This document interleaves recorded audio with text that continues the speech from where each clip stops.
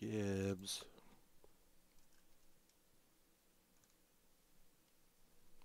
You're causing trouble. Lay down.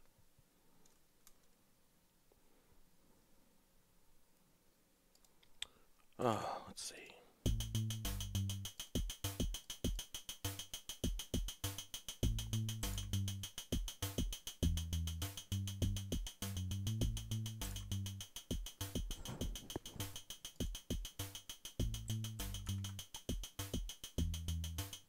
Good morning.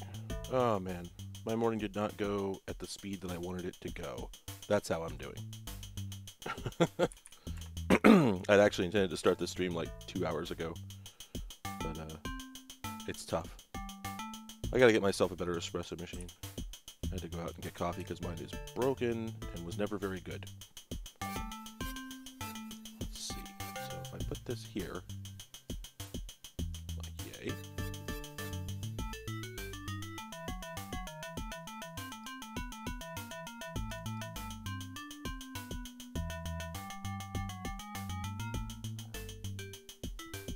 I was not there for 1982.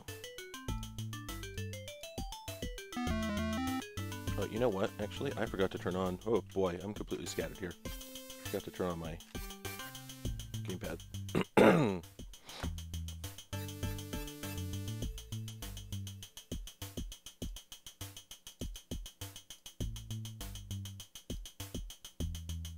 the funniest thing about this is that I bothered to get music going, and then the very first game I load up has some screeching uh, noise in it that we do still, by law and by tradition, uh, have to listen to. And not at all surprisingly, it's just some public domain music. Anyway. oh boy. Okay, alright, so there is joystick support. I wasn't entirely convinced. Was, oh, okay. Right, now I can put the now I can put the music back. Yeah, uh, happy Easter. Apparently, I had no idea, but uh, I'm being told. Um, anyway, so yeah, I think. Uh, oh, there we go. I got myself a worm. Oh, okay. I guess I gotta go. Gotta go feed the. Uh... Wow. All right. This is um. This is Bird Week for the NES, except much earlier. Did, did Bird Week come out for the NES? I think it only came out for the Famicom, now that I think about it. I might be wrong. Well, that's interesting. Whoa. I fed them. Do I... Oh! I didn't realize there was going to be another screen. Uh, okay. Do...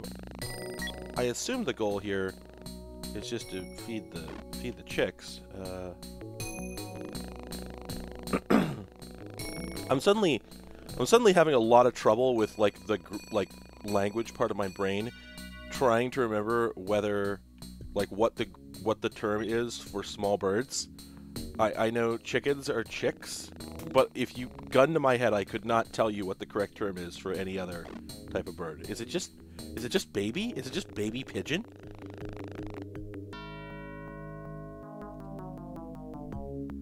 This is gonna kill me. This game's pretty cute. Another worm. You know, overall, this is fairly impressive. Fairly impressive title for the Spectrum. And, like, I don't know if the game is going to get any more mechanically complex. Um, whoa. Whoa, I just got wasted. That was interesting. You know, I did notice that there was something in the flower there. I wonder if that's a bee. It's gotta be, right? Yeah, I'll, birdlets works. Anyway, um, overall, I, this is pretty well crafted. Uh, oh no, I died again. I'm not sure why. Uh, overall, this is pretty well, pretty well uh, uh, uh crafted and uh, I'm fairly impressed by that. I didn't expect something this solid to be my first uh, grab out of the bag, as it were. Um, I do wish, all things being equal, I do wish that they had gone ahead and just used, like, um, Oh no, he died again. I wish they just used like a solid, you know, color for the bird instead of uh, white, because I feel like white renders most poorly in front of just about everything. But anyway, that said, uh, yeah, that was pretty good. I'm done with it, but that was pretty good. I guess I am curious how many, kind of how many rooms there are. I'm gonna try this.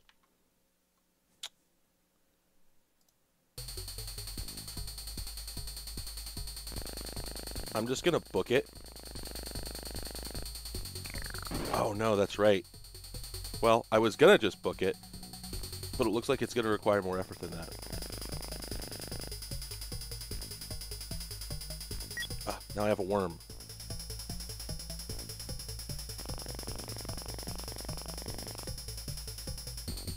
Okay, we got like a castle out here.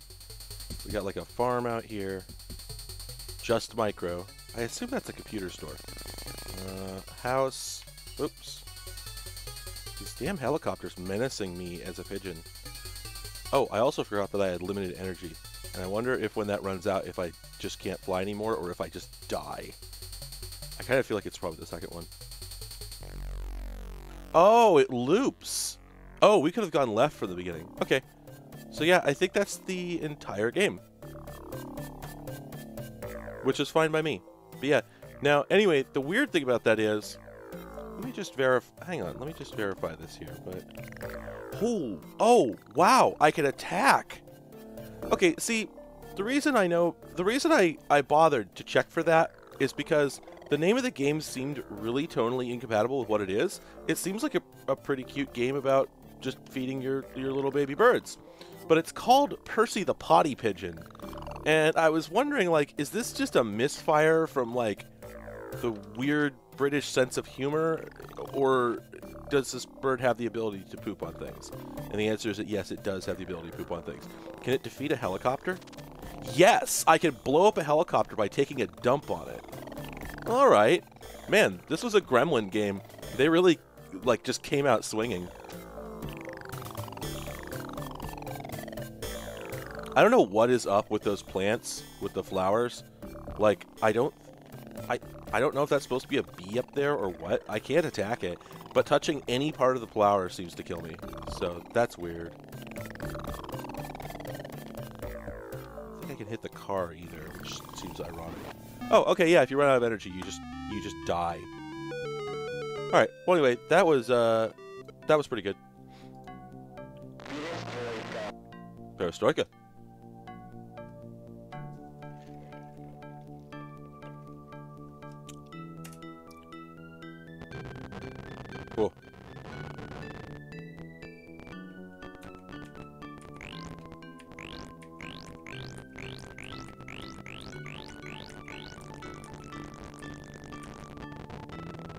Okay.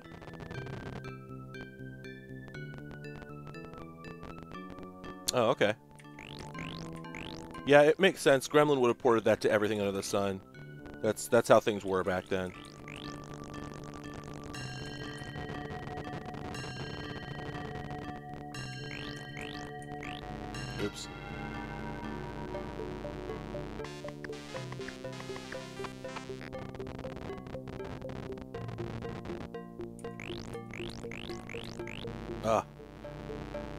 Getting tougher. Yeah, the premise of this game seems simple enough. I guess I'm just supposed to get to that sort of like coin or whatever it is over there. Um, and I guess these do... They looked random, but I guess they're not, are they? They are following a, uh, an animation pattern where you can tell how much life they've got left in them. Ah. Maybe not. Is that my last life? Yeah, that was my last life. Oh, no, it wasn't.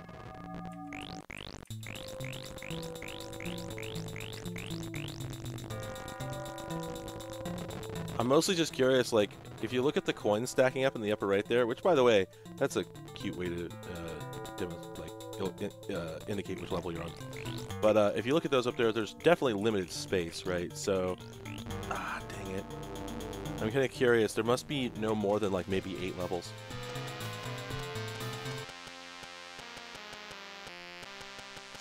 Some music from the game here.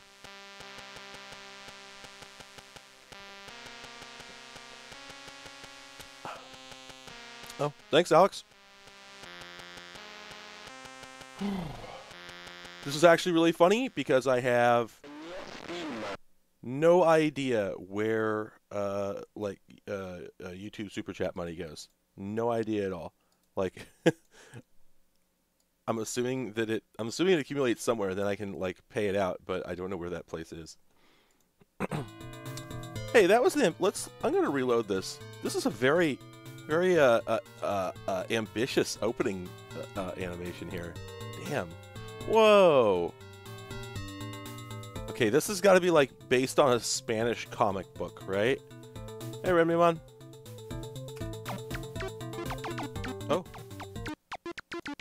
Picking all the games with music today.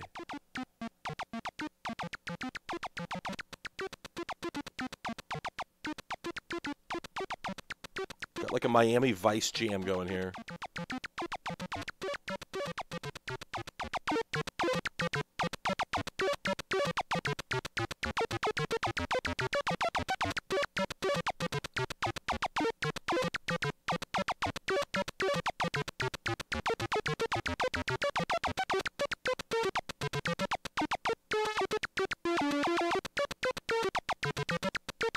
Kind of a bop.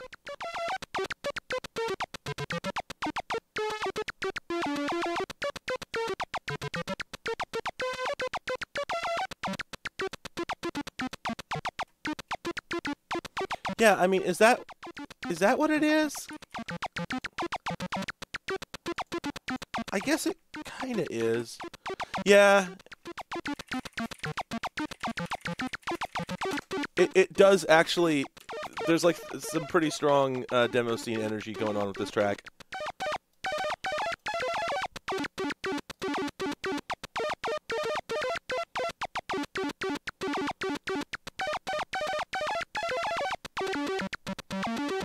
Wow, this just goes.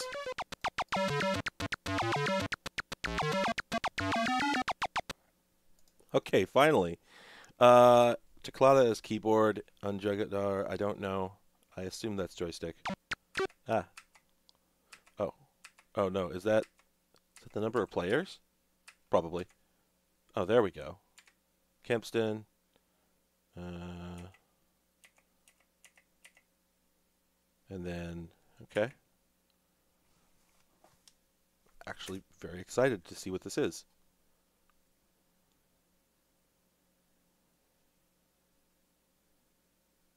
Wow, thanks YouTube.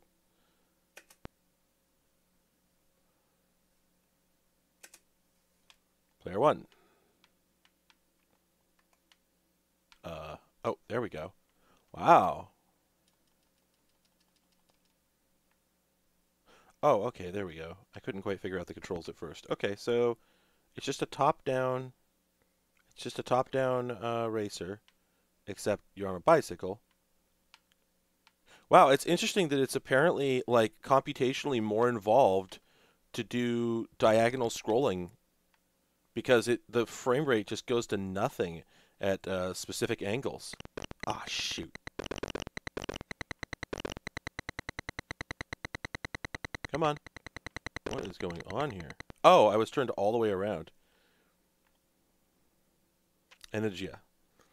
Uh, anyway, Okay, yeah. I was I was just thinking to myself like, man, my en my energy is uh, pretty low. Um, there's got to be items here I can pick up, and yeah, sure enough. There's just sort of cars kind of sticking into the road periodically. That's weird. Yeah, like that situation. Are we having a bike race in Mad Max? Like Fallout 3, you know, Fallout 3 environment? Like what's going on? Why are there so many blowed up cars? Well, not blowed up, but you know what I mean. Not moving. All parked at precisely 30, 30 degree angles. Always on the right side of the road. Man, that FPS drop is remarkable. I Yeah, I, well, here's the interesting thing. It's not just the fact that it's doing horizontal and vertical scrolling. A 45 degree angle moves smoothly. but when it does a uh, when it does a more oblique angle, it moves slower. So if I move it if I move it exactly 45 degrees, it's fine. See the God dang it. The frame rate goes goes back to normal. But if I move at any of the intermediate positions, um, then it drops. So I've got to assume that you're using some sort of trick to achieve both uh, uh, horizontal and vertical scrolling that doesn't apply when they're doing uh, anything other than um, a slope of exactly one, you know? I wonder if it's calculating the motion at the same speed regardless of how long. Like, I wonder... No, well, there's no RTC. I don't know how it would know how much time has elapsed since the last time it redrew, the screen, so I don't think it can maintain the speed when the FPS drops like that. Sorry, I'm trying to I'm trying to play this actually surprisingly difficult game uh, and try and comment on it at once, and I am just like flubbing it. Uh, oh my god. There we go. Oops. You know, and I guess nothing really stops me from going back and getting this, uh, it looks like a purse? Not sure what that is.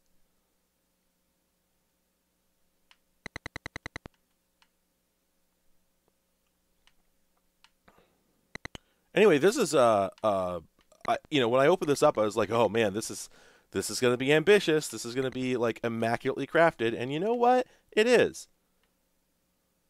Oh, am I nearly at the end of the course? Oh, yes, I am. Meta meta. Man, I came in last. Pardon me. Hey, Ben.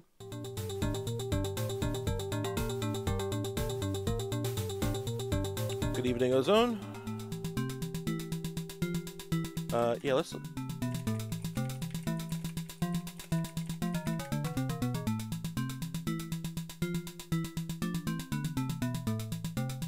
Okay, I'm looking up this game. It's from 89, which explains why it's so good. Um...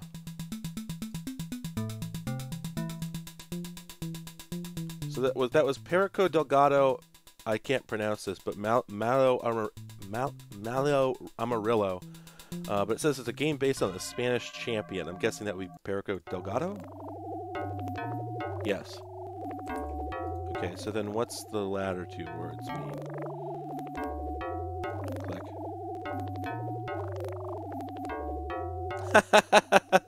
hey, not geek. Uh, yeah, I usually do one on Sunday.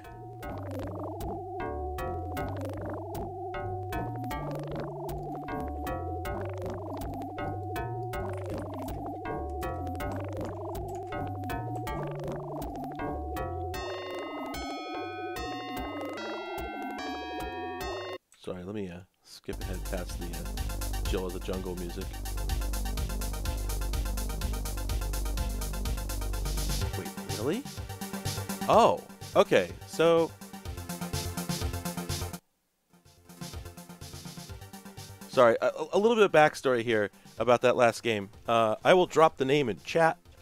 Um,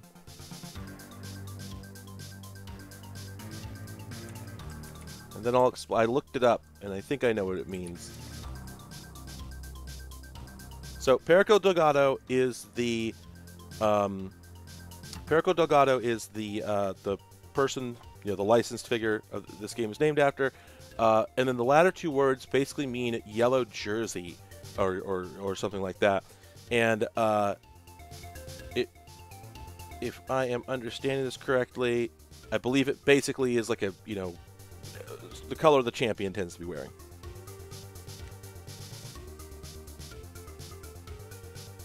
Oh man, the Overkill soundtrack. I forgot about that one. I don't remember what that sounds like. Yeah, people are saying that YouTube is like giving them really strange resolutions for this stream automatically. I don't know what that's about. So yeah, if anybody's having a, a rough looking stream, remember to uh, uh, remember to bump that up. Hang on a second. I feel like the, scale filtering on the chat that I'm using in the uh, OBS layout is not great. Oh, that's so much better.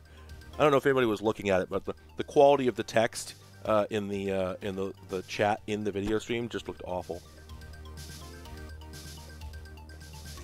All right. Anyway, um, so yeah, that was Perico Delgado Melo Amarillo. That was really good. Um, I'm going to go ahead and put that in the interesting games folder.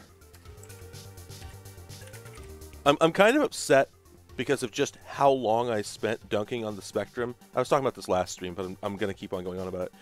Um, I was dunking on, on the Spectrum for so long because, honest to God, every time I loaded a game up for it, it sucked. And now it's like every time I launch a game for the ZX Spectrum, it ends up being like much better than it has any right to. Um, a whole bunch of these just making me mad about like how rarely you see a novel game these days. You know, um, again, you know, it's what I always say. A lot of these are not necessarily good. You know, don't get it twisted. But they are at least trying uh, a thing that it feels like we've sort of forgotten how to do.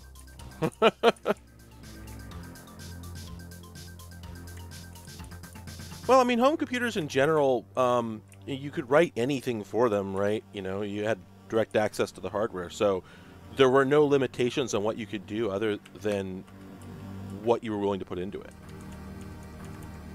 Um, and, and of course, you know, the intrinsic limitations of the machine. I cannot figure out if there's a way to jump. I don't know what it is. I'm just going to walk into something here. Okay, I am now being injured. Uh, man, I just... Yeah, so this is the sort of game that made me not like the ZX Spectrum. oh, man. Yeah, I just, I can't do it. Can't do anything. Alright, well, next game. That was called Perico Jones. Goodbye to Perico Jones. Wow, what was the cheetah rat?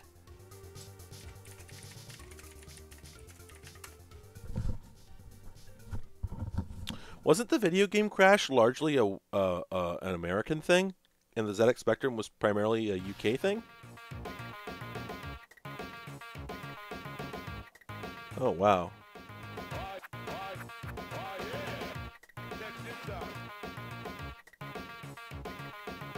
Okay, the Cheetah Rat was a wireless joystick with a really strange interface.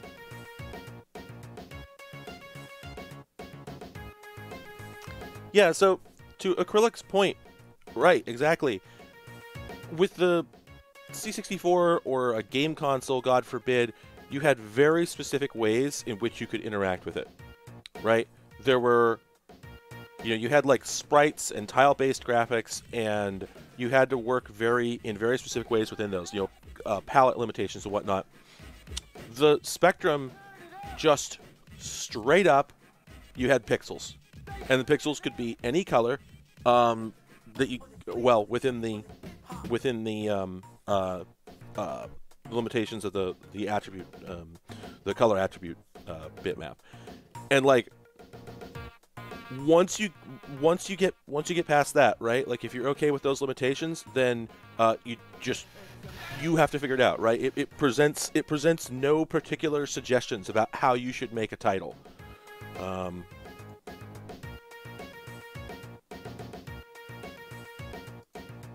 I'm gonna drop a link to the cheetah rat in chat here, and uh, just go ahead and take a look at that because that is a real strange looking instrument. It looks like it's a it looks like it's a touchpad sort of device. Oh, it's probably like a membrane. Uh, probably like a like a membrane surface. Uh, that looks pretty unpleasant. Wow. Okay, I pulled up like some rando uh, Amiga game music compilation, and wow, uh, this is really just going places. Who did this? This is a David Whittaker track. Alright, anyway, I don't have a cheetah rat, so Kempston.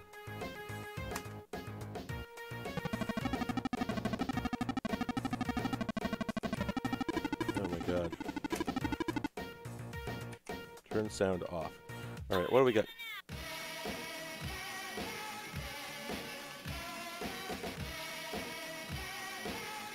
Man,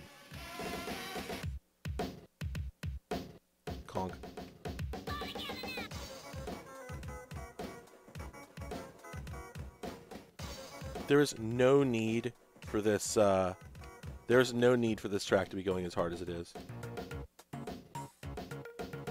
I'm gonna have to look up a manual for this game because wow. I do not know what's what, what exactly is going on here. Am I? It seems like I'm occasionally eating these, but not reliably. And there's like a squirrel up there who's a real dick and is trying to drop nuts on me. What is this game called? I completely forgot since I loaded it. This is The Perils of Bear George. Like I see a weight I see a weight gauge down there. Am I trying to get fat for the winter? Like what's going on in this title? I can't how do I I, I don't seem to be able to reliably eat. Yeah, I think I'm supposed to be fattening up the bear. And I suspect that I only have a certain amount of time to do it. But like why does he only sometimes Oh, wait. Oh!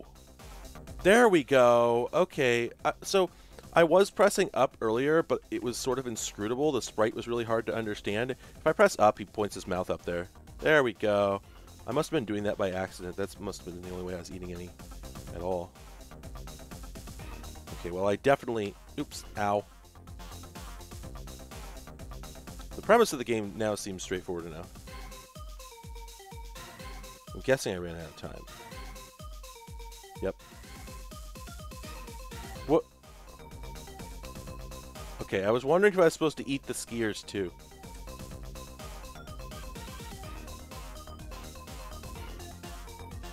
Okay. Huh. Oh, there we go. It's hard to get him to move diagonally. Whoa. This is going further than I expected.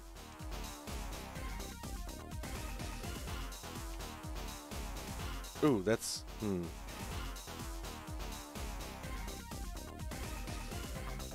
Okay, so.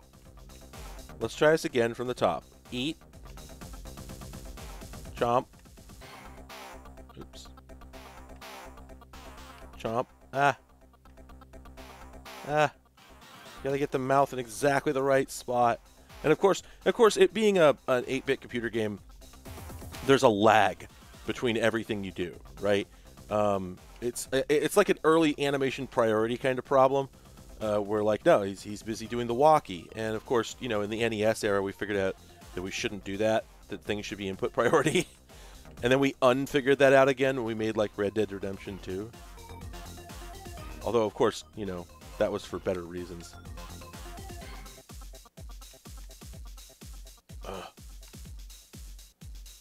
Uh, boy slow, boy not fast, let me tell you. He moves, he moves, he moves like the Ever Given. Right? That's a topical joke that people will remember in three months. Big boat was stuck. Now nobody cares. Back to a normal Tuesday.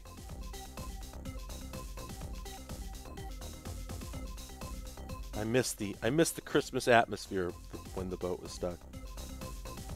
I'm not reading chat right now because I'm concentrating hard on catching these apples, okay? I need you to know.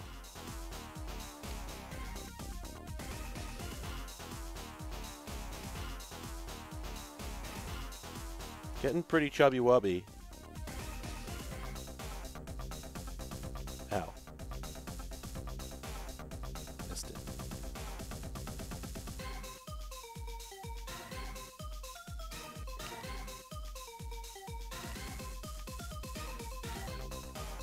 I don't actually know if bears eat apples. I'm suddenly realizing I don't know the answer to that question. Are they omnivores? I will not see your answer in chat.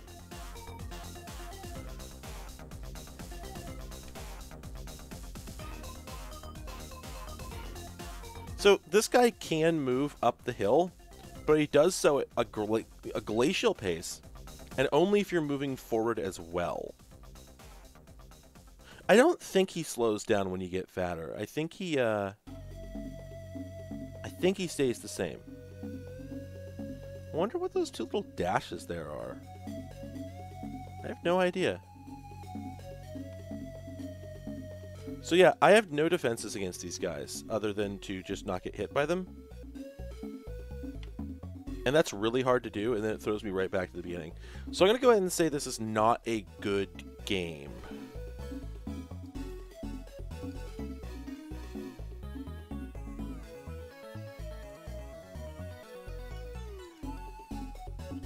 Yeah, Perils of Bear George from 84 by Cheetah Soft. Not so great. One of the better pictures on the internet, the, the thing that got me thinking about this was just the picture of the polar bear that's just going nuts for the apples that are frozen into a big hunk of ice. And the joke was, how does a polar bear know what apples is? And that was pretty funny. And also, I've been wondering for like a decade now, how does a polar bear know what apples is? Anyway, all right. Next title. Uh, this is by Atlantis, obviously. This is from '89. Whoa, digging the uh, digging the uh, uh, pallet cycling. Uh, oh, hello. So what do we have here? Um, well, this certainly looks irritating. oh, submarine! How did you get yourself in this situation? Oh, nice little animation when you change direction there. All right. Um,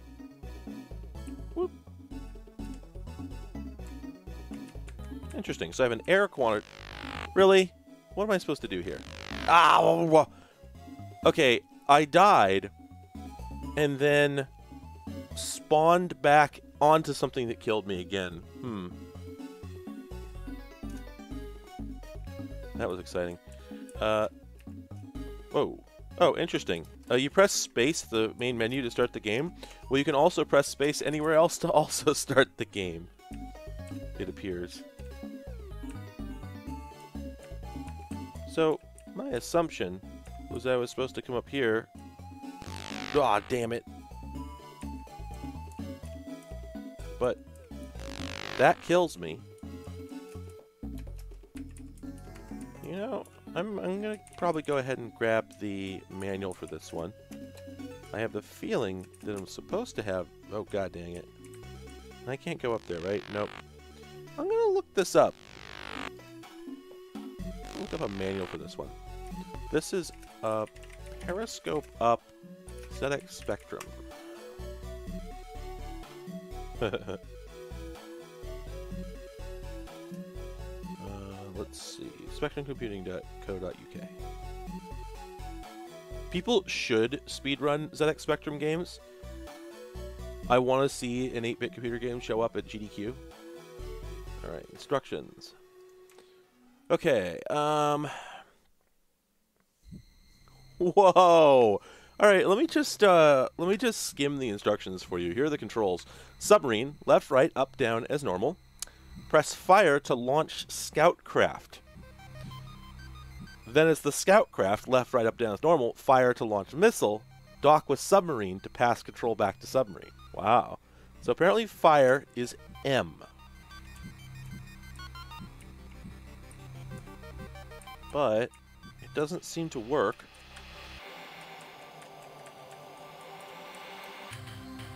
Hmm. Let me just make sure. Is this the same? This is the right game, right? Yep, this is the right game.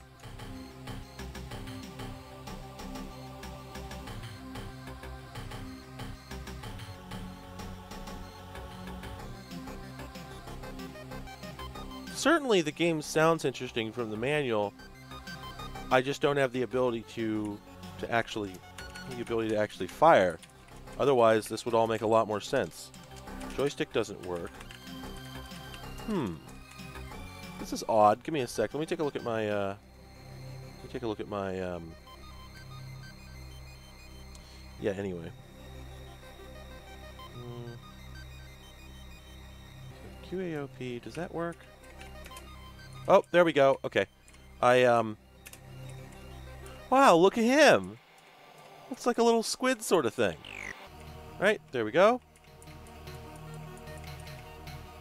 Alright, well, that was weird. So, why are there two separate gauges? Well, I guess fuel... Ah, damn it. Fuel could probably be refilled periodically. Um, would be my guess. Whereas air is probably kind of a whole game timer. Um, that was a thing back in the 80s, wasn't it? Yeah, they're using a lot of uh, they're using a lot of memory to store that that sub. Well, actually, unless I can think of some ways they could use some uh, just sort of like drawing some lines more often than other, and not other sort of tricks. Because remember, they're drawing every single uh, pixel by hand with the CPU, right? It's all artisanal.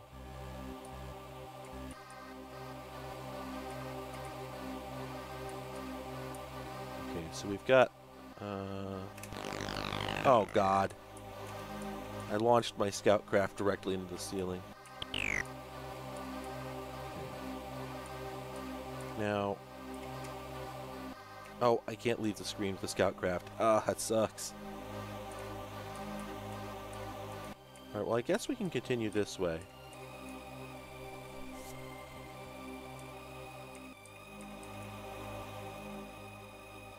Well, there's two.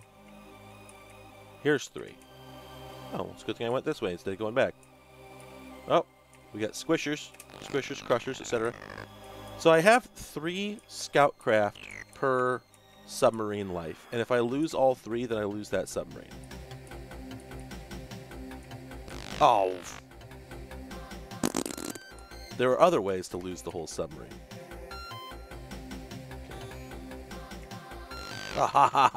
Dang it. Okay, now that this is working better... Oh. You know what? I can use a Kempston. I did not realize that. I did not realize there was an option here. Let me fix my joystick config. Dink. See if this is any better. There we go.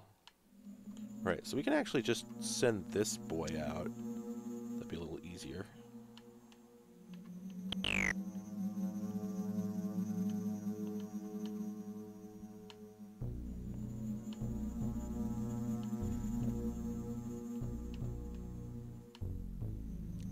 Now that I understand how this game works, it's actually a lot more appealing. Um, so which door is this? This is door number one, we've not seen a key for yet. Hey, uh, thanks for watching. Um, I would like to do more of the Big Blue Disc. Uh, I guess I sort of fell out of the habit with it because it was, um, well, it was actually incredibly high effort to produce, it turned out. Like, it was way more work than it looks like. Um, because it turns out that the difficulty of. So I can't really do after the fact narration. And arguably, you know, I. I sort of the theme of that, that series I was trying to do was uh, styled around like Chrontendo, if you've seen that. And um, Dr. Sparkle, much love for him, but he also can't do after the fact narration. All his narration is out of sync with the uh, uh, the actual events going on in the video. And uh, i kind of look at that and I'm like, yeah, mood. I don't really know how to solve that problem. So I have to do the narration while I'm, you know, doing the actions. And it turns out that's logistically really complicated. Uh, and the other problem is, I had a really hard time getting a keyboard that didn't come in a mic configuration uh, where you couldn't hear me tip tapping away um, as I was doing the stuff. So I kind of stopped doing it because I couldn't figure out how to make that work.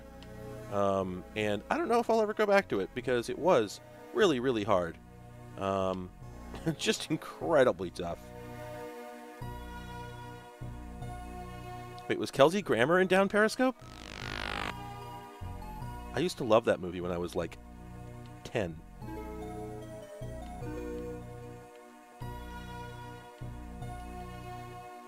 Oh! Yeah, alright.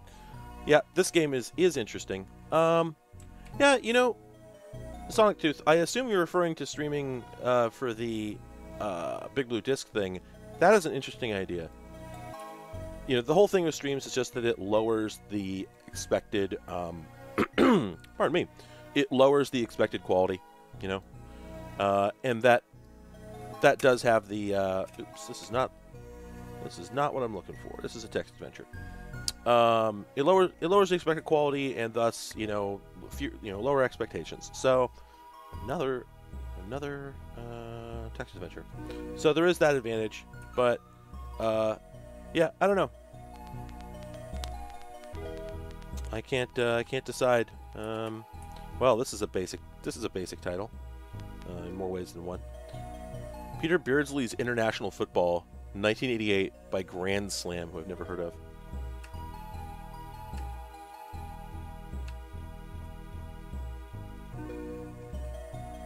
Wow, this looks really involved.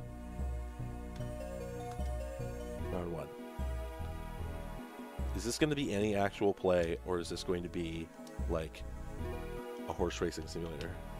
Nope, actual play. Oh, wow, okay.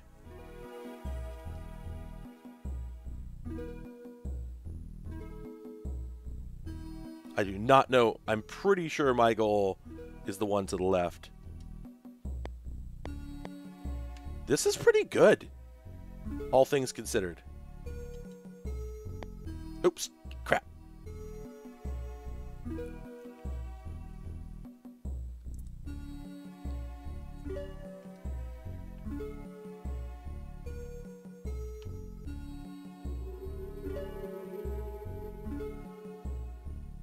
Ah, dang it. Dang it. Oh, whoa! Okay. Oh, I got scored on. Uh, it's just f.lux. The teams are white and yellow, which on the, you know, on the stream and everything, yeah, it's going to render uh, pretty similarly. Um, oh. Anyway, uh, this is from 88, at which point there were established conventions for, like, sports video games on game consoles. Um, so I'm not that shocked at how good this is, but at the same time, I am kind of. I'm I'm also learning things about uh, soccer here because um, it appears that yeah, if you kick the ball off the sides, uh, I guess uh, uh you know the play is over, which makes sense, but it never really occurred to me. I just scored on my I just scored an own goal.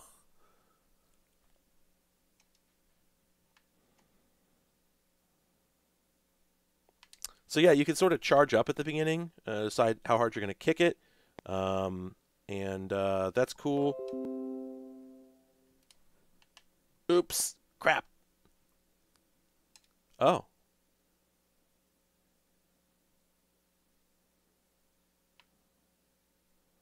Huh.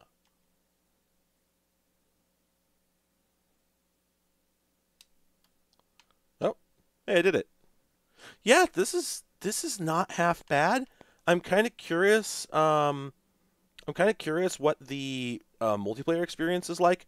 But yeah, like I said, you know, there were we had figured out how to make sports games at this point on consoles. So I guess this isn't that shocking. Um, still a little shocking though. Um, I mean, especially given you know the machine that it's running on. Um, not that we haven't established that the Spectrum can do. There we go. Pretty good smooth animation and whatnot. But uh, I don't know. It's still impressive every time I see it. Like the frame rate, the frame rate, the frame rate never gets that high. And you know all it. So okay, here's a take. I don't like the Pico 8 very much. Um, several people here just nodded their heads or or shook them. Uh, everybody else doesn't know what I'm talking about, but I never liked the Pico 8. Uh, yep, one moment. Uh, well, I'm streaming, but what's up? uh, wow, are they? I didn't notice. Are the crowd graphics good? Oh, wow, yeah, they're very good, aren't they? Anyway, so if anybody doesn't know, the uh, Pico 8 is uh, like a, I think it's like a JavaScript-based um, uh, vintage computer like it's not an actual vintage computer; it never existed, but uh, it is a uh, em, you know emulated vintage computer that never existed. So it has like very low resolution, very limited color palette, um, not a whole lot of uh, memory, and yeah, you but you can program in a modern language. I think it sucks. Um, much love to the people who made it and the people who write stuff on it. At the same time, I, I get nothing out of it. What I would like to see is a ZX Spectrum at twice the clock speed and or with a graphics chip and no other changes. Like the only yeah exactly right like uh, okay the pico 8 could be interesting now let me program it through modern tools because if you're going to give me something that's been modernized anyway uh, just go ahead and let me uh, it, it it bugs me um, all and it the resolution on it is wrong it's too low for it, it it's it's too low compared to like the reality of any actual machine, if I recall correctly. It's a weird aspect ratio. Um, it's it's it's just it's just nothing. I, I don't want to be too mean, but it feels like it was made by someone who wasn't there for this, doesn't know what it was that you know people remember and value about these things and what makes them special, and you know obviously there's tons and tons and tons of people developing stuff for it, but it just rings really hollow to me. So uh, at any rate, um, when I look at the ZX Spectrum, I'm really liking almost everything about it. Uh, uh, like it, it's a really cool aesthetic and whatnot. I just wish that it was a little smoother because it's so hard to it's so hard to make out what's going on. Um, other than that, you know, don't change anything else. Uh, so hang on a second. This is a. Oh, whoops. This is Peter Packrat. I think this one isn't this a known. Oh yes, this is a known title. Uh. Yes.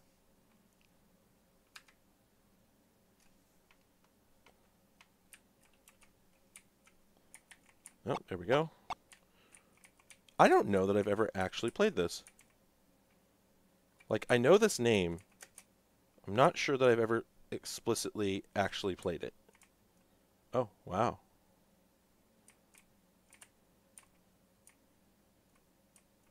Again, pretty smooth animation. I feel like if I if I get touched by that bug, it's going to kill me instantly. Because I don't see a health bar. And it's a ZX Spectrum game, so everything has to kill you. wonder do I do I slide down these? Yes. Oh, I can swim. Swimmy, swimmy.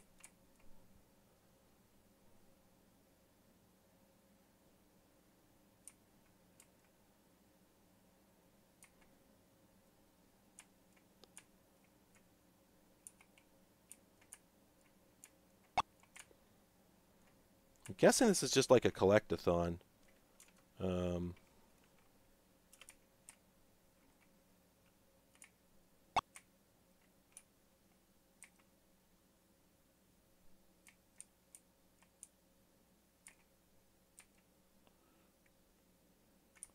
but anyway, um, yeah, the, uh, I don't know, the, there is something to me very weird and like missing the point about making something that pretends to be an old computer but is intro- but is is introducing its limitations simply by saying no you can't do that um, instead of actually having some sort of design reason for why you can't do that you know? The the pico 8 has no particular reasons for it to be the way it is and so they've relaxed certain limitations of it um, but the but you know, there's no narrative for why those things are relaxed or, or can be relaxed while other things are not. So, um, oh, this game looks like a collectathon. Um, you know, I'm gonna pick things up. Uh, whatever, not doing anything for me. Uh, Peter Pan the Adventure Game. This one's. I'm guessing this is a text adventure. It also is not loading correctly.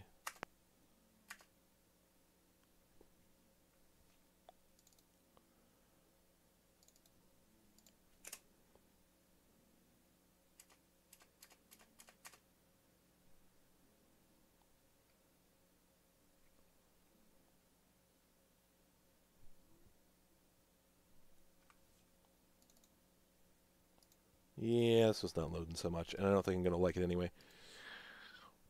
Uh.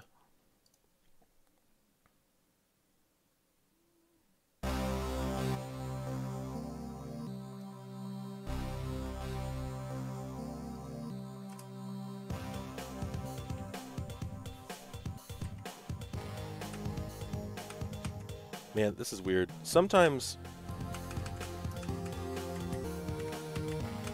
Sometimes when I start up a game, it'll just like not recognize the uh, it won't recognize the um, like number keys or something.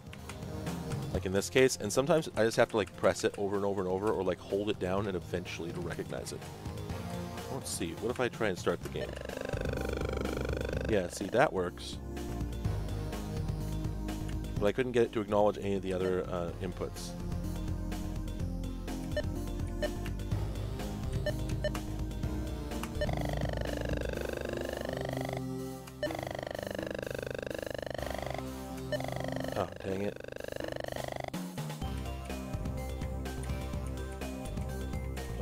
Into a pickle.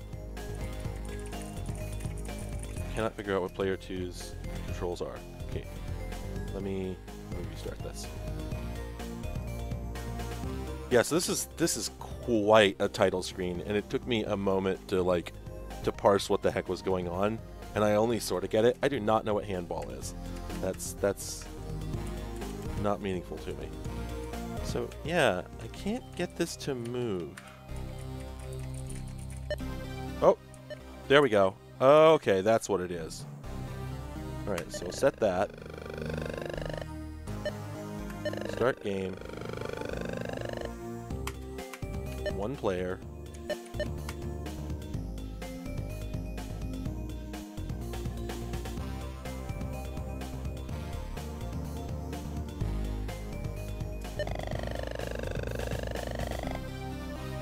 Enter skill code?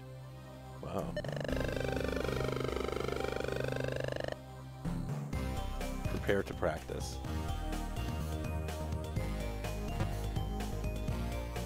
Oh. Oh, wow. Okay, so I guess I was playing the goalie there, which I didn't realize. And, uh, lots of frames of animation.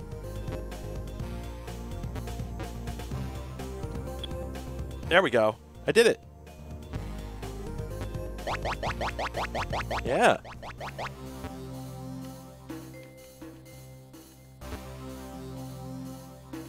Oops.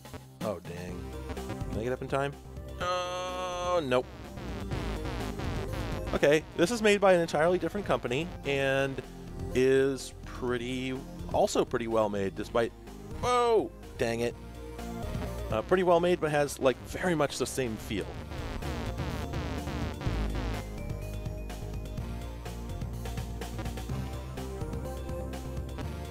The uh, the football game that I played earlier. Sorry, I'm a little distracted. Apologies. I saved one shot. Okay. Can I can I not play the other side? Oh wait, now this says Peter Shilton's football. This said Peter Shilton's handball Maradona earlier. Huh.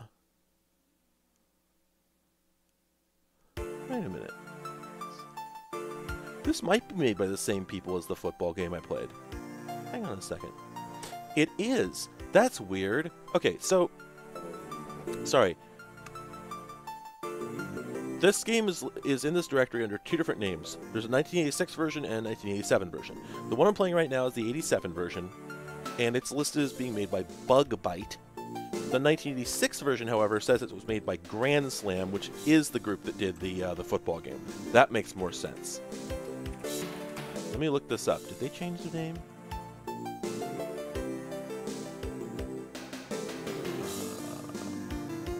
Yes. Yep, yep. There was uh, there was like an acquisition. There was an acquisition, and um, they uh, ended up changing their name. All right. Anyway, moving on. There's a 1996 Russian title here called Petrus.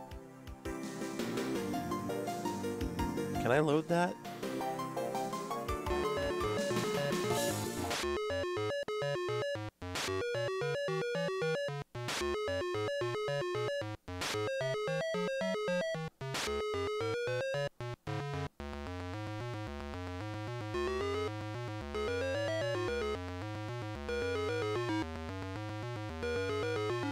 All right, anyway.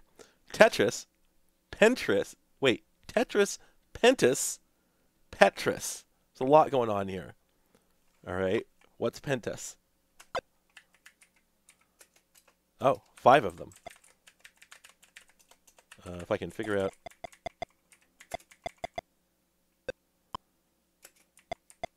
Oops. I'm trying to figure out what my rotation keys are. Ah, no. I keep hitting Q, which quits. It's not space. Very weird key key definitions here.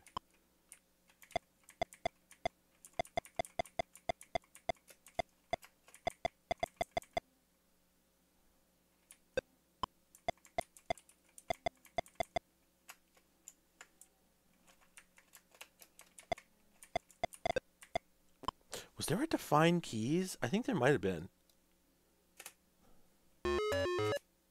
Redefine keys. There we go. Left, right, turn, drop, show next, quit, speed up. Okay. Let's do Petrus this time. Go. Two, three, four, five. Ah, this is a combination of both.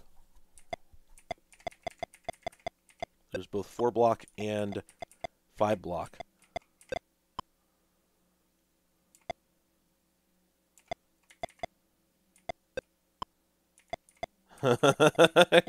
Gosh. This is really cursed. oh, man. Surprisingly easy to adapt to, though. These are really funny. It hadn't occurred to me how many more options there were for shapes when you use five uh, squares instead of four. Every one of these looks like a joke. Uh, I don't, I don't know if the Russian Speckies had the same layout. It's a good question. Seems possible. I can drop that there, right? Yes, I can. Hey, this is cool. I'm digging this. Like, everybody has Tetris neurons that have just, like, been dormant for eons just sort of like, oh, Tetris, alright, I can do this if I have to. Like, maybe you like Tetris, but when was the last time you actually had to think about Tetris? This one's doing a lot for me.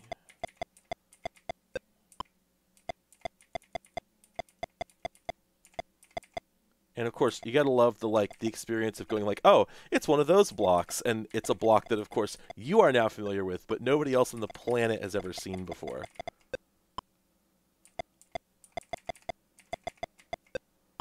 I would really love. There we go. I've been waiting for one of these for several several years. Uh, I'm going to go ahead and start filling out this line so I can clear it. Uh, do one of those, and...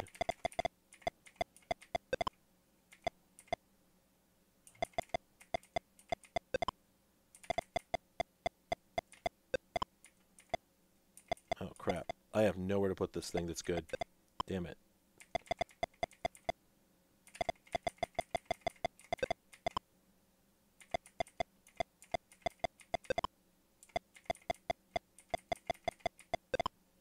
Gotta clear a line here. Here we go.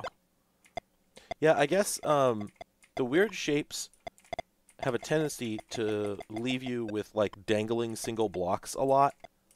Um, that is definitely odd. Makes it more complicated. That's I've never seen this one before. That's the first time I've seen that shape.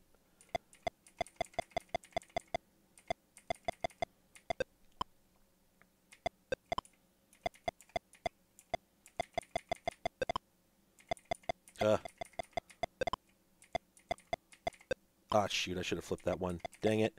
Wow, it's giving me tons of these now. Boy, I can't... Oh, okay.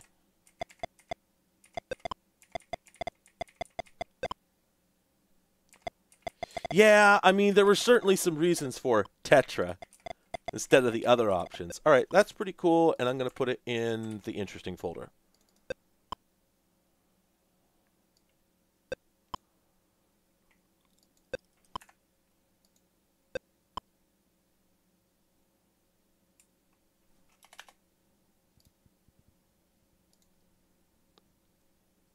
All right, next title.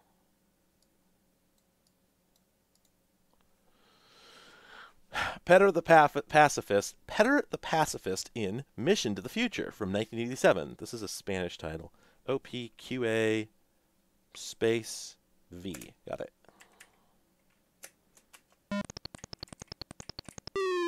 Oh, wow.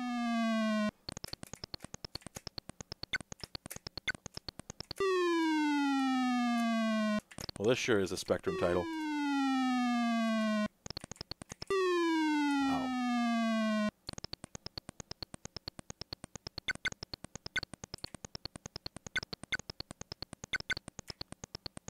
Huh. I'm guessing the goal is to escape.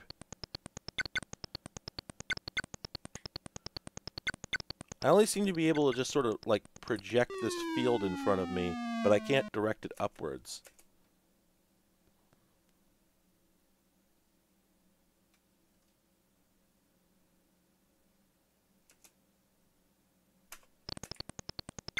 And yeah, I'm kind of curious how pacifist comes in here when I do seem to be murdering all these things. Uh, but uh, hey, you know, uh, you never you can never quite tell what you're being shown uh, in these graphics. Okay. All right, we're making progress now. Ah. Oh, you know what? I think there's sort of an angle at which I can still vaporize them if they're above me. But of course, the low frame rate doesn't really help with that. Oh, shoot. This sort of weird isometric tile-based uh, map design was really a thing on the Speccy. Um, know exactly why, but it's just something about European devs just really liked perspective in a way that um, just was never as popular in the Japanese or American game dev world. There was nothing about the machines that necessarily made. Well, I guess top-down perspectives are easier with simple square tiles, and all the Japanese, uh, um, you know, uh, game consoles were based around square tiles. So I guess the pixel addressable graphics did make that more likely.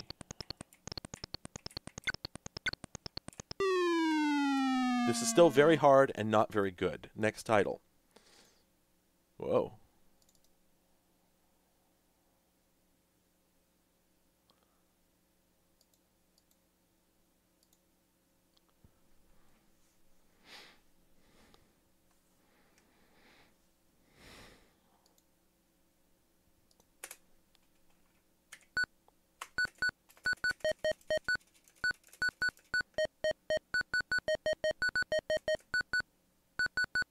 This is going to be a text adventure.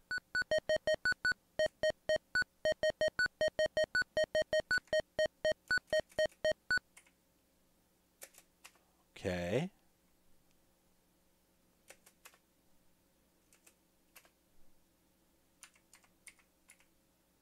Hmm. I wonder what this is doing.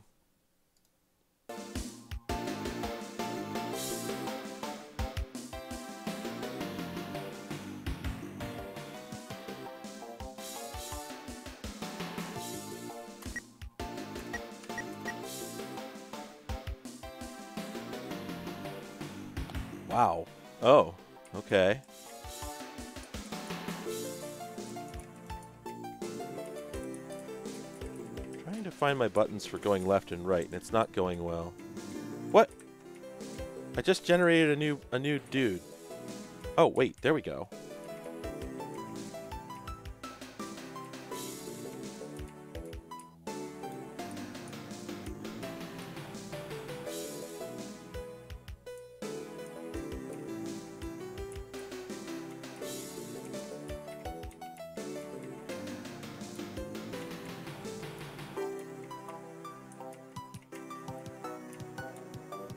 This is weird.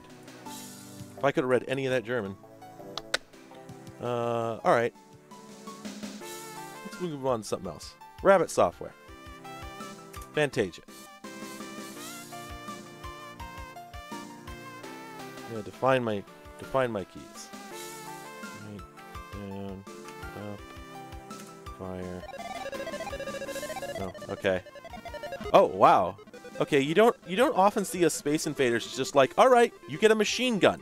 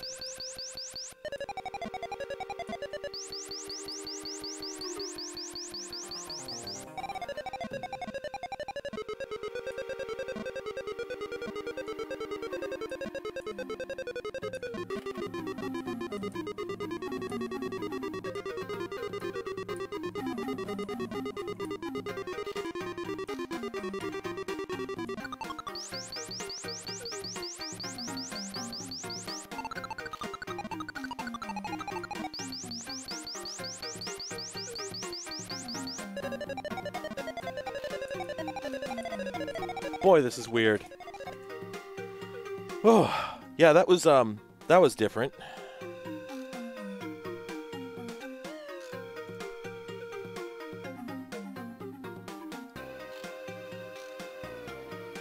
Let's uh let's move forward here. Um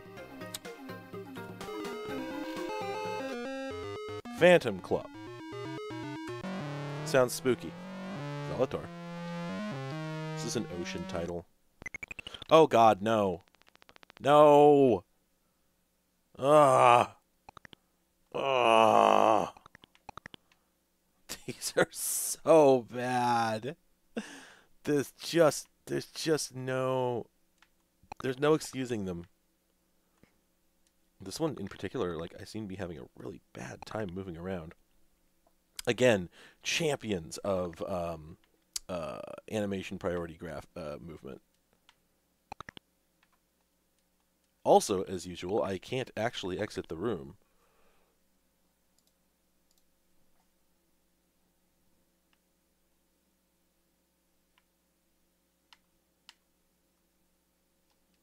Yeah, wow, okay, alright, next title. oh, wow, look at that. That's neat.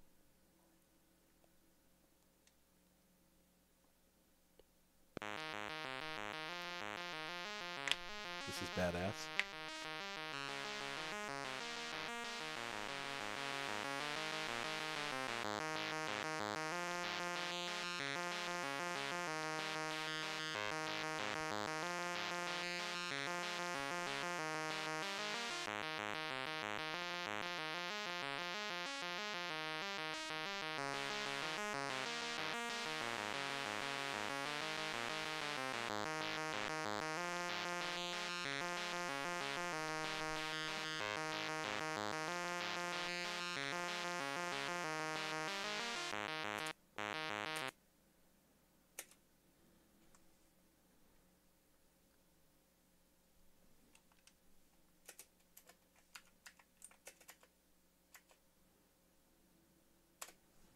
Well, this is this is cool.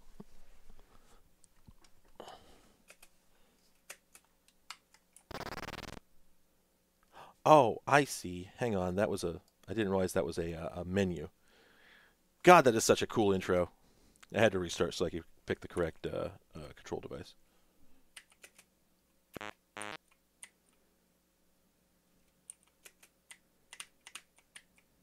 Yeah. Well. I thought. Hmm.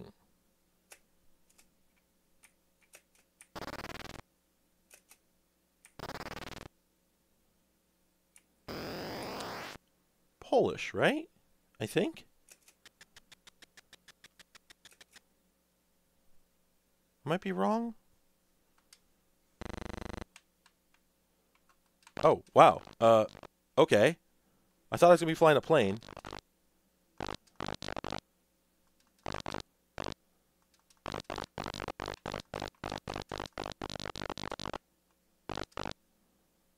This is cool.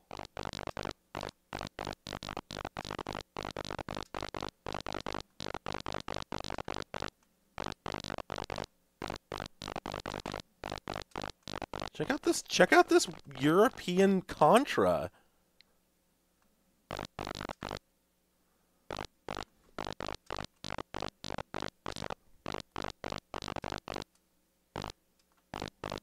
Am out of ammo. Oh no. I'm not sure why I'm not dead. Oh, I actually have a life bar, that's why. Is that ammo there by any chance? Yes, it was. Not health, though.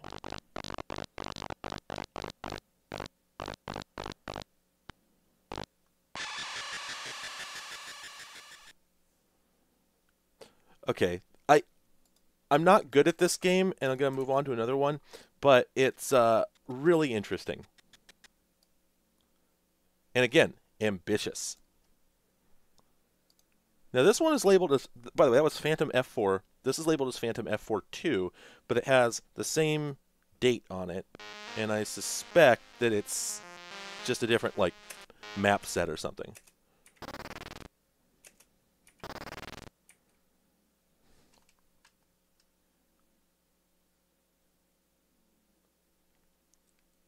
I I I think this is supposed to be like my girlfriend waving goodbye before she takes off in my gigantic jet fighter, which is badass. Oh, maybe not. I don't know. Uh, I am using the Fuse emulator.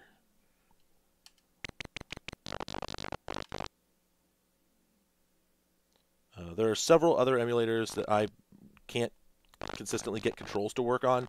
Um, Fuse is the only one where, uh, you know, uh, I'm able to get the, the controls to, to seem to work reliably. Um, I also recommend, although you can get Spectrum games in both disc and tape format, um, I have had no success at all with the discs. Um, the tapes seem to load very reliably in Fuse, so Wow, this game is incredibly hard. This is much harder than Contra, especially because you can't see the bullets and dodge them, you know? So yeah, whatever the story with this thing is, I'm going to switch to something else, but whatever the story uh, with it is, um, like, it doesn't, it doesn't, uh, it's not executed as well as I, I would have hoped, but uh, definitely still very cool. This is quite a title screen. This is fan this is a Phantomas, Phantomaz, apparently. This is also Spanish. Um,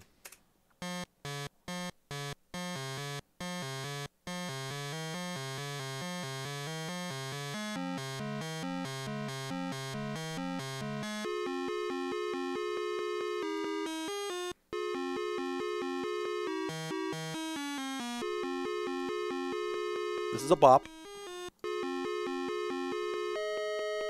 My real worry with like Spectrum titles, pardon me, is that they'll have like a real bop at the intro, uh, and after a couple cycles, I'm going like, yeah, this is great, and someone goes, this is Mozart. Why don't you know that? Anyway. Uh, Kempston. Oh, okay. Oh, whoops. Uh, my joystick interface is not working correctly. Let me restart this. Whoa. Weird. I'm having hella control issues with this.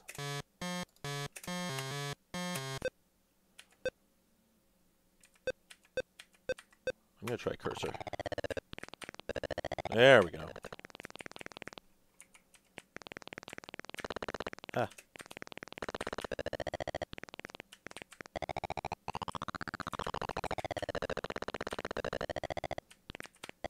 The genre of like exploration game where absolutely everything hurts you and the goal is just to like get through a room you've got no weapons etc the goal is just to get through a room without dying um, and it's really basically like a platform game um, was so huge.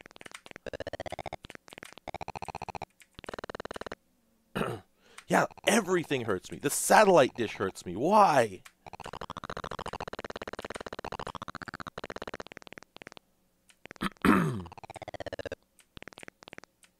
gonna guess I can't ride on those clouds. Wow, that was health. Incredible. I'm lucky to even have health. Oh, I can ride on the clouds. Shocking. Wah.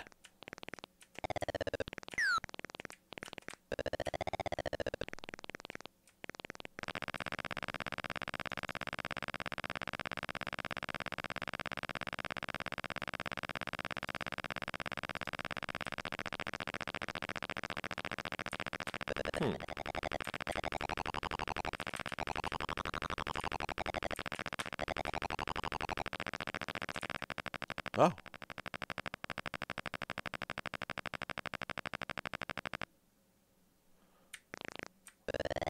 Oh man, without any of the other stuff on the screen uh, to, for the CPU to bother with, it moves so much smoother. oh man, what is this? I wish I, I wish I spoke that language. What? Whoa! Whoa! What? What? What? Hello?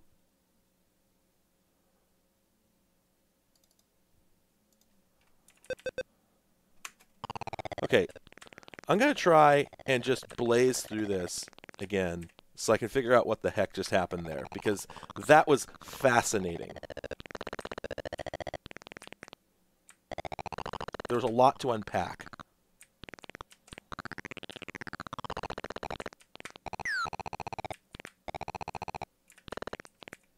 One thing that bugs me is I don't... Oh, whoa, there's long jumps. I didn't know that. Alright, so let's pick up some health. Yeah, it turns out there's like high jumps and long jumps.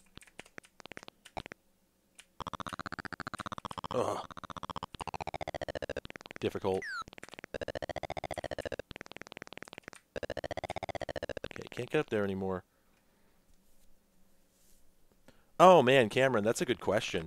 Uh, oh, shoot. Um,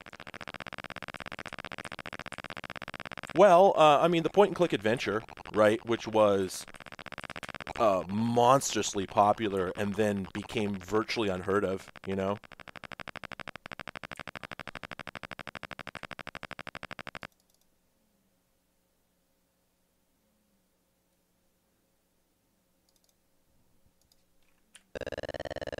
Oh, just out of curiosity, is there anything... Nope, can't go that way. All right.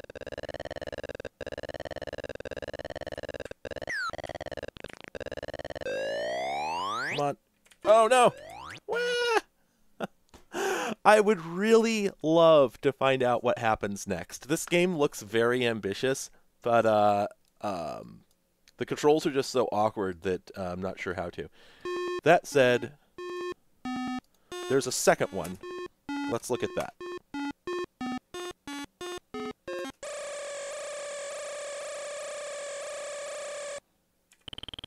I'm going to go with cursor controls again.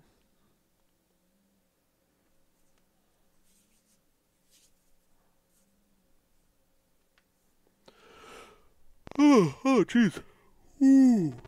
Okay, the fact that the game starts you in a position where you can get injured if you don't immediately... Wait. Are we playing Braid? Everything only moves when I move.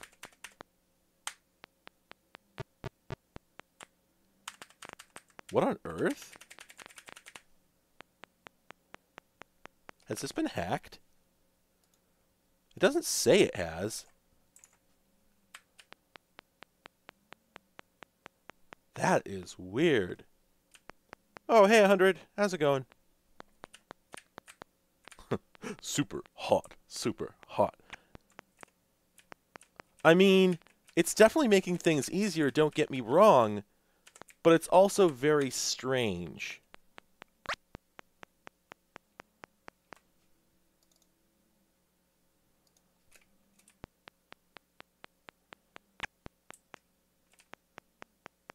I'm sure this is not intended. Um, let me load up. I have a couple other rips of this. Um,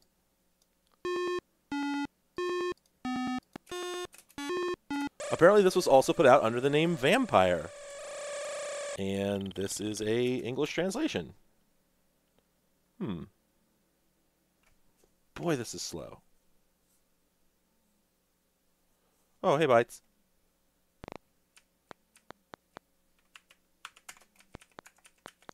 Yeah, I don't know. Maybe there shouldn't be any key overlap, but maybe there is. Well, I'm using the cursors, which shouldn't be bound to anything else. Um, let me try this in Kempston mode.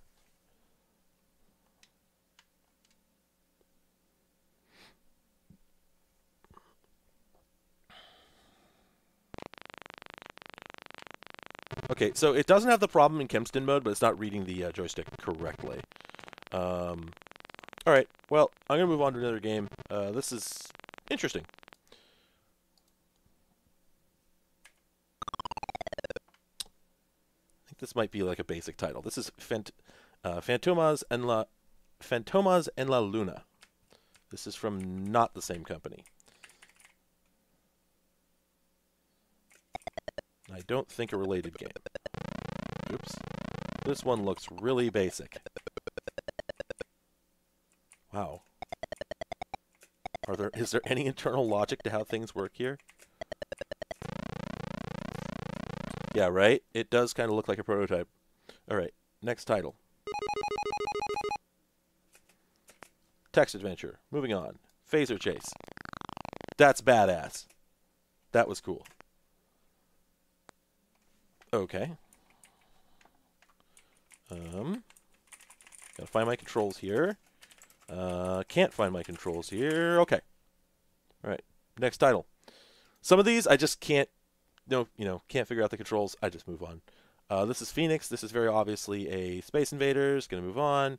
Uh, Phileas Fogg's balloon battles. God, does that ever? That right there is just a prototypical. Oh, these were the games that I grew up with back in the UK, we didn't have Super Mario Brothers. We had Phileas Fogg's balloon battles for the ZX Spectrum. But let's see how let's see how bad that actually is. Once again, I cannot. Once again, I cannot uh, uh, interact with the menu properly. But we can define keys, so I guess we'll do that. Oh, what do we have here? Huh. Weird. Okay. Um, there we go. I couldn't figure out how to move. I'm still not sure how to move. How am I doing this?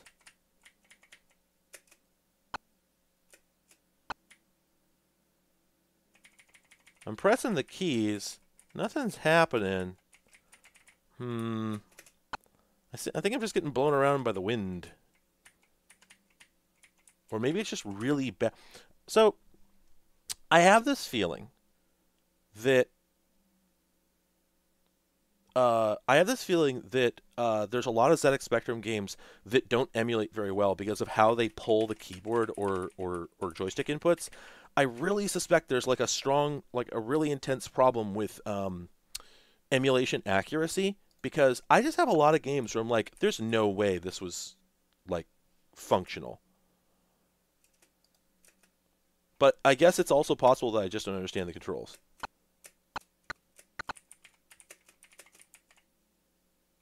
Yeah, if I like if I key smash here, I'll eventually take off, but I can't like nothing's consistent. Um okay, let me let me reload this. Was there an option for cursors? No. Keyboard Sinclair. Wait a minute. Right, down, up. Was I on the wrong... I might have been on the wrong input mode. No, because I was firing.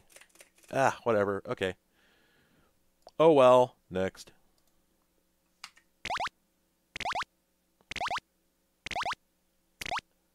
Is this like a text adventure, but multiple choice?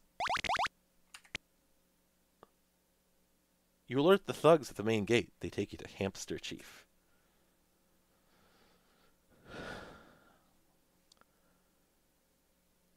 Badger is not pleased. What is going on? This is Phineas Frog, by the way.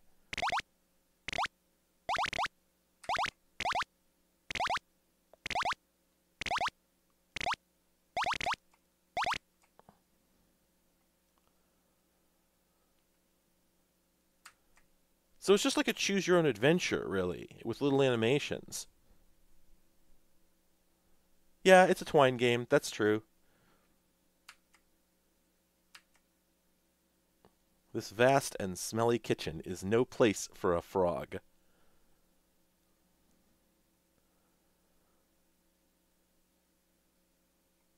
Pick up coffee. The cook has gone out. Okay, I'm going to move on. Um, bup, bup, bup, bup, bup. Phoenix. Uh, that's another Space Invaders. God, Space Invaders was a hit. Text adventure. Pie in the sky. This is going to be your basic don't get hit by things. Yep. Okay, next. Pie there. Kempston joystick. Whoa. What?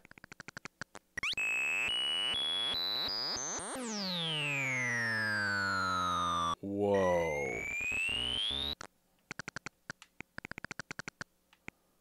Okay, so... Okay, so the goal here is just to turn everything blue. Okay, there we go. I do have a jump. I couldn't find the jump at first. I'm guessing those guys are going to kill me. What? Why did I...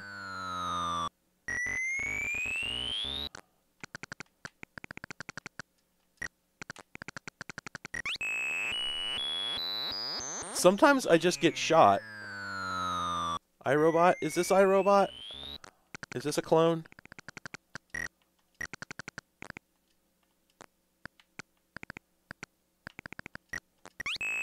Oh! Oh, I didn't notice that I was closing.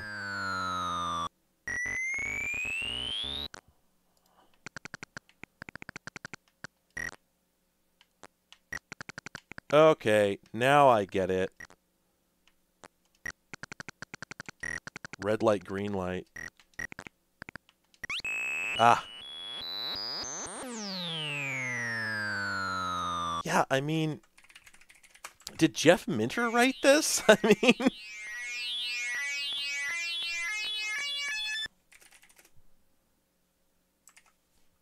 no, shockingly, he didn't. Okay, I am going to check one more thing before I finish, which is, does this thing kill me? Yes, it does. Oh, man. Pain in the ass. All right, next title. Whoa. Oh, that one didn't load correctly. Piebald. There's a lot going on here. There's a lot going on here on this page. Uh, this is made by Automata UK, which is the same one that did Pi there. So is this a clone of something as well?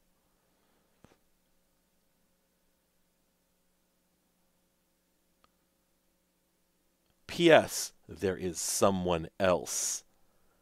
Man, this is weird. This is real weird. Also, I can't move on. Hmm. Hmm. Hmm. Well, okay. This is a 1991 Ubisoft title. Well, I guess 90, it says.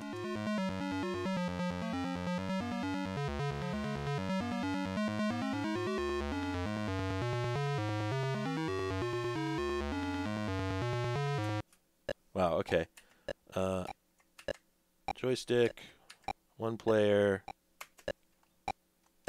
How do we start? There we go. Whoa.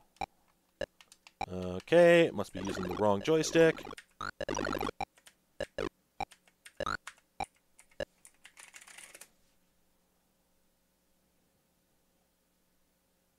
Okay, let me try again.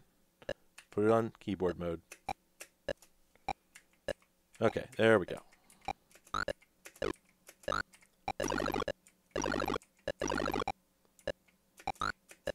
Okay, so this is a this is a matching game. Oh, we can just sort of move them wherever.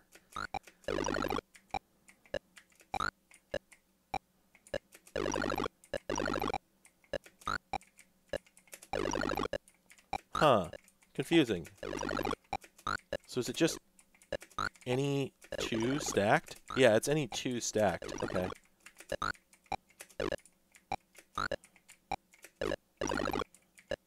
Huh. Wait a minute.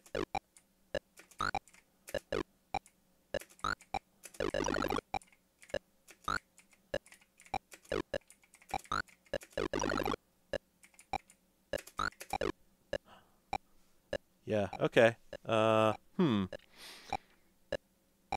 Well, moving on.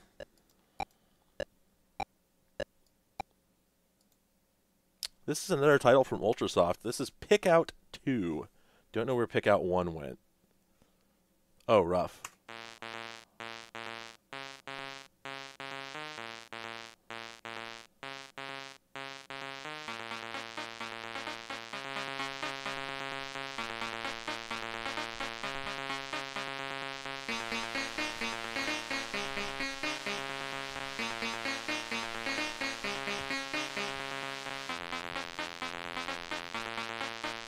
This music is a bop.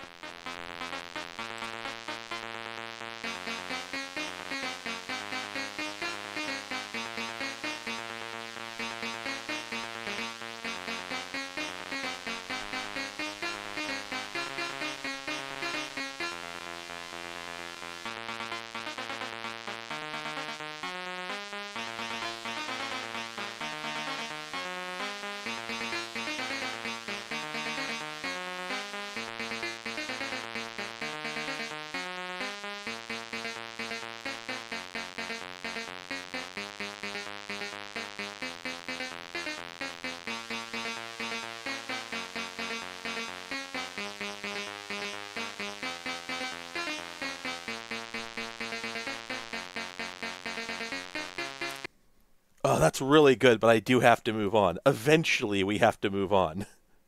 But man, I don't want to move on. Uh, all right. Um, Jeden. Davaja. Hrakovj. Uh, joystick. Oh, that's. Oh, it is Kempston. Is this literally just a match two game? It is. It's just uh, the Super Mario Brothers three match two game. I don't remember.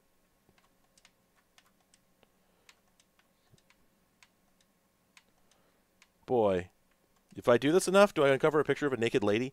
Unsurprisingly, the only interesting thing about this was the intro music. Moving on. Pickpocket from Gemini Mark. Whoa. That's rough.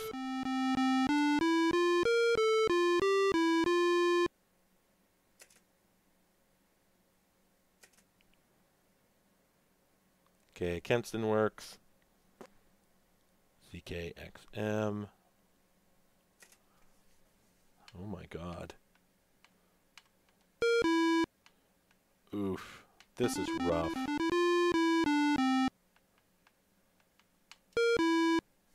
Cop game. Next title.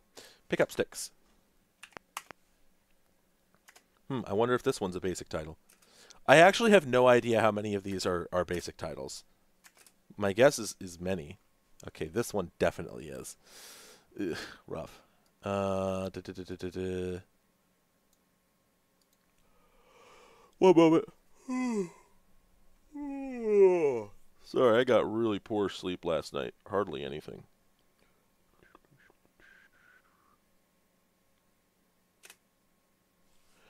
Text adventure. Okay, moving on.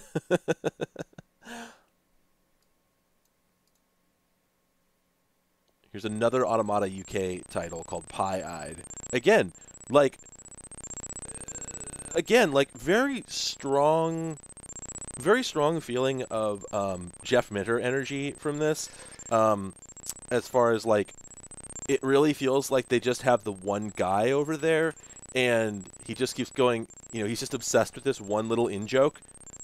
Press any key for a game. It might not be this one. Oh, jeez. Is this the gay dog? I know like several hundred of those.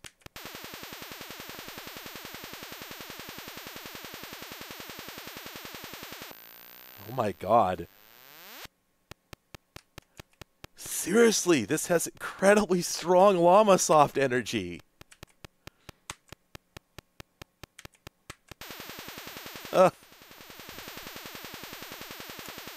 Uh, can you imagine paying for this? Someone must have bought this, right?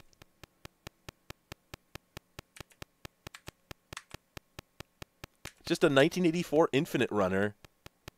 Drinks zero. Oh man, maybe there's more to this. Ah!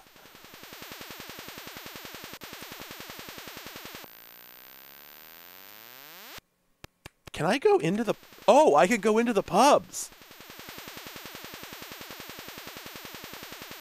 That's what's going on. Oh my god. Holy crap. Ah, it's so hard to control.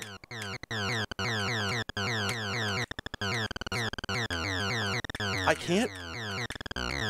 I'm having such a hard time going left or right. Okay, again, I really strongly suspect that... Oh, there we go. It's not pulling the keyboard correctly. Okay, so... Is there a toilet just hanging out in the middle of the room there? Is that... this kicks ass! okay, I've had five drinks. This is a game about uh, pub crawling. Absolutely. Sorry, I, I didn't mention, I switched to the joystick and now it's working a lot better. Although it's still really janky. Like, I could tell that if I were able to give it just one frame of input, that I could get down there. But again, I don't think the act I don't think the emulation is quite accurate. God, that's annoying. The horse and bucket.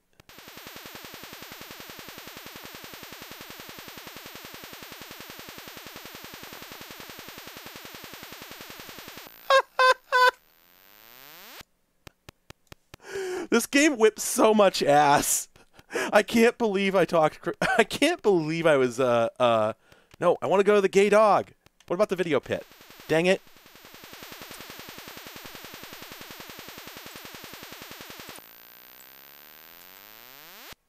Give me a pint of special and a packet of Rhino crisps. Does anybody have the? Does anybody have the deep deep background on what any of that means?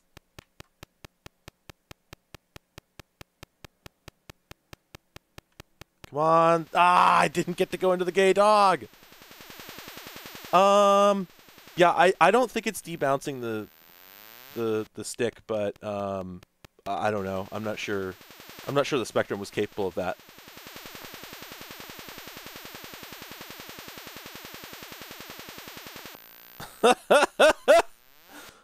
oh man, chips.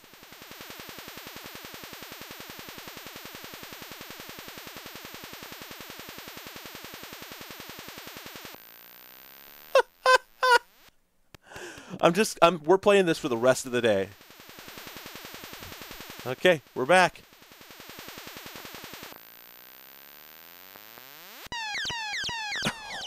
oh my god. Could this be any more abrasive? Oh wait, I can eat the whatever the yellow things are?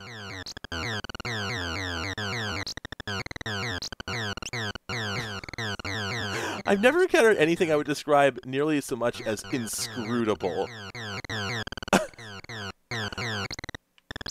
I couldn't eat those earlier. Swear to God. Can I? Is there a back room? Nope. Okay. Music with a with a K.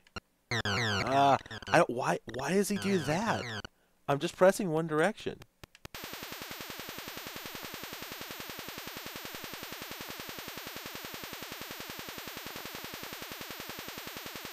Automata for the best software in town. Oh, absolutely.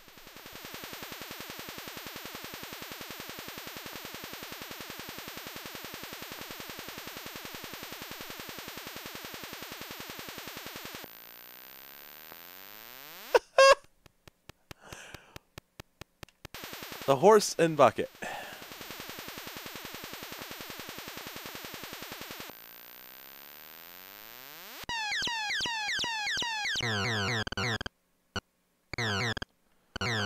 Don't have any idea why he's running around in circles like that. I'm not doing any of those inputs.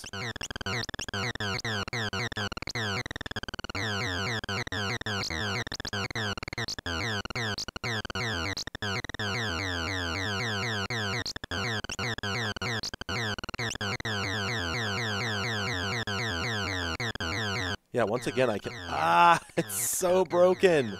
I have the feeling the game was like this on the real hardware. I have everything it would take to get this loaded on the real hardware, and I'm like turbo curious. I don't have my Spectrum here. It's over in storage.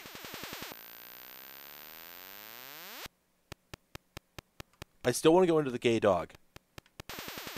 But I never there I always get hit by a car whenever I try to.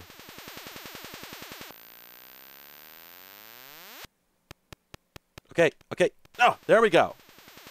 Finally, we're in the gay dog.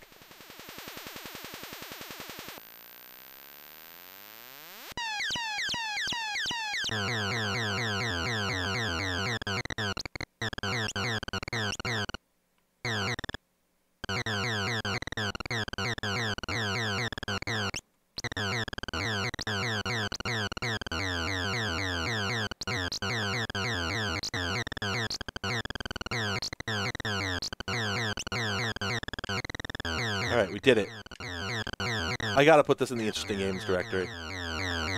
Wait, I can't. Oh, there's one more drink. I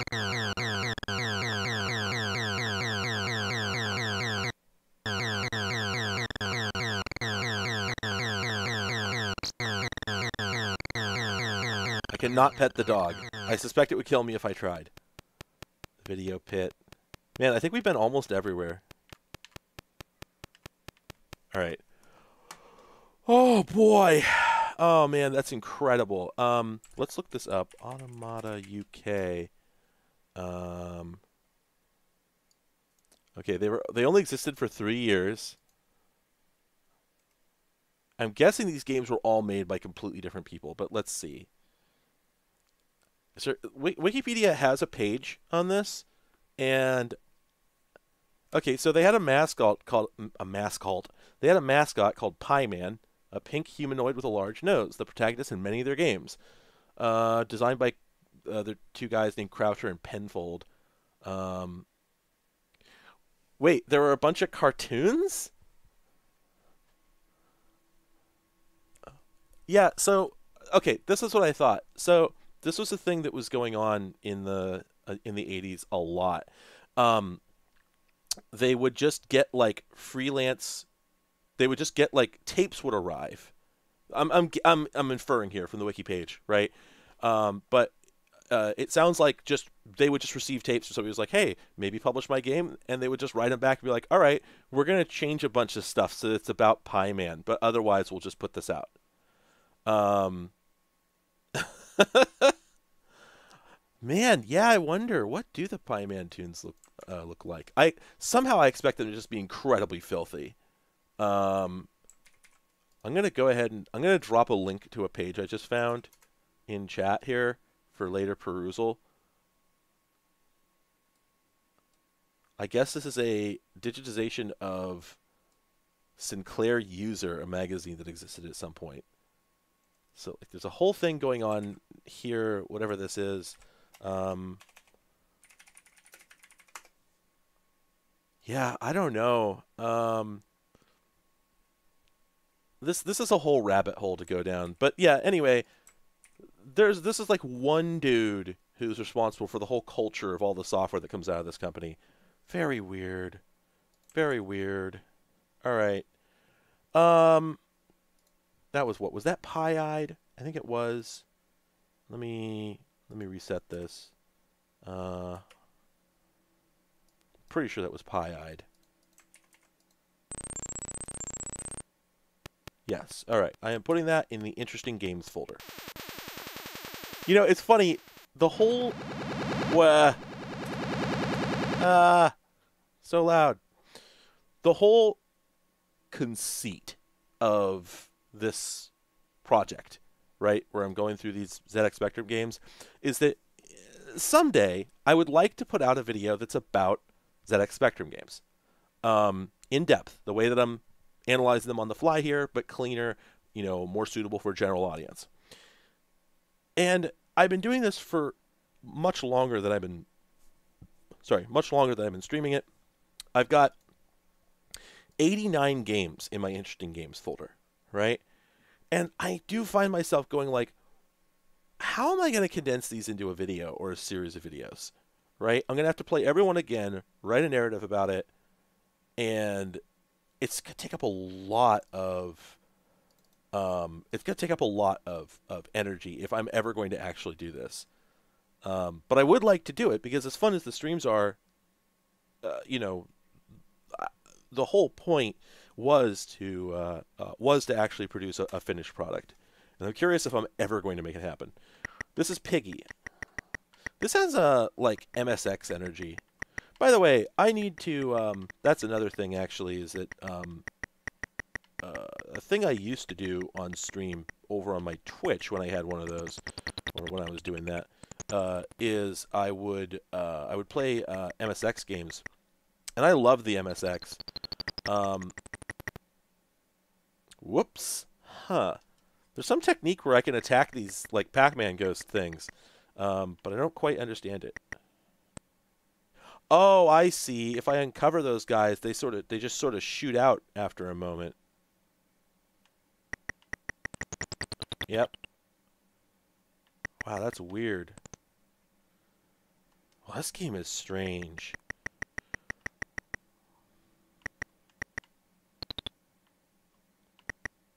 Oh, it's. Oh, it's Boulder Dash. Oh, okay.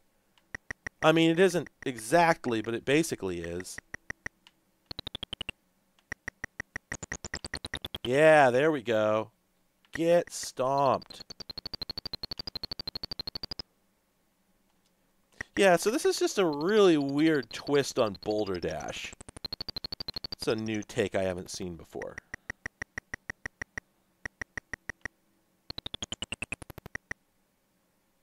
Oops. just grab the money. Uh, oh, I don't know. They kind of look like the, they kind of look like some uh, uh, uh, symbology from the never-ending story. If I'm frank, it's hard to parse those as pound signs, but I guess they could be. Oh no.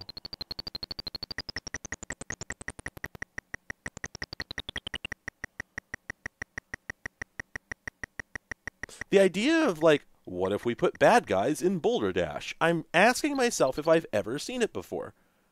I don't actually know that I have.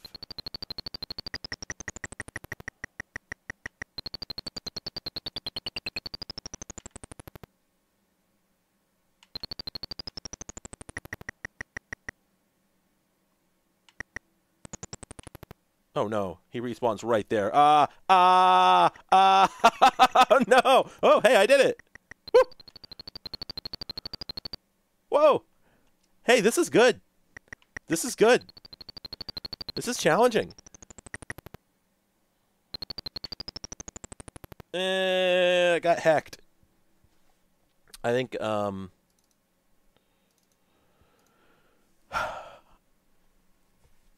I have seen I have seen in, in my perusals of games of this era, I have seen so many Pac-Man clones, Defender clones, Space Invaders clones, etc. You know, etc. Right, and uh, once in a long, long, long while, I'll come across one that takes the formula and actually adds something to it. My favorite was a title for the Japanese PC88. That's what I was going to say, not the MSX. I used to do PC88 game streams.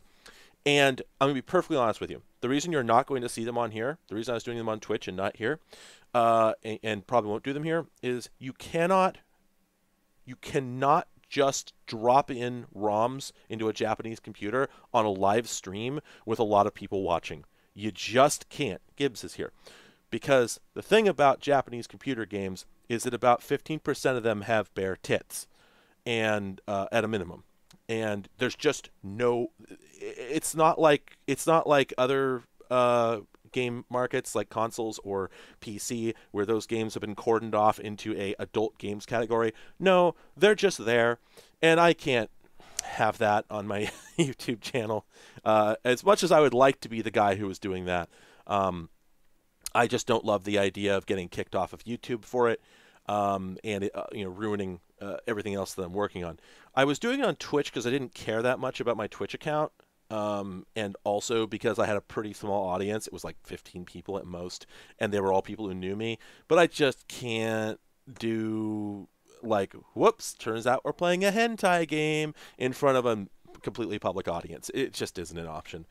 So, um, anyway, but for the PC88, I did find a, a number, uh, and and I will eventually do a video on the PC88. I actually, um, I tried to. I have a, you, you know, like how how in depth my like history of video video was. I had a script of that size written up for like Japanese home computers, um, and I had started working on it and made lots of progress, and then um, the scale of it just got to be too much. And I also realized, and this was the bigger problem, I think, that I hadn't gone through and, and, and found enough titles to necessarily show off. Um, and so I decided to start going to Twitch and start doing these streams where I would just drop in random PC88 games. I had a Stream Deck on my desk with a button I could press that would just put instantly superimpose a huge whoops banner anytime the anime titty ended up on the screen. And um, and uh, uh, uh, uh, so I went through a whole bunch of games, and I found a bunch of games. You know, I have an interesting games folder for PC88 as well uh, that has a whole bunch of titles in it. I definitely have enough material that I could go through and do a, a video on that now. I just haven't because it's so much work. Oh, hey, good. Oh, God, I was wondering what happened with revision. So I had heard distantly that something happened last night. Somebody was just like, "Ho ho, the whole revision thing," and I'm like, "What was that?" And I went over their t- uh, Twitter, and their most recent post is like, "Hey, we're having a revision today because we deserve to uh, enjoy and uh, vote without being rudely interrupted." And I'm like, "What does that mean?"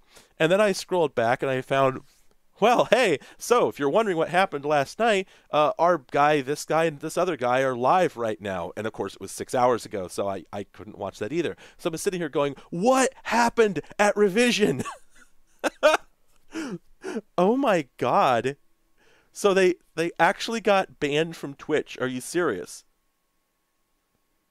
Well, I mean, to be fair, uh, Stephen, uh, nobody's ever been brought up on charges uh, for showing blood, uh, whereas entire businesses have just been completely eradicated by the government thanks to pearl clutching uh, uh Christians. So, uh, you know, uh, it, I don't think we can necessarily blame Twitch in this case. Um, being that literally every other business that they interact with would uh, sh- uh, immediately cut ties and plunge them into bankruptcy the microsecond that they said, nope, you can have a bare titty on here. Anyway, I thought I thought about running my own service for this because it's not hard. I actually have my own private uh, restreamer. Um, where I can do uh, streams that don't aren't recorded and nobody has you know Nobody has any control over them except me, except they're hosted off of my ISP. And I'm like, hmm, well, see, I have the same problem Twitch does, except that I'm a person instead of a corporation. So if I get brought up on charges because, say, a minor wandered in and I didn't check their ID, uh, then I go to prison. So. Anyway, good times. Uh, but what I was going to say is that on the PC88, I found a number of games that were uh, interesting twists on common titles. So Pac Man, but uh, Space Invaders, but and um, actually one of both the funniest and uh, most innovative ones that I found. I described at the time simply as, "What if you gave Pac Man a gun?" and I'm, I I loved it so much. I want to do a I want to do a, a thirty uh, uh, a thirty minute video just about that topic. I want to do like a um a Tim Rogers video about just what if you gave Pac-Man a gun. The bandwidth needed for 50 streams is actually not very high. Uh, I have uh, a gigabit of bandwidth here at my house, and I did the math once and found out that each of these streams is only consuming. It's like I don't know, uh, maybe like 8 to 10 megabits. If you do the math, it's like, oh, I can host quite a few. Um, yeah, it's like 125 people, which, I mean, I've never had that many on my YouTube, you know. Um, now, the moment that you break a gigabit, it suddenly becomes very difficult to figure out how to uh, how to how to how to move to that next level without a full professional CDN and everything. But at any rate, um, yeah, uh, just uh, porn is illegal. Um, porn is illegal in this country. Uh, it, it always has been, and I am just constantly astonished that people will be like, "Oh, I don't get it. Such and such person, you know, got uh, raided, got shut down, got their PayPal account pulled for uh, for for doing porn stuff online." I'm like, it's been this way for 20 years, and before that, it's been that way for centuries in this country. I, I what what about this was shocking? You just can't do that here. Porn is illegal in the United States. Who doesn't know that? Come on. Anyway, uh, so that was Piggy 1985 from Spectrum Computing. And what's interesting is that I have another title in the same folder uh, called Piggy from 1988 from Bug Byte. Let's see if it's a republished copy of the same game. Well, it's got a better it's got a better uh, title screen, if so. ZXKM. Instant joystick, and it, again... See, okay, I am hammering the number keys. One, two... Took me six tries to get it to switch to uh, uh, option number two there. Very weird. They're, they're pulling the keyboard in some really strange way. Okay, so this is clearly a very different game. Is that a pig? Is he supposed to be a pig? Huh. Is that an axe down there? Oh no. Dang, I got Guru meditated.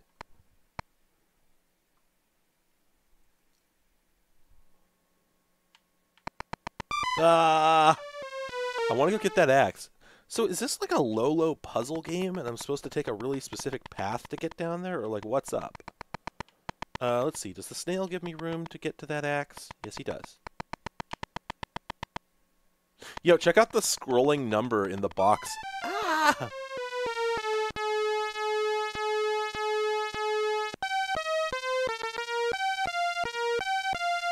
Wow. This is so much. Uh, okay, I don't think it's possible to get down through that. Uh, I don't think it's possible to get down through that uh, through that gap there. Uh, can we do this one? No, I don't think so. What about this? Ah! One of the frustrating okay, one of the frustrating things about games of this era is often that the motion is pixel precise, which means that if you don't move fully up above an obstruction, you can't get past it. In later titles, in like the Famicom, etc. era, they figured out how to mitigate this so that it wasn't nearly so much of a, a problem by making you by making you pop around the uh, hang on a second uh, by making you pop around the edge if you're within a certain number of pixels of it.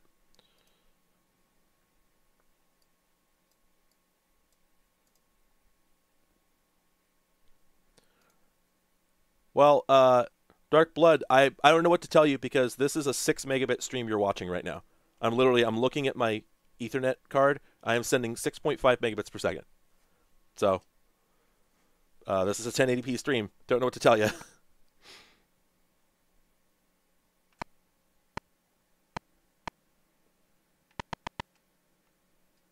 yeah, I cannot figure out how to progress here. I guess maybe... No, how do I do it?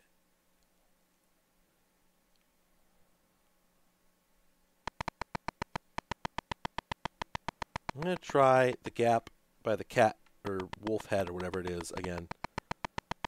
This weird thing with the flickering eyes. Ah, all right. Bad game. Don't like it. Uh, Piggy Punks by No Poll Tax. Okay.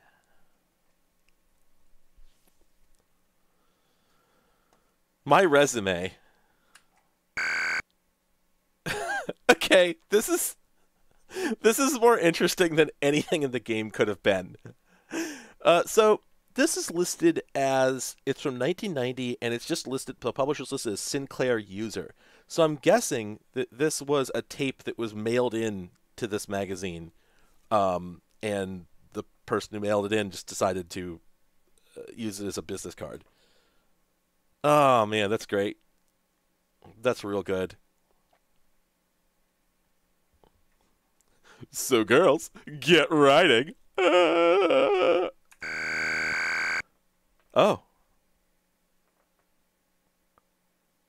Wait, Kylie Minogue was a thing in 1990? I thought she was a few years later.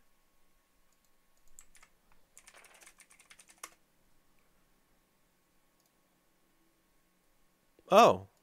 Huh. Really? Yeah, the first Kylie Minogue song I knew about was Can't Get You Out of My Head. That was in 2001. Huh. Okay. Headbangers are welcome. All right, well, that was real good. Uh, scores, demo, go. God, you could tell this is a fairly late title because, like, the developer definitely noticed, uh, had definitely already noticed some uh, uh, complaints uh, that people had about uh, uh, how Speccy games worked, and is trying to compensate for them. 128k owners only. Wow. Oh, that's adorable. Yeah, I mean, so this is from 1990, uh, but it's also it has the energy of like the 2010s titles that you find for the ZX Spectrum and C64 and whatnot, where like with the fullness of time and like modern dev tools and and and that sort of thing, people just started doing stuff that was like if you play if you play um if you play like a ZX Spectrum game that was developed by somebody as a hobby project in like 2011, it plays a lot more smoothly than most contemporary games because those people had seen you know, maybe they'd actually worked on modern games where there's a lot more, um, there's a lot more uh, the the accumulation of learned uh, techniques over the years uh, all add up, right? So if you've ever made a platform game in the 2010s, you've been on a forum uh, and had somebody go like, "Oh, it makes it a lot better for the player if you know you let them pop around a corner if they're within two pixels of it, right? That sort of thing." Um, and also, you just see stuff like, you know, bothering to include instructions, adding little flares here and there other than just the plain menu. This is all stuff you see in very, very late retro software development. Um, and it's really funny to see this in 1990 because at this point in 1990, the ZX Spectrum, regardless of where you were, I am pretty sure it was starting to be seen as sort of a retro a retro platform. Um, I mean, the thing was old when it was new, um, in a lot of ways, but uh, this was you know it was eight years old at this point. Uh, the IBM PC was you know blasting out everywhere and so on. I really think that uh, uh, probably a lot of people who were picking up development now uh, were probably acutely aware of the complaints that folks had about the the platform but also in 1990, the chances that any person who was making a game had not seen, for instance, what was going on over on the NES, or uh, you know, even you know what was going on at the PC was just increasingly lower and lower. Uh,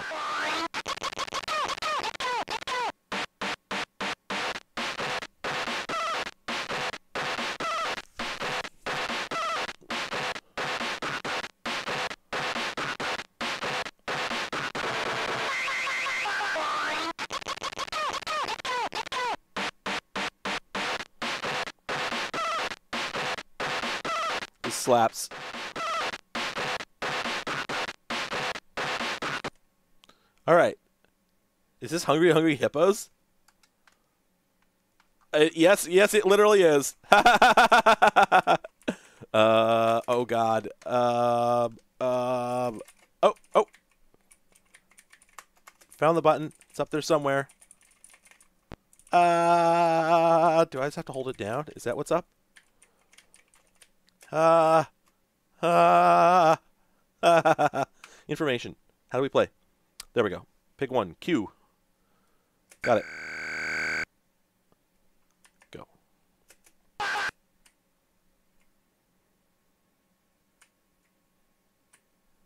There we go. Chomp, chomp, chomp, chomp. I used to actually have a Hungry Hungry Hippos. Wait, I can't do it anymore. Am I full?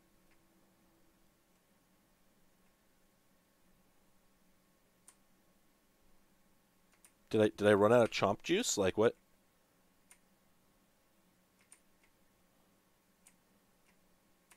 Oh no. Ah. Very slowly making its way out of the corner. Wait, is that that was a bigger one? Somebody got like a freaking power pill.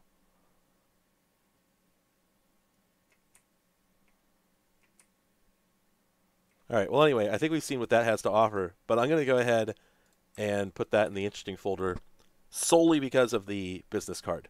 That's so cool. Here's another Automata game. Yeah, baby.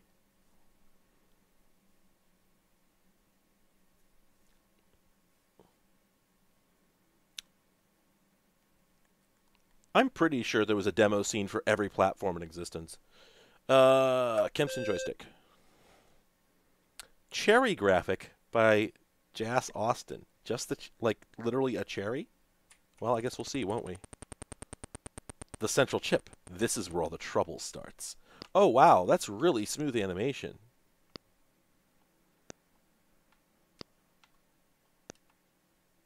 Edit. Edit? Yeah? Huh. Okay, this is another Boulder Dash. Are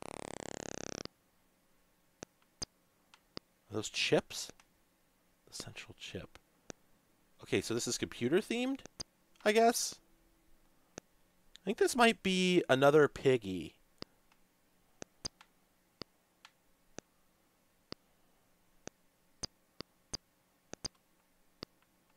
Interesting though. You can, uh, oops. Oh, you have to be grid aligned in order to. Ah, no. I was just about to make the comment that um, you can partially eat away at the dirt, which is unusual for a uh, a boulder dash. But if you want to pick up a chip, you have to be grid aligned to do it. Intriguing.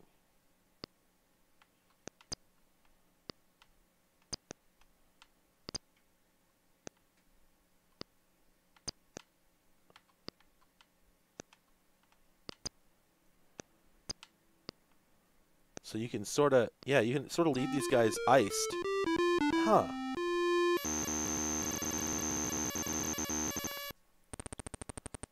Help.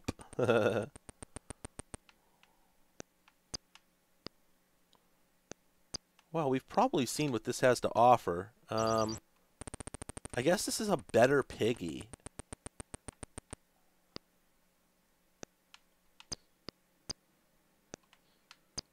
I've I've probably told the story on the stream multiple times. Story is probably not the right word, but um, I'm gonna put this one in the interesting folder and move on. Uh, I probably told the story several times, but there's a phrase I don't know where I got it, and I can't find it now. But uh, I've always used this phrase "room game" to refer to a type of game that was very popular on, uh, very popular in the UK uh, uh, home computer game world. Room games being stuff like, um, oh gosh, I actually can't remember. Uh, they, hang on a second. Just gonna look this up. Uh, Jet Set Willy, right? Um, Jet Set Willy is a room game. Basically, the game takes place in hundreds and hundreds of rooms, each one having a unique, you know, handcrafted layout. Um, and most importantly, every room has a name. You'll notice at the bottom of this this level here, it has a hello. Well, you made it this far. Every I could tell already. Every single level in this game is going to have a unique little two-line name at the bottom, uh, and it'll be like little in jokes. It'll be the devs going, "Haha, you already paid for this game, and you're you know 25 levels in. Are you regretting it now?" You know, just sort of that kind of just little quips. Um, Yes, uh, V's uh, uh, is a modern room game, one of the only ones I'm aware of. Every single room has a name, and it's so British. it's just intensely British or, or European, I suppose I should say. I think VVV was a European game, um, and uh, but the this is all uh, inarguable. The question is just where did I get the name room game? I can't figure it out. I went trying to look it up a few times, and I can't find anybody else saying this. It's just me.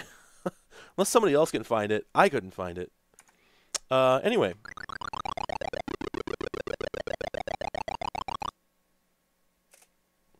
This is going to be a basic title. Ooh. Rough. Oh, this thing. I actually, uh... I've played this before. I'm stomping ants. That's what's going on. I see. Ah, dang it. I'm going to move on from this. Uh, oops. This already looks pretty rough. Oh.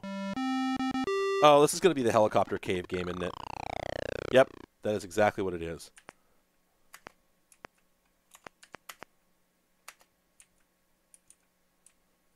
I do not know what my controls are. Yeah, well, we all know what this game is anyway. Uh, whoa. Sometimes these just load up some, uh, load up some, uh, uh, load up some basic, and I'm not sure why. Uh, okay, uh, brakes, slower, faster, wheels down. Interesting. Oh, a simulator. I wonder if there's any actual graphics or if it's just, um... Hmm. Hmm. yeah, I don't know. That one does not look necessarily very accessible, though. Uh, we have another Automata UK game. I'm in the P's right now, so I keep coming across these because they're all called Pi something. Uh, oh, is this a text adventure? Whoa. That was cool.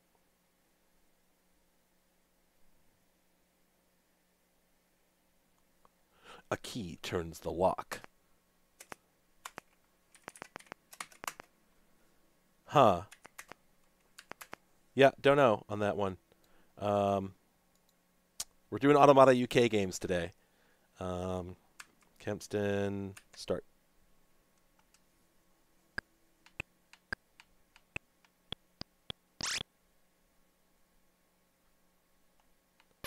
Whoa.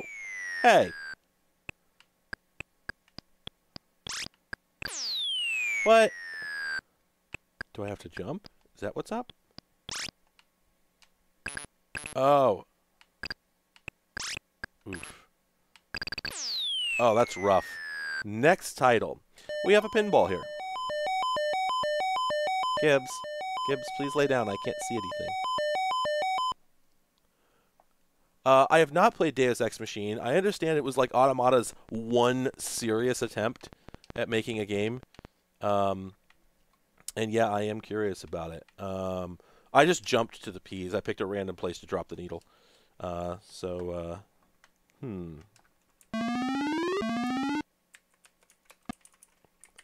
Okay, there we go. Uh, there we go. O and Q. It can be tough to make a good pinball game. Like, it took a while before decent pinball games started coming out. And there's a lot of awful ones.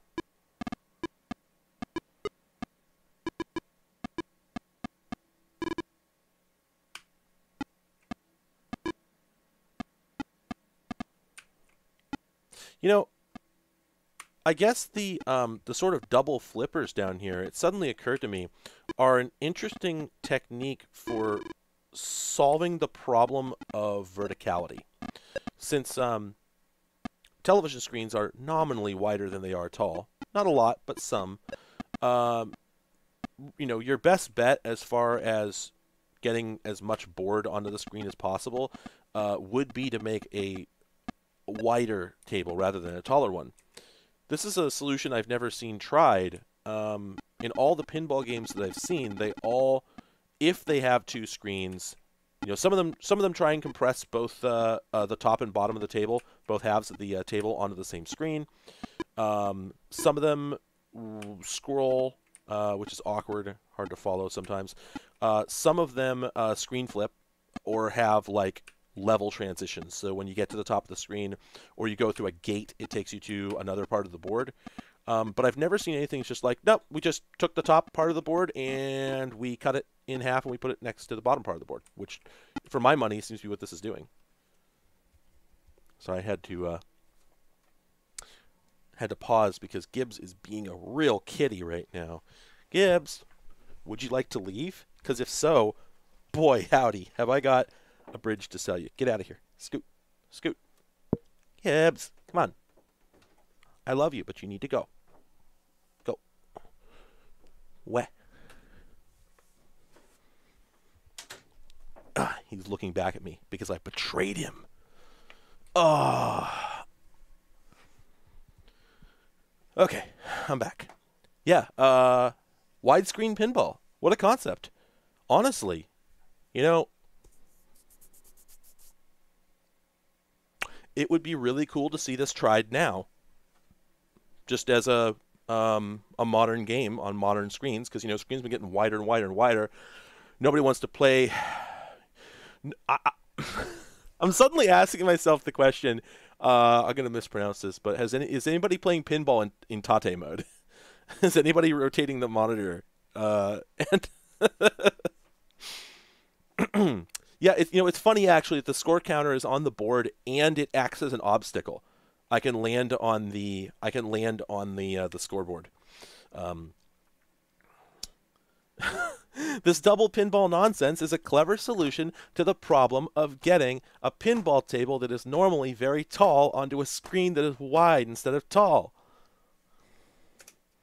Anyway, I want to know if anybody, if there are any pinball games that are uh, actually set up so that they can run in uh, 916 the other thing is like I have a I have a um what is it? Uh gosh, I'm trying to remember. Was it 21 21 9? What I I can't for the life of me remember what the new uh what the new monitor aspect ratios are.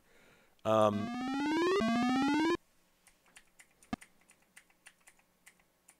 Oh, yeah, like yes, there's arcade machines that do that, I'm sure, but I'm talking about is anybody enough of a dork about pinball that they're willing to play video pinball at home on a vertical monitor? And uh, it's it's a sort of thing where I, you know,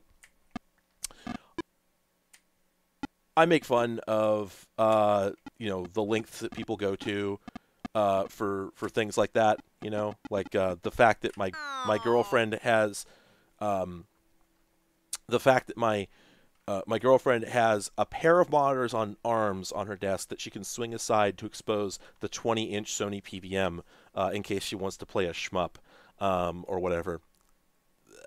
It's extremely ridiculous. I also love her very much, and uh, I respect her for having done this um, because, hey, it's what she wants, right? And putting unreasonable amounts of effort into stuff like that is respectable. Um, Whoops. Sorry, I loaded up the next game, which I think is just a re-release of the same game. Uh, um, but at the same time, I I still think it's very funny um, to to see the links that people will go to, and one of those is like, if I see a monitor on someone's desk that's in vertical, I'm just gonna be like, ah, uh, nice Tade mode, bro. Is it Tade? Does anybody know? Am I pronouncing it right? Tate mode. Oh, this is a Konami game. What?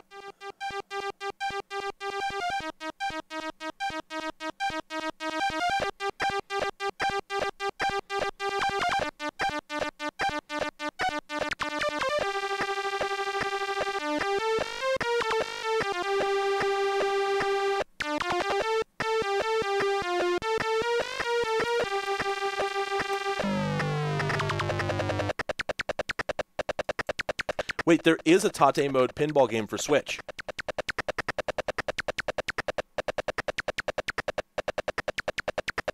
Star Wars pinball for the Switch. Nice.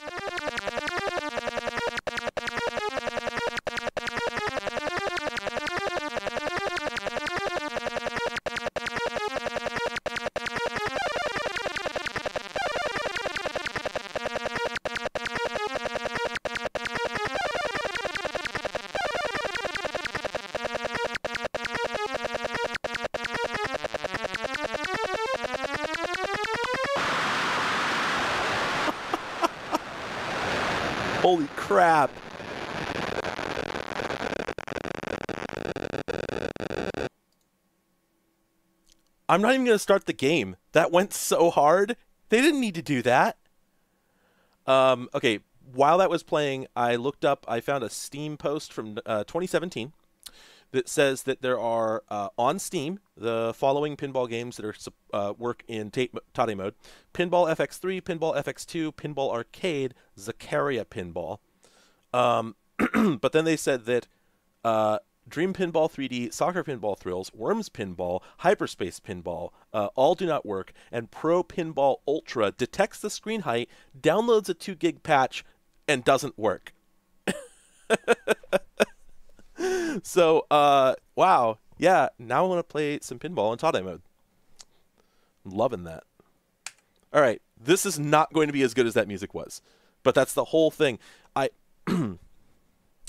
I don't want to be too negative, but I, f- I have always felt that people be like, "Oh yeah, the C64 it had such great music," and I'm like, "Really? Show me, show me a game, show me a game on the C64 with good music." Because on every single one of these platforms, all the home computers, the music is awesome until you press start, and then it's just silence, just dead, dead air, and um, it's always bugged me that like people just get you know super hype about the music on home computers and I'm like it was all on the title screen. It might as well have just been a cassette tape that you had nearby that you hit play on while you were playing the game. In fact a lot of the time it's annoying because you can't play other music because every time you die you get this burst of irritating well of course yeah no i know why. I know why it didn't um it didn't uh, run during the game I'm just saying that uh, all the same, these games don't have any music. This game will not have music when I start it. We know this. Oh man, I don't know what to expect here. Um,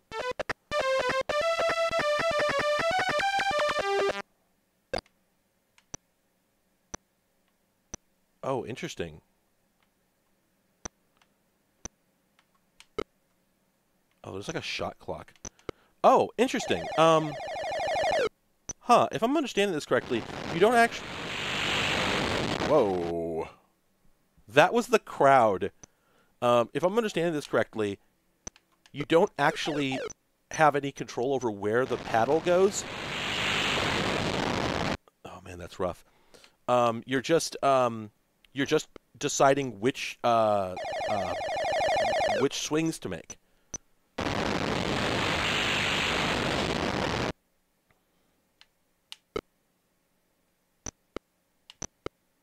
Wow. Um, yeah, I don't know. Every time I hit it, it just smacks it off the table. Oh, if I press the key, if I press the fire button, it uh, changes which direction I'll hit it. There we go. Not bad. Man, that crowd is absolutely uncalled for. Whoa!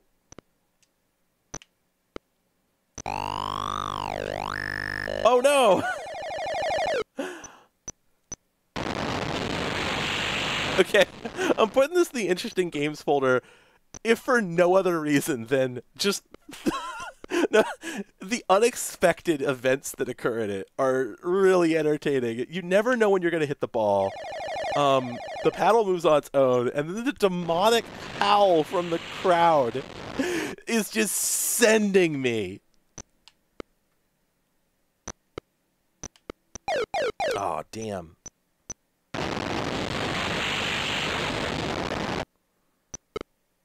Yeah, this is this is really well made. Um, don't get me wrong. Um, like as as things go, um, so I think it's like left for a hard hit, um, and right for a, like a light hit, up for a backhand, I think, and down uh, for serving. Um, pretty. But then, yeah, there's stuff like that where I don't exactly know what happened. This is pretty good. I think I've gotten everything I'm going to get out of it. Let's move on to the next title. Pingo 1984 by Prophesoft. Hang on a second. Let's let's can we reload that again? I'm trying to hit pause. Ah, come on. There we go. Yeah, it's doing the fast. The emulator is doing the um, fast tape load thing, um, and sometimes you lose some uh, intro screens when you do that. So yeah, there's there's a little arcade system that they wish they were programming for. Um, wow, that's adorable. The like single pixel. Uh, I guess. Well, I I don't know what they are yet. They're coming for us though. Oh, oh, oh, Pengy, and then whatever those are. This is cute. This is cute. I wonder what it'll be. Is a Prophesoft Joy? That's okay. Sorry. For anybody just tuning in, not just to this stream, but to the ZX Spectrum in general, there was no joystick interface built into the ZX Spectrum. So if you wanted to play a game, being that there were no cursor keys on the first like two models, of which they sold billions, uh, and there was no built-in joystick interface, you were a bit of a pickle. Your options were to either uh, just use some random keys on the keyboard, commonly things like QA for up down, OP for left and right, uh, but that differed for every game. Uh, some games let you redefine keys, not very many though. Uh, so if you didn't have the manual, you pretty much had to just press every key on the keyboard and see if you could figure out how to control the game. Or if the game supported a joystick, you could either you could get one of several different third-party or first-party eventually add-ons. So you could get the Sinclair, uh, the Sinclair expansion one, the Sinclair expansion two, the Kempston joystick, which was probably the most popular. Um, and so on and so forth. Like there were, I don't know, four or five different joystick interfaces. Well, apparently there was also a Prophesoft joystick. Who knew? Uh, let me look this up. Let me find a picture of a Prophesoft joystick. Uh, ooh, not getting, not getting any results for that really. Oh, jeez. As I said earlier, I had a hard time sleeping uh, last night. Um, hmm. Okay, two things. One, I can't find any results for Prophesoft joystick. I'm just not really getting anything for that. However, when I search for this, for reasons I don't know, it's pulling up a whole bunch of joysticks from ASCII, uh, which is a Japanese game dev. And I'm trying to figure out is there a Prophesoft is supposedly German? Yeah, huh? I don't know. Well, I definitely don't have one. All right, what's up? Um, game over. Oh, okay. Well, can edit as easily as it started. Oh, okay. Uh, so okay.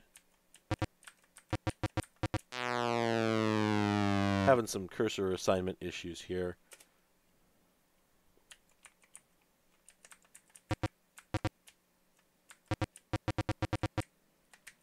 Oh, that's that is so weird. Yeah, I just can't get him to like consistently move. All right, well, this one does not look so hot. Uh, the most interesting thing about it was the bizarre joystick that it. Yeah, yeah. Apparently, if you don't have a profit soft, just don't even show up, bro. Uh, so yeah, QA, QAP, B for beta. All right. I don't speak this language. I don't know what these letters mean. I don't think I'm to want to play this very much. I, I am liking this big print routine. Oh, double pong? Hello? I win. Okay. That's some sort of pong knockoff. Moving on. El Pintor, 1983, Investronica.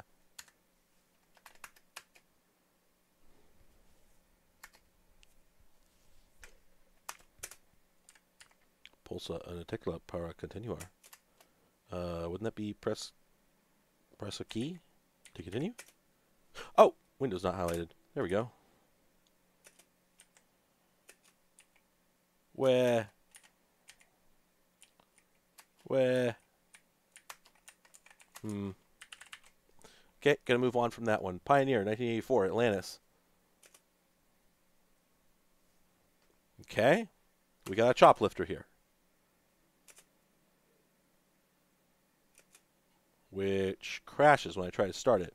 I have an alternative dump here. Let me try that. That also didn't work.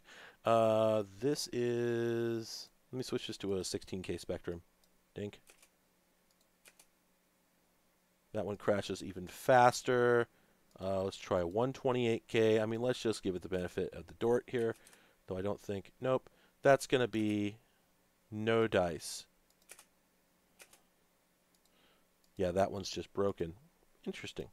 Uh, next, uh, Pipe Mania 1990. Well, well,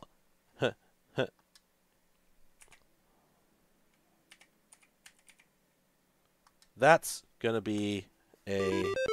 Yeah, that's Pipe Dreams. I never liked Pipe Dream, and I'm not going to play it. Uh, interesting. But be careful with level two. I'm very good. Okay, I actually, uh, for some reason, I'm hearing this in the what's the guy from what's the guy from Doug who's just like it's very expensive, Douglas. That's that's what I'm reading that text in. Uh, all right. Well, anyway.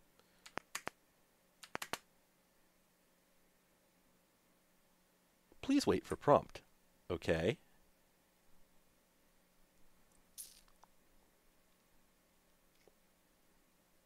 See, I I prefer this is incredibly uh, elitist, but um, like what can I say? I prefer to play games nobody has heard of. Um, you know, it's just uh, it's a thing with me that like there's stuff that gets lots of coverage. I'd like to play stuff that gets no coverage. Um,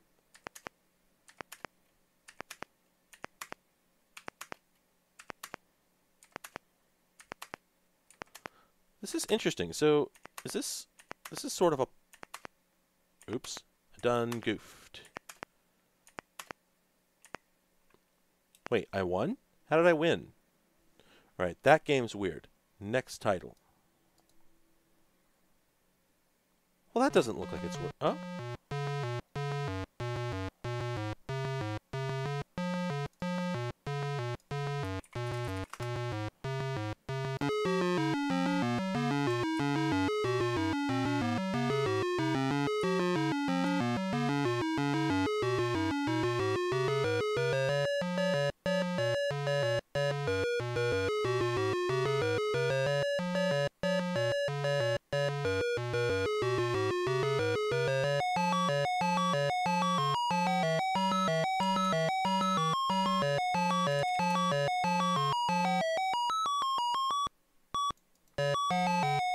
This game is going to actually work, but this is dope.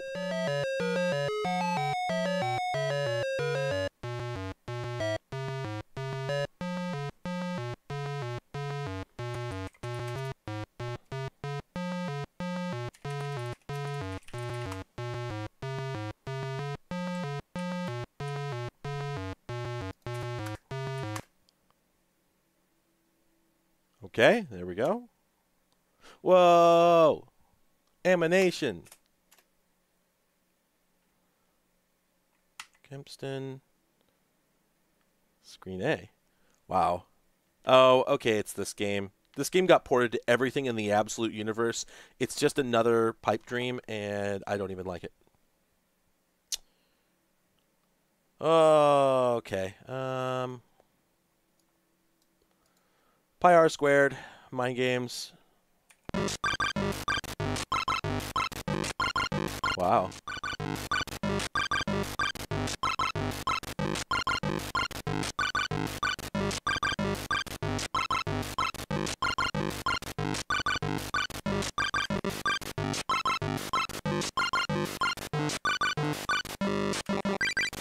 Oh, whoops. I think I'm starting to remember what this is.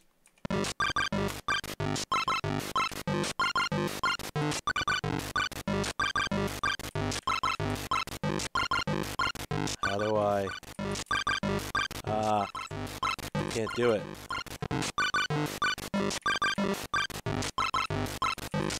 Won't, won't go. Man, it's really frustrating. Sometimes you just can't, you just can't get past the first page, or the first uh, screen. Um, let's see. It did. It seemed to acknowledge the joystick there, so I guess. Yeah. Okay. Uh, joystick's working now, for whatever reason.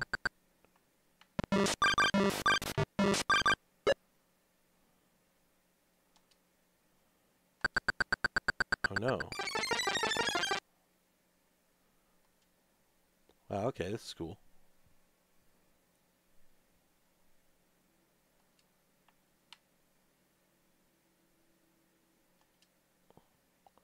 So to collect this item, do I just have to go around? Yep. Bonk. So I've got health. Oh, that's right. I can change the direction of rotation. Whoops.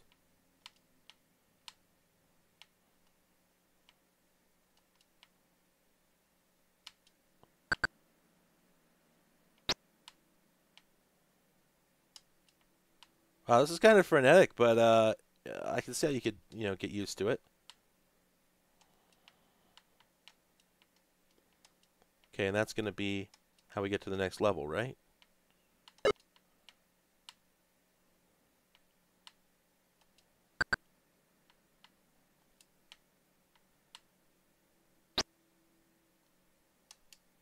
Oh, I guess we probably have to go back to the uh, exit.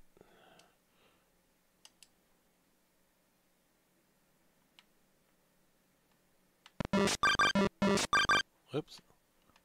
Come on. How do we do it? Did we finish everything? Sure seems like it. Oh, wait. Did I go down here? Yeah, I did. Hmm.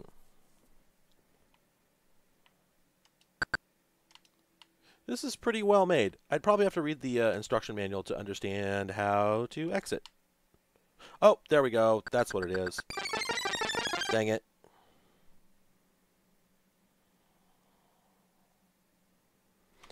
All right. Hey, um, I need to step away for just a couple minutes. Um, I will be back. I will leave you with some music.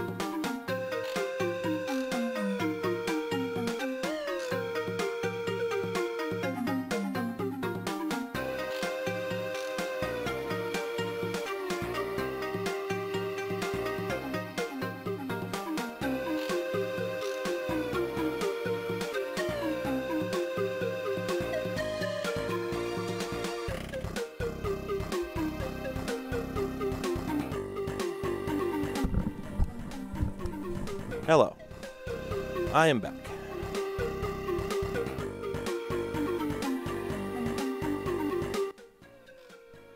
Oops.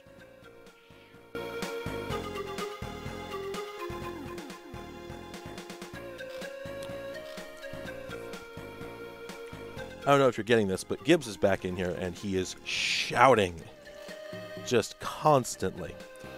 Um, anyway, hmm. Yeah, I wonder if I do have to get him in order. I doubt it, honestly, but let's see.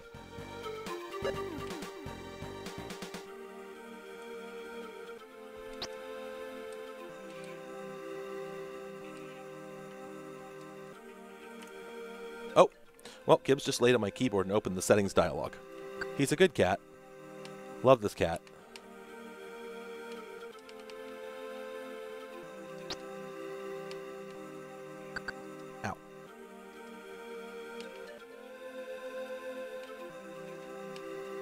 Keep finding myself wondering uh, if the uh, if the directions of rotation of these wheels are necessarily, you know, no, that's right. They they are definitely not driving one another because those two are uh, turning in the same direction. All right, so having done that, we should now be able to exit, right? Yep, there we go.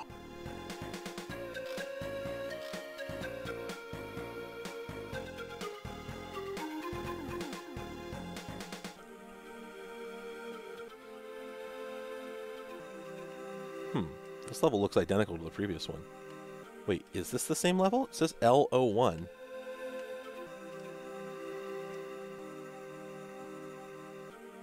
Well, maybe that's it. Maybe I didn't get them in the right order.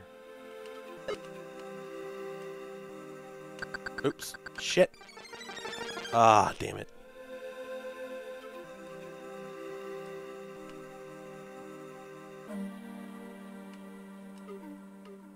I'm not exactly sure what happened there. My character just, like, I couldn't control him. What? What is going on here?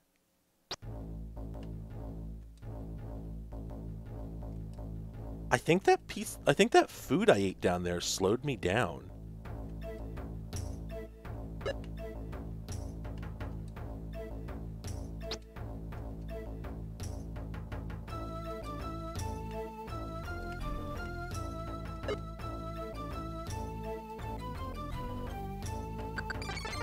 Dang it. Come on. Yeah, I mean, I could just go read the manual for it, but I'm going to try the, the suggestion of uh, capturing these things in, in the in the order of the name. Um, I think I know how to not mess that up this time. Yeah, so I picked up that like ice cream and it slowed me way down for a few seconds, and that's why I got that's why I got hit the last few times I tried, because I was very quickly picking that up and then picking up the next, uh, or then moving on to the next ring. So, dang it. There we go.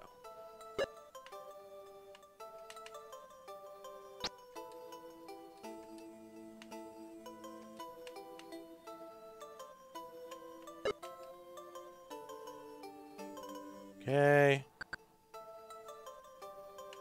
Got the two, I've got the pie. And now the R. And now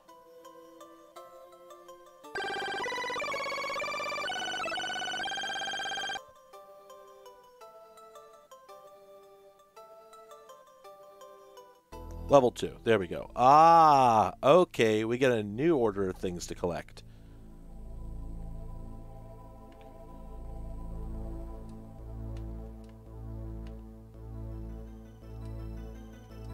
So it's important that we not accidentally cross, uh, go all the way around that that last one.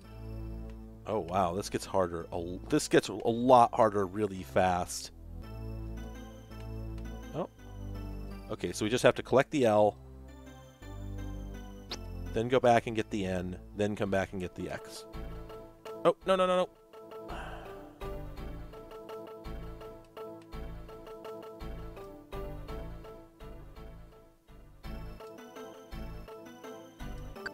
No.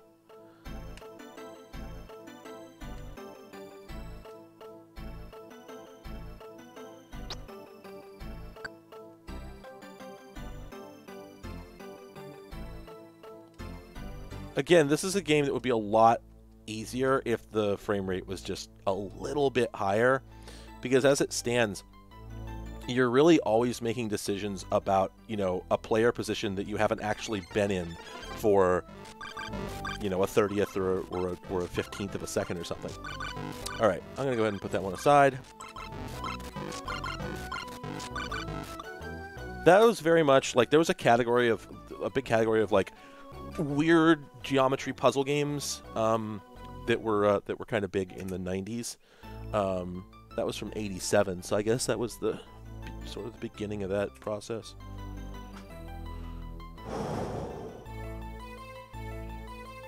This one.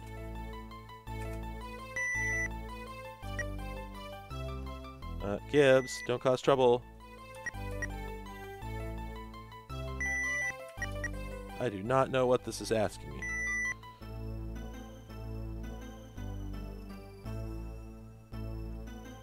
Gibbs is here, and he wants pets and rubs and scratches. And I'm trying to do a, a, a popular video game stream here because that's what we do on the internet now when we're popular streamers. Uh,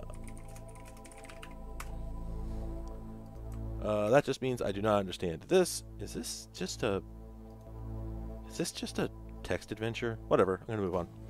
Uh, out of memory. Oh, that's exciting. I guess probably because I guess it wants a 128k then. Oh yeah, we go. But okay, I'm sorry. Let's go over this for a moment. The unreleased four adventures of the almighty Scott Adams. Hopefully not that Scott Adams, but anyway, it's a U.S. Gold game, and I guess this is the Cracktro. And the crack, the Kraken group. sorry, you can't use a joystick in these four adventures. I painted this one to remind you that this is an adventure. oh lord. Oh man, is this gonna load, or is this gonna get corrupted? I'm in a flat in London. Okay, this is just a text adventure. Oh man. This is called Pirate Dogfight. Uh, this is a 1982 title, so this is like a really early, probably like a type-in basic game or something. Um, Pyromania, an automata game.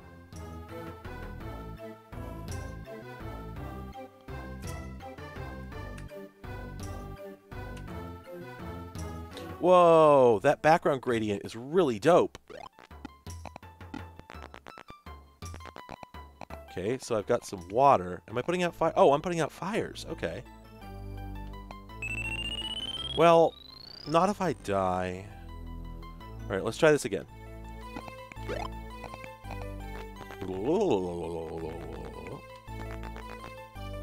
Okay, how much water do I have? Apparently quite a bit.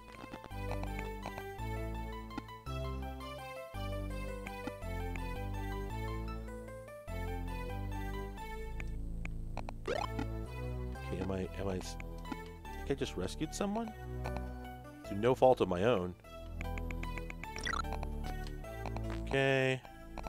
Put that out. Ah. Oh no. Yeah, so again, uh, it's very hard to control. And I don't know if it's being pulled correctly by the emulator or if the real thing was like this.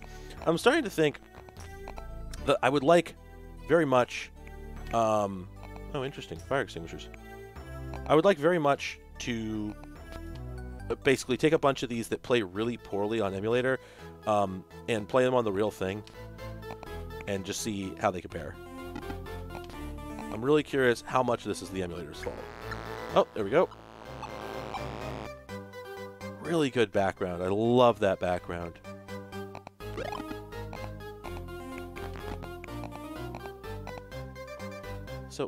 I'm guessing I can't open this door? Oh no, I can. Ah. I don't necessarily know if there's a difference between the levels. Hmm.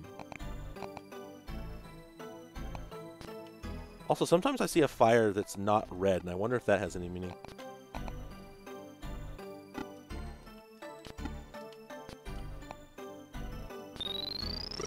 Alright. Um, well, that's interesting, and I'm going to put it in the interesting games folder. Next title Perks. Hmm. This is probably a text adventure. Hopefully, it's not like just horny. Well, yeah, Ben, I would have to use the real Speccy, and that's definitely a big downside. Don't get me wrong. Uh, at the same time, I do own one. It is gathering dust. Uh, I might as well. Had to switch this to the 48K to get it to load. That is a mouse cursor. What? This is from 1988. What is going on?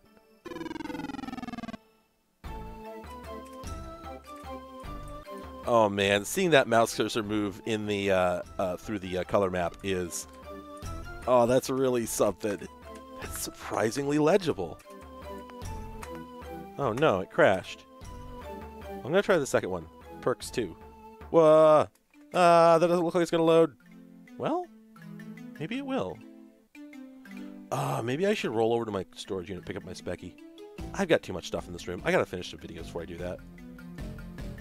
Uh, I'm really behind on getting my next video out. I know nobody cares per se, but I care. It's inconvenient to put it uh, really mild terms. Okay, can't get either one of those to run, but they're definitely cool. All right. So zero, Piso zero, joystick mode. Look at that! Look at the dude at the bottom in the middle. Actually, all the mugs on this on this screen are very good.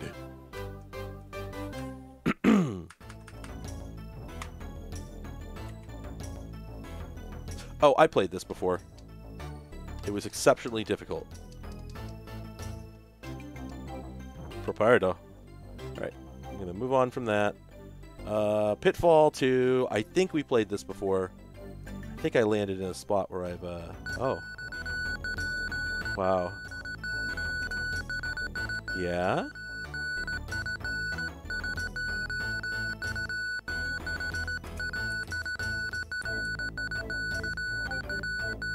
Yeah?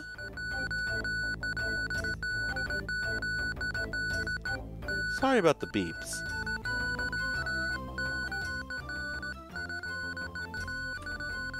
Is this gonna let me continue, or, like...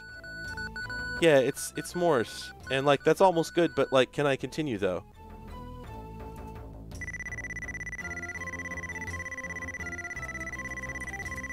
Whoa.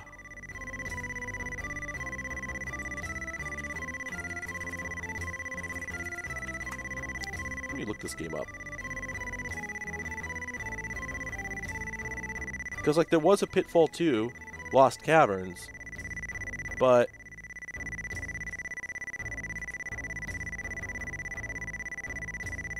Is that what this is supposed to be? Yeah, apparently.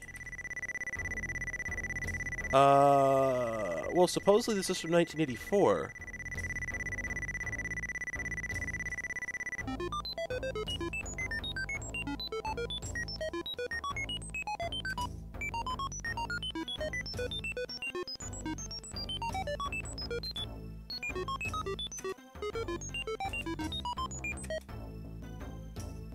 Oh my god. Look at how it's look at how it's demonstrating the controls. It sucks that they had to do this. At the same time, what a remarkable way to do it. It's also, huh, that's an interesting key layout. Gas suit. Hang up gas suit. Ah, there's so many controls!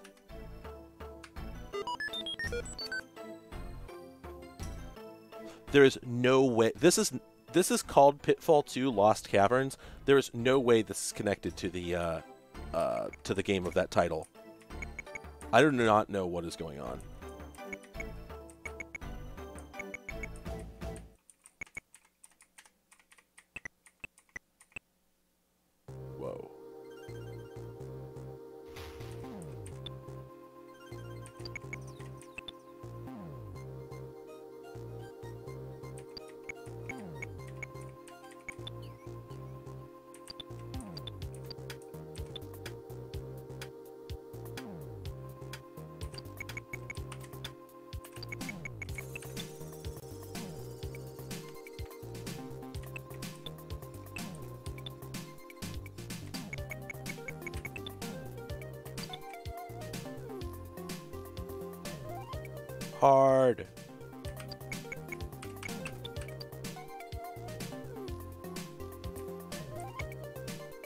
I gotta look this up. Is this the game I think it is?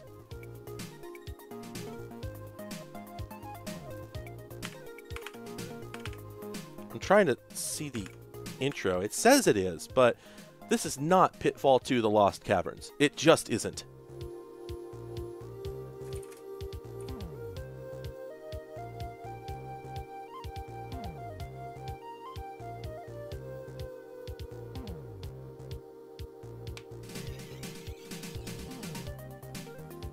Wait. This is a different game. What did I have open? Wait, what the hell? This is the one I drug over there. I drug over Pitfall 2. This is Pitfall 2.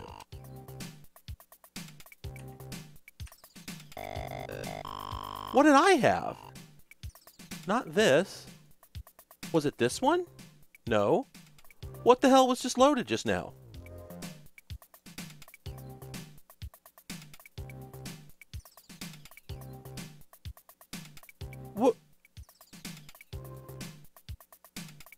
This one, Pitman 7.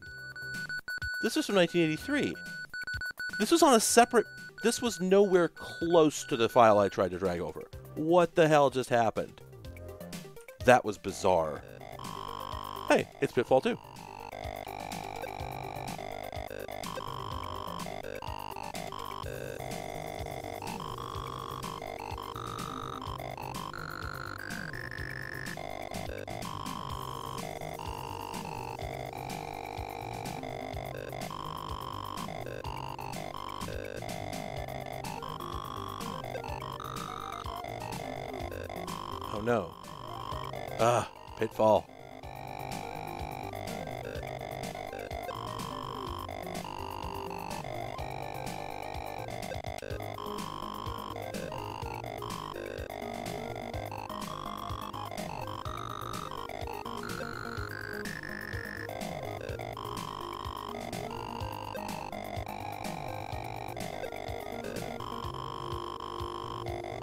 God, this music. Well, I guess I'll take Pitman 7 and put it in the uh, uh, interesting games folder because it is interesting. Okay, and now here's Pitfall 3. Oh, no, this is from 2013. Never mind. Uh, since I opened it, I am going to check it out. Oh my god, this is definitely a modern game. Wow.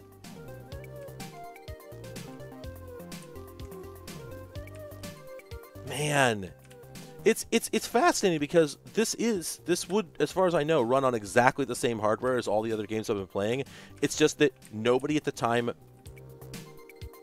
you know knew that they could make a game that worked that played like this. This is instantly smoother than any of the other games I've played on the, the Spectrum. Um, and it's just it's just the benefit of knowledge. It's just the fact that they they knew what was coming next instead of you know being limited to only the knowledge that was available at the time. Man.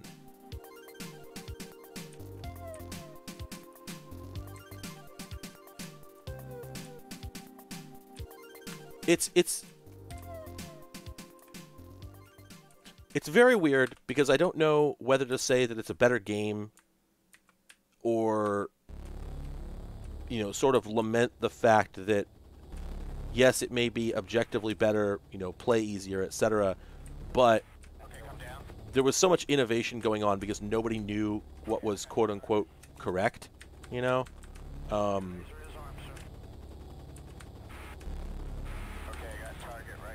yeah. Okay. that that is that is interesting, but uh, it it definitely isn't a ZX Spectrum game, and it's not clear. Whoa. My god, that ate up so much memory. That's that's like FMV. This must have been uh, this this must be using some hella compression. This is uh, supposedly this is from 1991. Okay, my Amiga music has has lined up with uh, the, the game finally.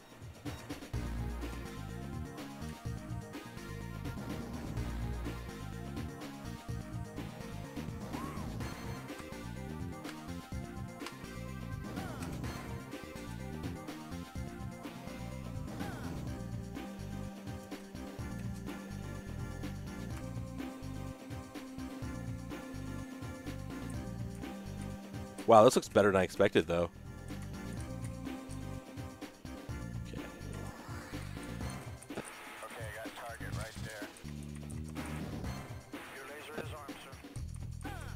Coming down. Okay, come down. Okay, I got target right there. We're gone, sir. We're out of here. Oh, there we go. I was having a hard time finding the fire key.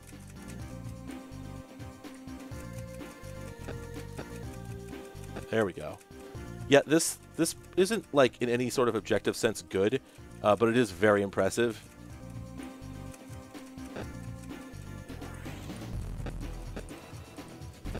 And like, so, you know, you can make out what's on screen, which is saying something. The music, to be absolutely clear, is coming from a YouTube video. Just want to make sure everybody knows that.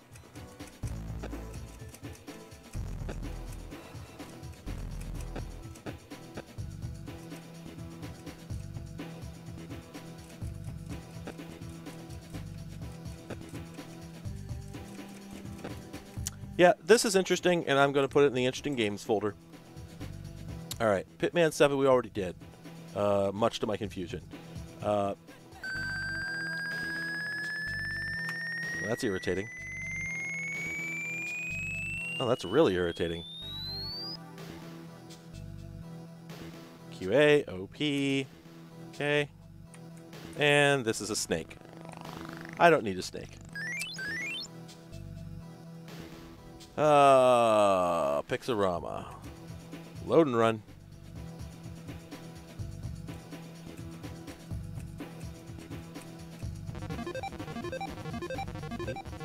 Five, six, seven. Hmm.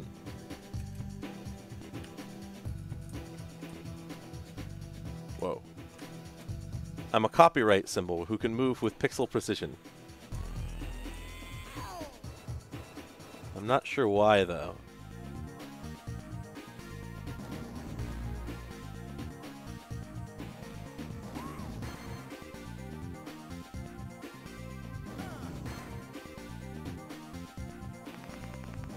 What the hell?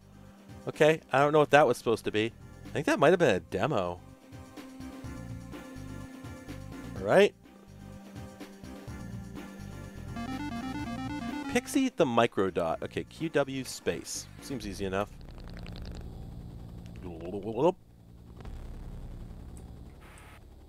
I had this feeling that I was going to be playing this as a uh, uh, as a single pixel. Yeah, I noticed the comments were really delayed earlier. Oh, wow. Okay, all right, so, sorry, uh, so everyone knows. So I'm playing that single pixel there. If I touch anything, I blow up. I can press space to thrust, and then Q and W to move left and right. Those are the only controls. And it's very floaty. It's like a lunar lander. So, for instance, I think... Oops. Yeah, so like to start here, I think I'm going to have to accelerate and get myself on a vector to uh, get through that hole.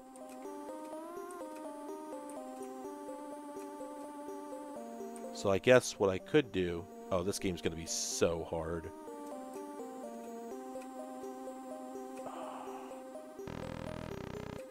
Not quite. Man, I'm just asking myself, what's the next screen going to look like? If this is the debut... Yeah, this is really hard. Like, I want to be the guy difficulty level here. Can I just get through it like that? Like, if I just apply some side thrust at the beginning here, can I just slam through it? Maybe I can. By the way, there's a sequel to this, so I'm interested in that. Also, this was put out by Your Sinclair, so I suspect this was like a fan fan fan program. Oh boy. So, can I go left?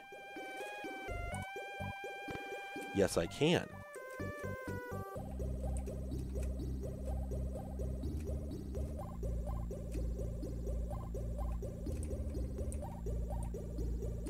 Ugh. Yeah, I Want to Be the Guy is perhaps one of the most popular modern room games, although V, v, v, v, v, v definitely outstrips it. It is funny, though, to think of it in those terms. Interesting. Okay, so the yellow thing over there is probably a switch, is my guess. And there's probably a similar one for the red gate here. Wow, this is already fascinating. This has strong indie title energy, and I think it may have been. My initial guesses about where this game were, was was going are uh, uh, were completely incorrect. Oh, there's another one of those items down there. Ah, dang it. Wow, this is this is one of those things you get in a game uh, where you just um, you, you you can go into this area just so you can see what you're going to get destroyed by later. This happened in like um, Legacy of the Wizard, the uh, uh, Dragon Slayer title, uh, was was real bad about it. God, that game was cool. I've always wanted to see a spiritual successor to that. Oh, oh, nope, blew up. Dang it. This game is so hard. you know, this is another one of those titles for which I think if I bump up the CPU speed by double, or half again, I should say, 150%, I'm probably going to find it a lot easier to play. Yeah, see, there we go. Oh, man. Look at this. And it's it's also interesting in the sense that it's a it is an ah dang it. This is gonna be so hard. Um Oh no. Are, ben, are you saying are you saying this was a basic type in?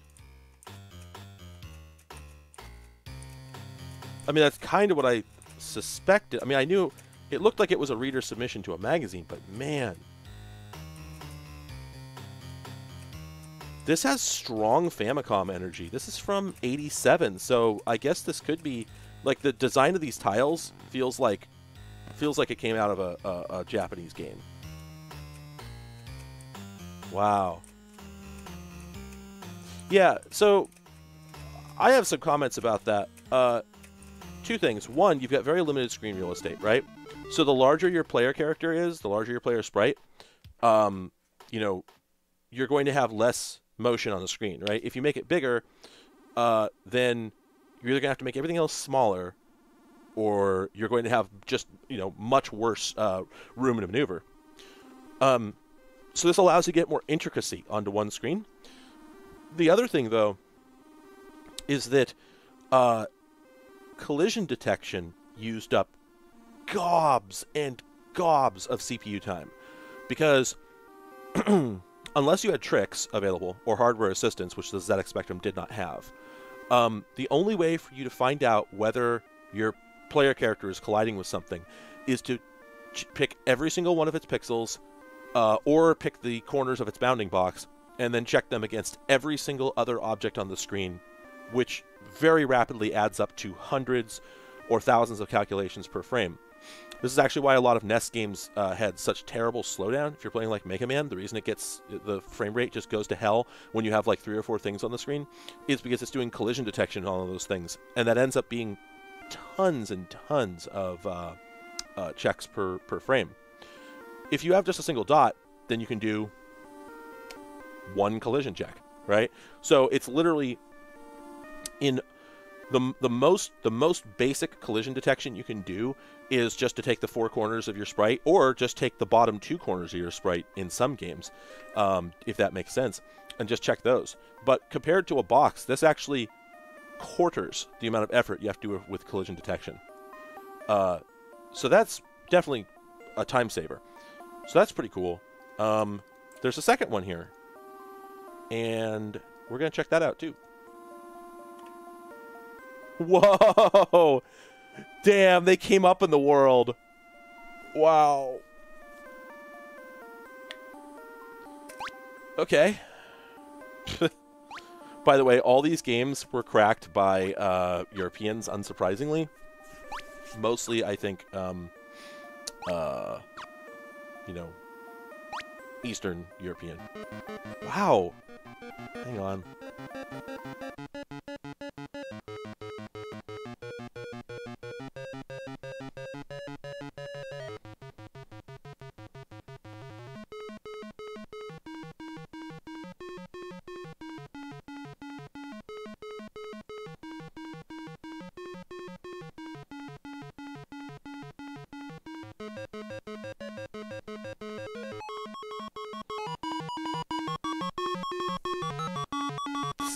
So hard.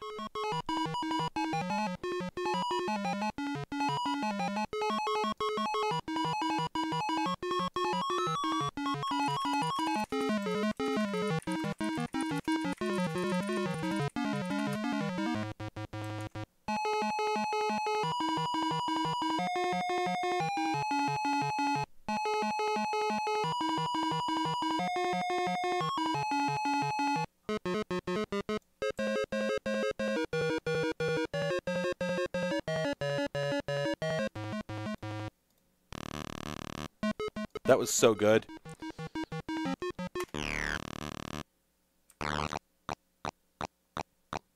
Whoa. Things have already changed quite a bit. Okay, so space pauses now for some reason.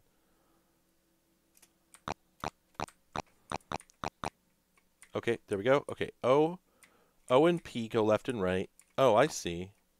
So I'm being drawn to the left. Don't know why that is. Okay, here we go. So it's QAOP. All right. Uh, there's no longer like the the the thrust to go up mechanic.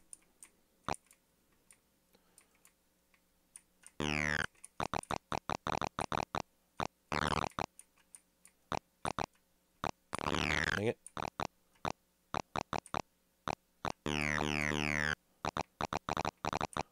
All the graphics in this have so much character. Like compared to the previous game, which was obviously like a tech demo, um, this one appears to have had the attention of like an artist and designer. What happened between these two games?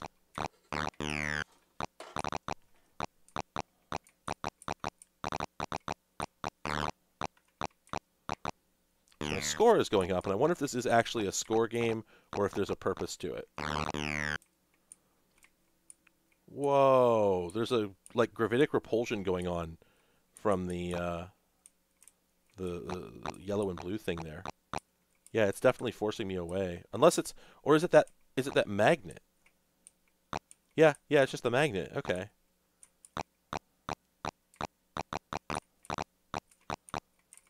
Now, okay, I can't open this door yet. This is cool.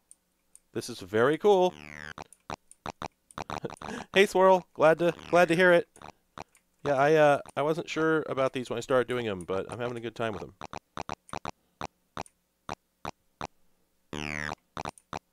Oh, I see. So there's a magnet in each one of these rooms. I hadn't noticed that. Duh, okay. That makes more sense.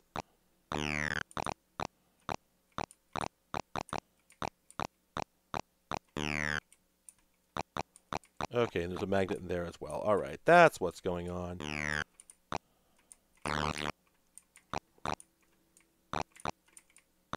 Man, it's the Tecmone Muppet.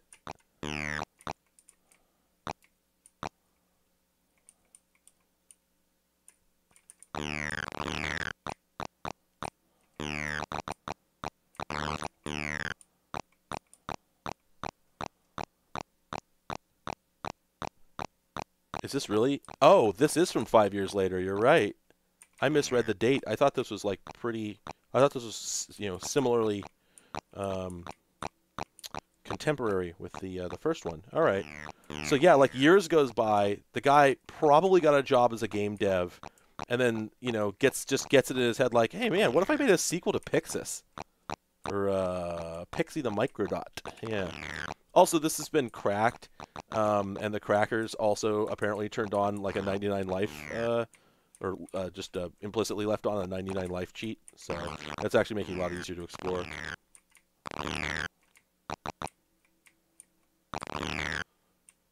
Interesting, you know, they, they put the um, they put the magnets carefully in places that are going to lead to you getting just hosed, you know, uh, pulling you into enemies, that sort of thing. Hey, check it out. I'm the DVD screensaver.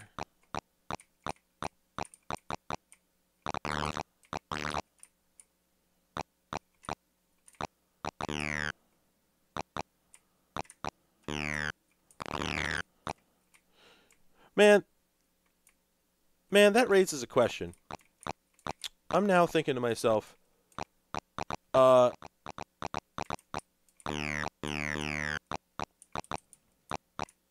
Sorry, I got distracted by gameplay and forgot what I was going to say. Never mind. There's almost like a Giger-esque sort of energy going on here.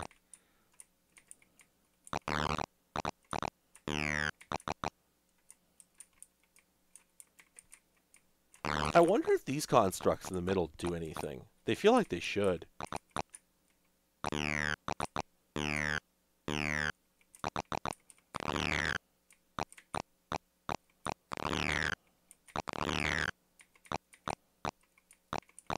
Ah, come on. Oh, come on, man. Wah. Where?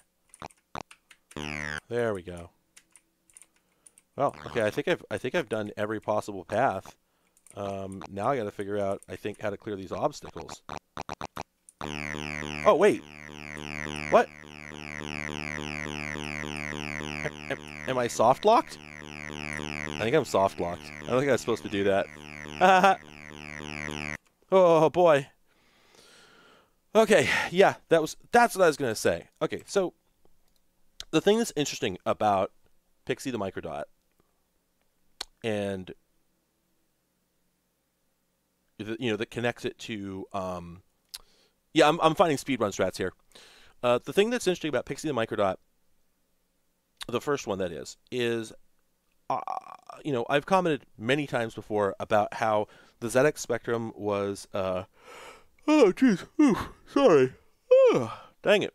Um, the ZX Spectrum and other 8-bit British um, computer games um, were hard as hell, just just incredibly hard. But it feels like it's because they didn't know what else to do. Nobody had invented Super Mario Brothers yet. The idea that you could kill enemies by jumping on them, for instance, as a default game mechanic, that didn't exist yet. Well, I mean, by 1985 it did, but even then, you know, it took time for that to spread out, right? So there were there was at least a three-year period during which nobody in the UK had seen Super Mario Brothers, uh, and of course, Super Mario Brothers, you know, redefined 2D, um, particularly platform game mechanics, and also introduced people to a higher standard of quality from video games. It just really took things from, uh, really took things from you know garage, you know, basement experimental software uh, that even the Famicom you know was rife with into an era when video games were expected to have a certain level of quality and like internal consistency in in games prior to like the Super Mario Brothers era not all of them but you know many of them it was acceptable for a character in a game to move in a way you didn't expect right um and Super Mario Brothers came along and was like no the collision is flawless you will never get hit by something uh, unless it looked like you were going to get hit by it. The physics are completely internally consistent. If you jump after, you know, a few times, you will understand how jumping works for the rest of the game and how it interacts with everything. And if you haven't done something before, you'll be able to predict how it's going to happen before you do it. And that's why that game took off the way that it did. And it only got more and more uh, consistent as time went on they made more and more games they had more and more consistent physics like they had more physics and those physics were very predictable um, to the point that you could make assumptions about how things are going to work before you you know mechanics that you'd never tried before and the ZX Spectrum predates all of that. Like the games on there. You know many of them were made before that game even came out. Um, and uh, uh, even after that game came out not everybody had it. And then, of course, not everybody knew how to make games work like that. And then, of course, there was no scrolling, which made things like a lot of the stuff, a lot of the mechanics that worked on the Famicom and NES didn't work on these systems because you couldn't smoothly scroll the, the game field. So there were a lot of games on here where the developers presumably just didn't know how to make a fun game. Um, not you know not to dunk on them too hard. I mean, I've heard I've met people who think the Dizzy games are fantastic. I find them insufferable. And in general, a lot of the games on these platforms, even though they take a similar form to to newer games, the way I put it is that at some point, game developers started trying to make the player win. This is a thing uh, I say whenever I'm dunking on uh, gamers, uh, which I do extensively. Uh, and I mean capital G gamers. I mean the bastards. I mean the people who ruin everything for everybody, who are insufferable. Uh, but uh, gamers have this. A lot of gamers have this ridiculous notion that they are good at a game if they can complete it. No, games for the last 20 years have been designed so that the average person will be able to finish them. It takes a little bit of patience sometimes, but they're intended to be completed on top of that, as time has gone on, particularly over the last 15, 10, 15 years, game developers have gotten more and more and more savvy about making players feel smart for doing things the game quietly helped them do. Um, games make sure that you get that headshot that you actually aren't good enough to get. They make sure that you make that landing that you actually missed. Because that way you feel good. You feel cool. You feel capable. It's an illusion. It's entertainment. It's meant to make you feel cool and strong and powerful and fast when you actually aren't really all that strong and powerful and fast. So there are people who are very good at games, but they aren't nearly as good as they think they are. Even the people who are doing the, you know, uh, 360 no scopes in modern FPSs, they have no idea how much is going on behind the scenes. This is less true in multiplayer, which is why multiplayer is such a focus for um, meatheads, for asshole jocks who make everyone miserable. Um, but, but particularly in single player games, uh, yeah, you you aren't very good. you aren't as good as you think you are. The game is designed to make you not only win, but to win and feel super cool in doing it. Old games weren't like that. That is the fundamental difference. That in 1983, when some guy in Britain sat down and started writing a game, he simply was not having the thought, how am I going to make the player win this game? he cre- you know they sat down they created a bunch of challenges. They made sure that they could be completed but the idea of balance between challenge and um, uh, you know rewarding the player is just not there. Uh, it's obvious in everything that the question of what if this frustrates the player simply did not come up. And i don't think that is any sort of criticism of the developers i think that no one had invented fun games yet if you will no one, no one had invented games that were, and I don't. You could be a challenge, you know, without being infuriating. And they were just making challenges and not, you know, not trying. Why the hell is my monitor on over here? That's weird. Um, they're making challenges and not making absolutely certain that the average person would be able to complete them. I mean, hell, how many ZX Spectrum games do you think were beta tested at all?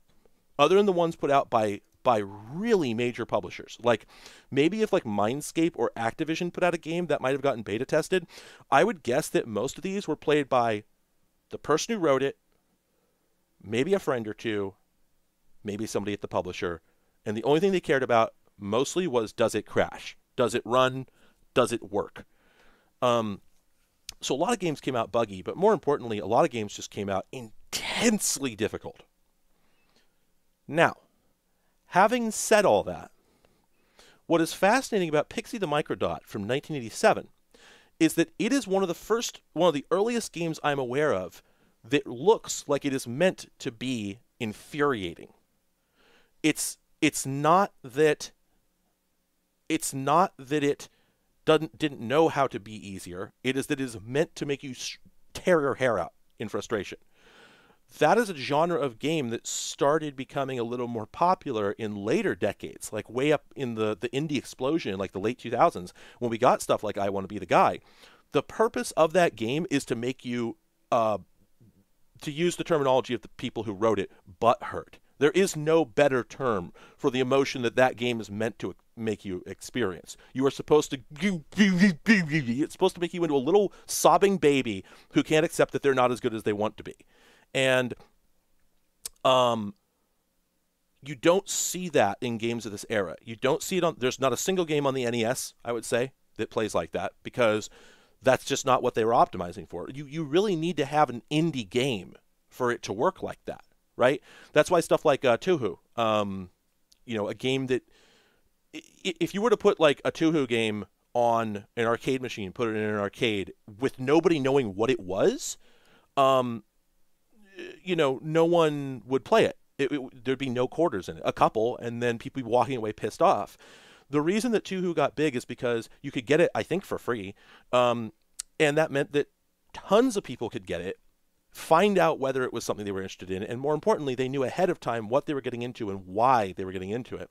And so, you know, you you you you're not just some rando, you know, walking up and going like, "How the hell was I supposed to survive that?" There was like 30,000 bullets on the screen. What? Um but that's that's like level 6, right? And then level 10 is stuff like I want to be the guy. That's just it's just supposed to eviscerate you. It's just supposed to destroy you. Um Okay, yeah. So you could get you could get Touhou fairly easily, and of course there was word of mouth um, because of course I think it started out as a PC98 game, and Japanese gamers, you know, are a little more they seem like they have a little more patience. um, in a lot of ways for particularly weird stuff. Um, and I think it sort of started with, you know, people over there um, buying those games and you know getting extremely good at them and showing off and then americans probably started to see you know youtube videos of that and so on and so forth. But the point is that it, almost everyone that it gets to knows about it ahead of time. Um, they know why it exists and that it is meant to be very difficult uh, and you know very rewarding for extremely patient people. So yeah seeing that in 87 just wild.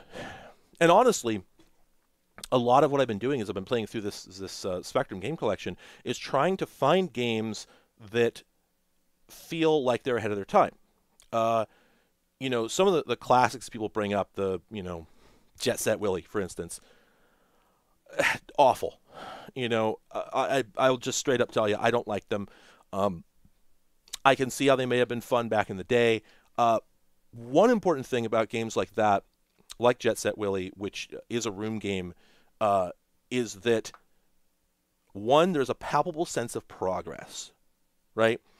Each of the rooms in a room game is its own puzzle, which you can solve and then be done with. And then the next time you go there, you know how to solve it. Um, so you can get further. And consequently, these games were enormous, right? And I think that's a lot of why the games that, you know, you say ZX Spectrum, someone goes, oh, blah, blah, blah, and blah, right? The reason they drop, name drop those four or five games uh, the re- you know the reason those particular games became well known is because those are the probably the ones that felt like they had the most bang for your buck because there was like 10,000 games for the ZX Spectrum, many of which were very simple simplistic. Spending 8 bucks or 12 bucks or whatever on a tape only to get an hour of gameplay out of it before you're dead bored, you know, hurt just as much as spending 60 bucks on one now. And really the, you know, probably this is a funny thing to think about, um, but probably the worst era of dollar for value uh, video games in history was probably like the mid NES era because you could spend like $50 on a game that was just nothing, right? Prior to that, you spent way less on games. After that, games got way more sophisticated. So even if they were bad, they were at least long, you know? Um, Quake, Quake 2 is not a good game, in my opinion, but it will chew up like a, you know, a day or two of your time if you're good at it, and more if you're not so much. Um, it felt like it was worth 60 bucks, you know? And, and there was, of course, a lot more in it, right? Lots of 3D graphics, lots of music, um, you know, there is a story, I guess, etc. So, uh, in in 1983 or, or, or whatever, Jet Set Willy was the best you were going to get because if if you just wanted something that was going to provide if you didn't have very high standards, you know, no offense intended, just you hadn't seen the NES yet.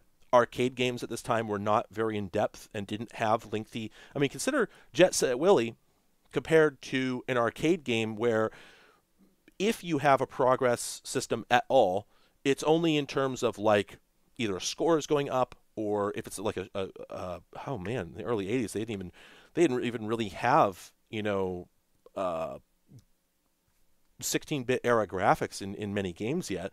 So you didn't have stuff like shmups where you progressed from one region to another, that sort of thing. There was there would have been so little sensation of progression in an arcade game. The fact you could sit down with Jet Set Willy and spend many, many, many hours at home, you know, not pumping in quarters, and feeling like you're making continuous progress, getting to new places, you're really getting your bang for the buck, right? Um, but the trouble is just that that I think is its selling point, not that it is fun.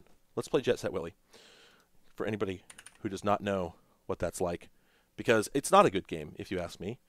Um, yeah, it's from 1984. Wow, really? It's just made by Software Projects? Can that be true? Uh, is this the one I intended? I think it is. No training. Uh, no, I guess. Oh, this may not have been cracked yet. Uh, hang on a second. Let me get one that's cracked. Dink. Oh, hell yeah. Here. Oh, come on. Oh, there we go.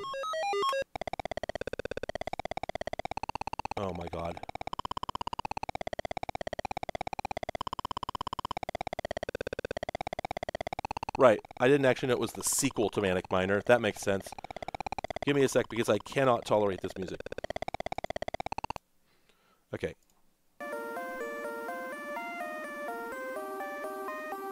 Well, okay, let's do Manic Miner.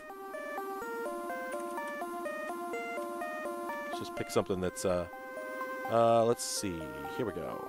Okay, 1983 from Bug-Byte. Miner Willy. Alright, so give me a sec to figure out the controls. Q, O, P. There we go. Alright, so I'm dead, right? Um,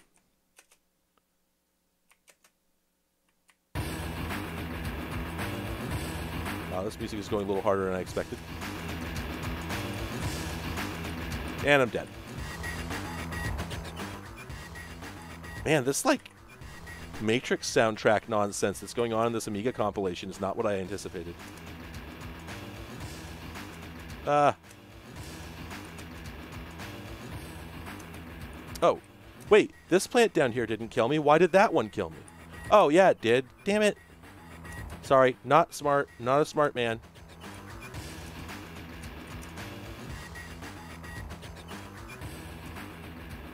This is a well-made game, I have to say. That's something I can't really deny. Oh, I can't actually outrun him.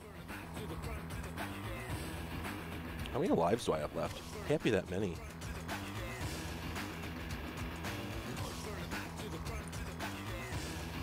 Once you're on this conveyor belt, you can't, like, change direction or anything. Okay, so... There we go. The only thing you can do is jump. Oh, Okay, so you see what I mean, right? They're like, hey, I gotta... Ah, damn it. Hit the stalactite. Um...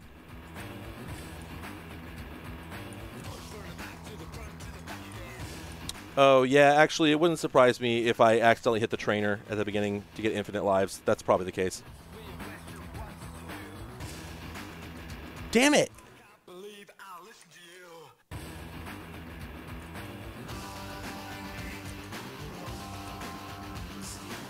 Wow, I, I don't know. I don't know what what alt rock song is being sampled in this Amiga track. Damn it! It's it's actually really hard to hit the uh, correct uh, trajectory when jumping over this like dragon guy here. Um, you have to jump when he's much further away than you think. You have to jump when he's like there. Uh, yeah, see, I actually went late. So yeah, I got all the way up here earlier, and then whoops, I got murked by the stalactite. Like, come on, assholes. And likewise, I'm going to have to catch that other key either on the upswing or the downswing. I haven't decided. Let's try up. Okay, got it. Ah, crap. And then, of course, you know, modern platform game reflexes, but still, I try to jump back to safety because I see the ground crumbling under me, and whoops, the other ground crumbles. Go to hell. It's, you know,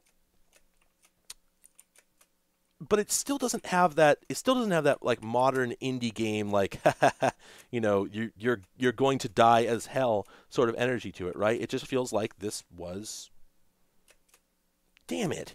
It just feels like this is you know the best they could think of.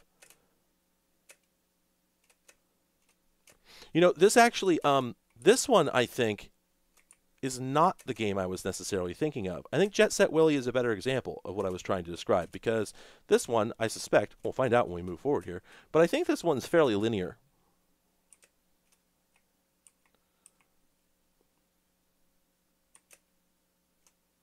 Ah.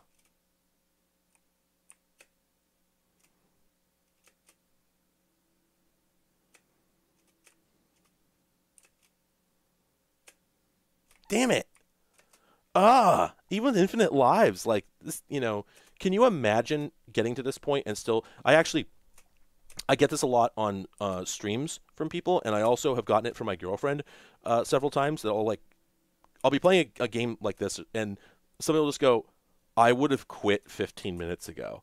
I'm like, well, that's it's one of my special qualities. Um, you know, one of why why watch why watch my streams? Why give me Patreon money? Well, um, you know, because ideally, I think uh, this is what I'm trying to do. I am willing to put a little more time and energy into things that are objectively miserable.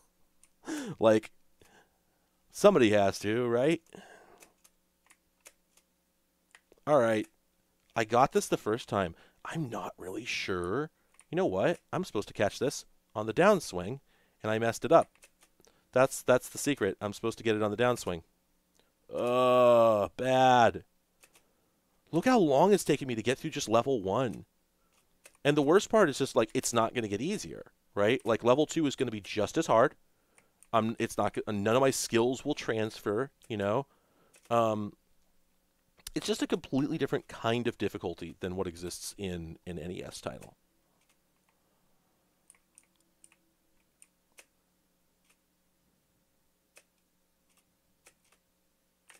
Yeah, I'm. If you're by the second to last key, if you're referring to the one that's uh, behind the plant there, oh, I don't know. Probably. Yeah, I think you're right. This sucks, man. See, look at how much fun I'm not having with this versus pretty much every other game that I've greenlit on this stream, right? Like, even the bad ones, I at least had some respect for. But this one is just, yeah, it's just screaming misery it is at least well made, you know. Damn it. Nah, go to hell. Um, yeah, yeah, this tape belongs in the trash. So I can't even get past the first level here to show you. But the thing is, I'm pretty sure that the second screen here is going to have more, you know, more stuff, but still just be a, uh, still just be a, uh, um, a linear level. You know, I just get through it and, and then I'm done, right? Uh, let's go ahead and start Jet Set Willy. All right, and so the trouble with Jet Set Willy is that in addition to everything killing you, there are a thousand different ways you can go. So we're now on the top landing. This is the bathroom. This is the top landing. And of course, you get in here and instantly there's something coming right at you, right? Um, if we go up here, um, same basic mechanisms, except it's now like an open world game, and there's multiple ways to do everything. And so, you know, in addition to the game being infuriating to play, you now are responsible for figuring out what to even do. And and it just goes on and on and on and on and on. The there's just countless rooms. I don't know how many rooms there are. I think she kills you. I think she kills you. Yes. Um, I don't know how many rooms there are, but there's a lot. Give me a sec.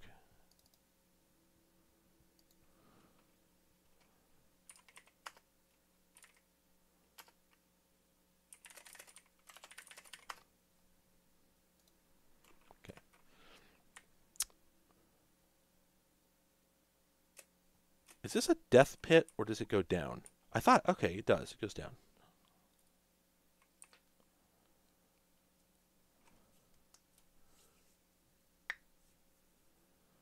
Is there a time limit? Oh, it does have a time, so I'll bet there is a time limit.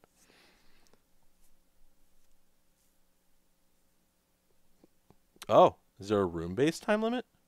Or is that the pause screen? Did it just... But yeah, uh, right, yes, very British, right? Oh my god. Like the the Monty Python foot is here. You know, it's it's just eh, eh, eh, gobstoppingly oh, okay. I was I was sitting here going like, I'm a pig, and like the wife is here over and over. This is the nightmare room. Oh boy. I, I, I say this with the most possible respect uh, for those who uh, might be afflicted by it, but oof, heterosexuality, oh, rough. You can you can do it without screwing it up, but boy howdy, everyone seems to be in a competition to see if they can do it as poorly as possible.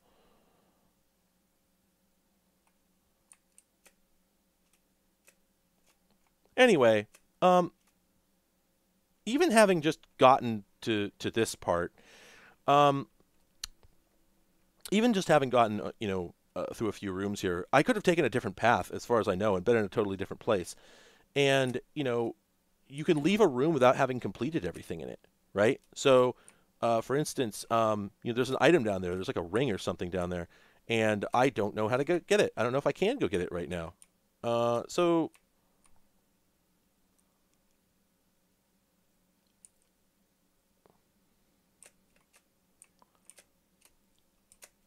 basically you can you can move through this massive expanse of um, you know sort of anonymous rooms that are uh, supposed to have they notionally have identity and meaning, but practically do they? Um, etc. Uh, it's just sort of you know back rooms, just kind of um, abstract. Oh my god, it's incredibly difficult. It's not meant to be won. You are not supposed to finish this game. You know, it, it is not pro player, and that's just such a change. It's just such a change from uh, uh, the way that things are done now, but really even just the way they were done. People talk about Nintendo hard, right? And Nintendo hard is an interesting concept because it's not like the ZX Spectrum. Uh, there was a there, was actually I I respect Chrontendo a lot. Chrontendo is the reason that I do most of what I do. Like I was always into all the things that I'm into basically, but that was the thing that made me go, you know what? Maybe people would actually be interested in seeing sort of you know, kind of contemplative dives into things like, for instance, people talk about Nintendo games. They go, "Oh yeah, Mega Man. Oh yeah, Super Mario Brothers." I want to see the Nintendo games because there were thousands of them that no one has heard of. And he does that. Dr. Sparkle does that. I love it so much. It's it's very very cool what he does. Um, but I remember there's one in a I think it was a recent Chrontendo episode. Um, uh, he like finished he you know finished his play. Uh, sorry, he finished the footage for a game as general commentary on like how it was made, and and its, its general nature. And he goes, Well, I don't like it. uh, it's very hard. But I do have to admit that when you die, you never feel like the game is you you you always feel like it's your fault. You never feel like you died because the collision didn't work correctly, um, because the motion controls didn't work correctly, because you you hit jump and your character didn't jump. It is mechanically very tight. He didn't say it like this. I'm paraphrasing it's mechanically very tight. It's it, you know you just die constantly, and uh, it's not very much fun. Uh, and I think about the difference there between most hard Japanese games and hard 80s British games. And and that does include British NES games. Because if you play um, call me a call me a bastard if you want. Rare is a terrible software developer. The first good Rare game was Donkey Kong Country. Every game they made before that was a pile of shit. Awful games. Everything they made was garbage. Um, I've played all, almost all of it. they're NES games. They're not so well known NES games. They're SNES games. They're computer games. Um, you know, er, you know the rare coin it and the ultimate play the game era stuff. It's just slop in my opinion. Um, and a lot of it suffers from all the problems of the, the spectrum.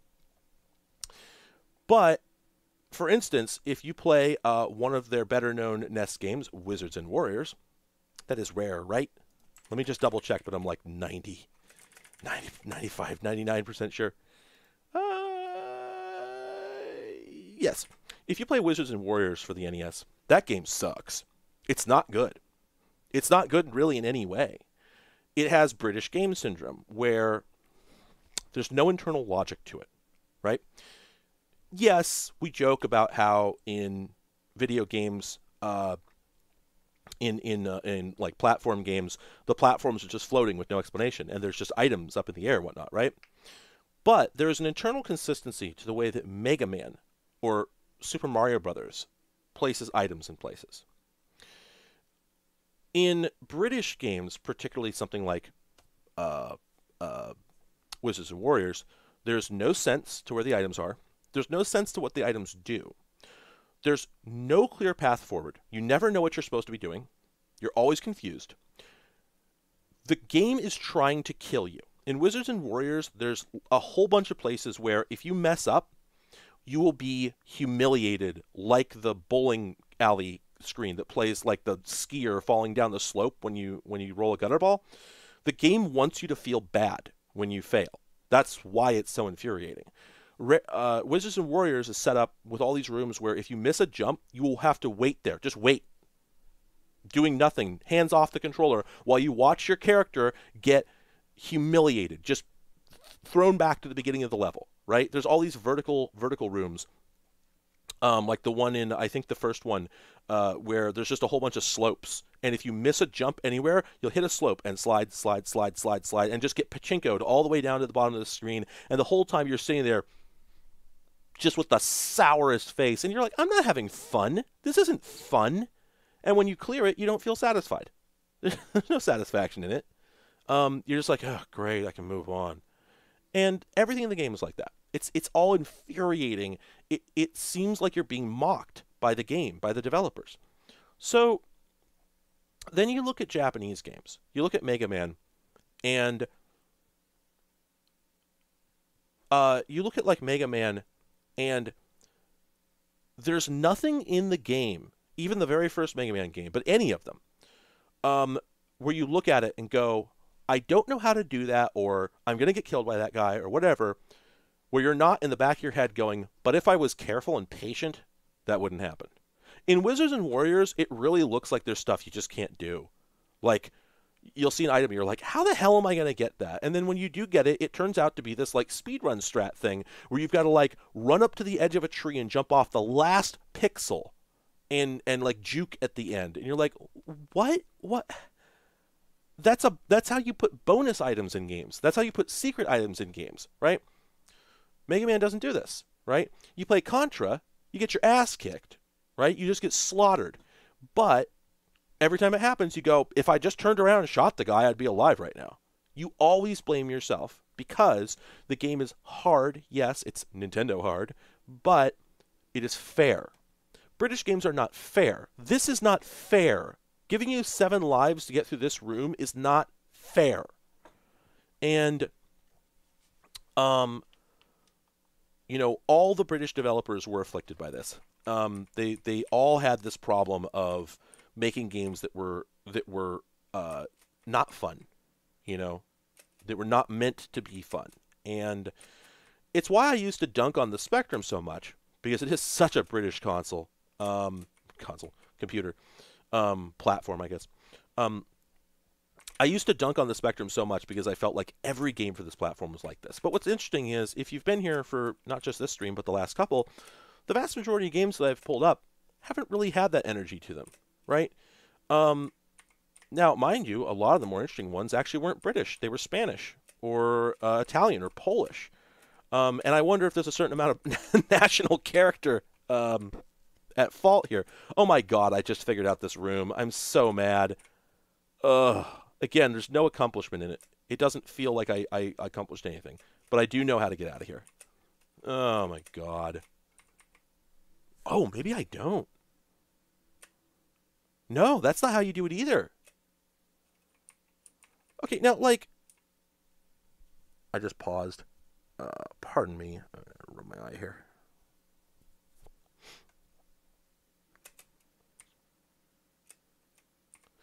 You know, I think uh, Nadia, that's that's an interesting. I don't, I don't know if this is what you meant, but it, an interesting point is you could imagine this being a good room in Mega Man with a basically the same layout. If you could control your jump height, you know this would be trivial. No, not trivial. That's the thing. It would still be challenging, but it would be. You would look at it and go, well, "I can do that." I'm be irritated, but I can do it. But there's just no no one here is certain that I will get through this room not the least of which me. In fact, I guess I actually am certain that I won't because I'm going to quit now. um, and they made a thousand of them too. I don't know how many of these are real. In this folder here, I've got like Jet Set Willy 2, um, Jet Set Willy in Paris, and a bunch of other stuff. And I think these are all clones. I think these are all unlicensed. But uh, yeah, it, it was just um,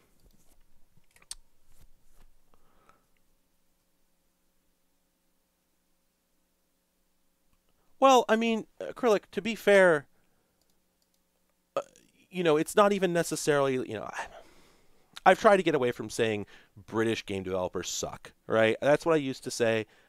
You know, that's not true. You know, I don't believe that. Um, it's it's a shorthand because yes, if you if you uh, it's just it's just cultural, right? People will go, uh, oh, British, you know, British British '80s games. Oh, like the Jet Set Willy, like Manic Miner, like uh, you know, Monty on the Run or whatever. Well, those are games that came out that that did get extremely, you know, very well known, but uh, they were coming from like two different companies, three different companies. You know, Rare made a bunch of stuff. Um, and then it's probably like three developers that made most of the stuff that people name. You know, if somebody rattles off like 20 ZX Spectrum games, they probably just named the work of like three different people. Um, and and and it's just so for uh, for instance, uh, I can't remember the name, but the guys who made the two brothers, I think, who made the Dizzy series, they love Dizzy. You know, they still love Dizzy. I think they're making a, a Dizzy game right now. They made like 20 of them, and they still want to make more. Um, and the people who bought them, bought those games, seem like are eating it up. They want to buy more of them. They they bought them before, they'll buy them now. Um, yeah, no, that's it. Acrylic has it right. It's not that every British game was bad. It's just that games that were bad in this way couldn't have happened anywhere else. All Oliver Twins. There you go. Thank you. Um, the specific socioeconomic circumstances that created games like this, the combination of I I'm under the impression I don't know much about UK history, but I'm under the impression at this time there was probably a recession. Uh, and also that the government at that time was doing the austerity thing. Uh, people didn't have a lot of money. Uh, and so making uh, inexpensive and uh, pardon me, making inexpensive, uh, you know, games with a lot of yield. Yeah, in the '80s, um, making inexpensive games with a lot of yield is sort of like, uh, you know, people in the '40s. People in the '40s wanted to buy Kraft cheese. You know, they wanted powdered cheese because otherwise you just couldn't get much cheese. And your choices were between this salty, you know, orange crap and this much cheddar. What what do you you know? Do you want a cheese sauce or do you want one bite of cheddar? You know, make it, so. Uh, between the options, you're going to want the one that they're playing to the market that, that exists, right? The ZX Spectrum was capable of better games, but those better games require would have would have required higher prices. Nobody was going to spend thirty, you know, thirty pounds, I guess, uh, on uh, a ZX Spectrum game. Uh, I, I, that's my impression. I have heard that the prices for games at that time uh, were less than ten bucks or thereabouts. No one was going to spend the thirty pounds it was going to take uh, to make a game that was as good as a NES game, which would have been shorter to boot, right? Um, Jet Set, Jet Set Willy. The code for jumping in Jet Set Willy, for my money, I would bet that it was written on the first day that the game was being developed and never changed. The code for jumping in Super Mario Brothers was probably being tweaked up until the last day of development. That that would be my bet. Um, I think that the simplicity of this game is, you know, all the enemies have extremely basic code, right? They only move left, right, up, down. That's it. The only difference between them is their graphics. Well, making art, not that hard. Writing unique enemy motion, whole different ball game, right? A lot of what put Rare on the map, I think, is that Rare had one guy there, I think, who knew who had been to math class.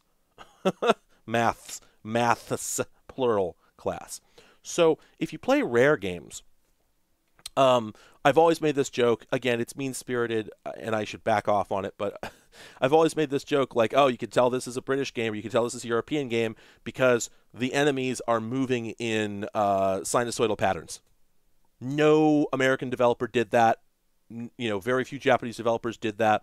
Uh, but there were, un- it was just because you had such a limited palette to work with on these 8-bit systems, um, and because you were limited so heavily by memory and uh, CPU speed, one thing you could do if you were a boffin, uh, I think is the word, uh, if you knew how to write efficient lookup tables for sinusoidal operations, you could get some really lush, you know, grav- gravity, gravity and um, vector-based movement, which never got applied to the player character. That's what's infuriating.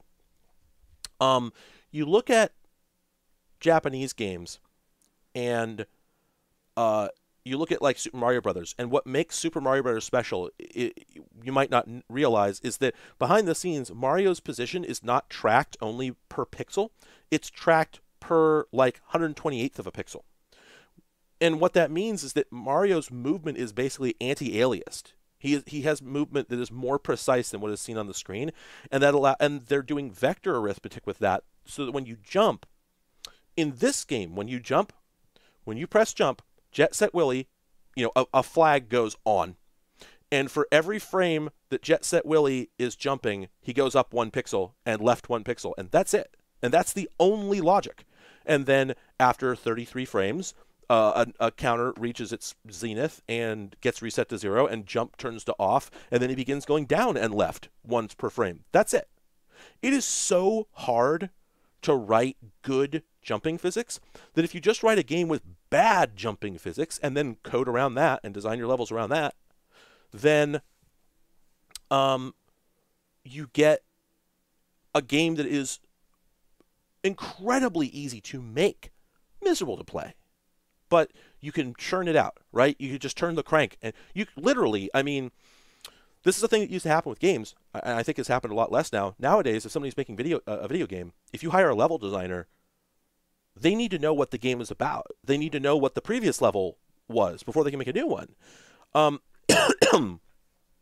uh, uh, you can't you can't just drop into a modern like first person shooter and just make a new level for it. That that worked for Quake, you know. It's actually a thing that uh, back in the back in the day uh, when uh, games like Quake were being made, that the developers at id in particular had very different plans for what several of the levels were going to be. And then when those plans changed they just took those levels and dropped them elsewhere in the game renamed them. They're, they have no logical connection to a narrative but it's okay because the levels are so abstract. Who cares? And during the like wolfenstein 3d and doom period uh, in particular for id god i hate to talk about id Ugh, it's so it's been retread so many times, but it's a good example in this case. They were using um, levels that were again very generic, very uh, uh, abstract, I should say, uh, and they didn't have to connect to each other thematically um, or or logically or physically.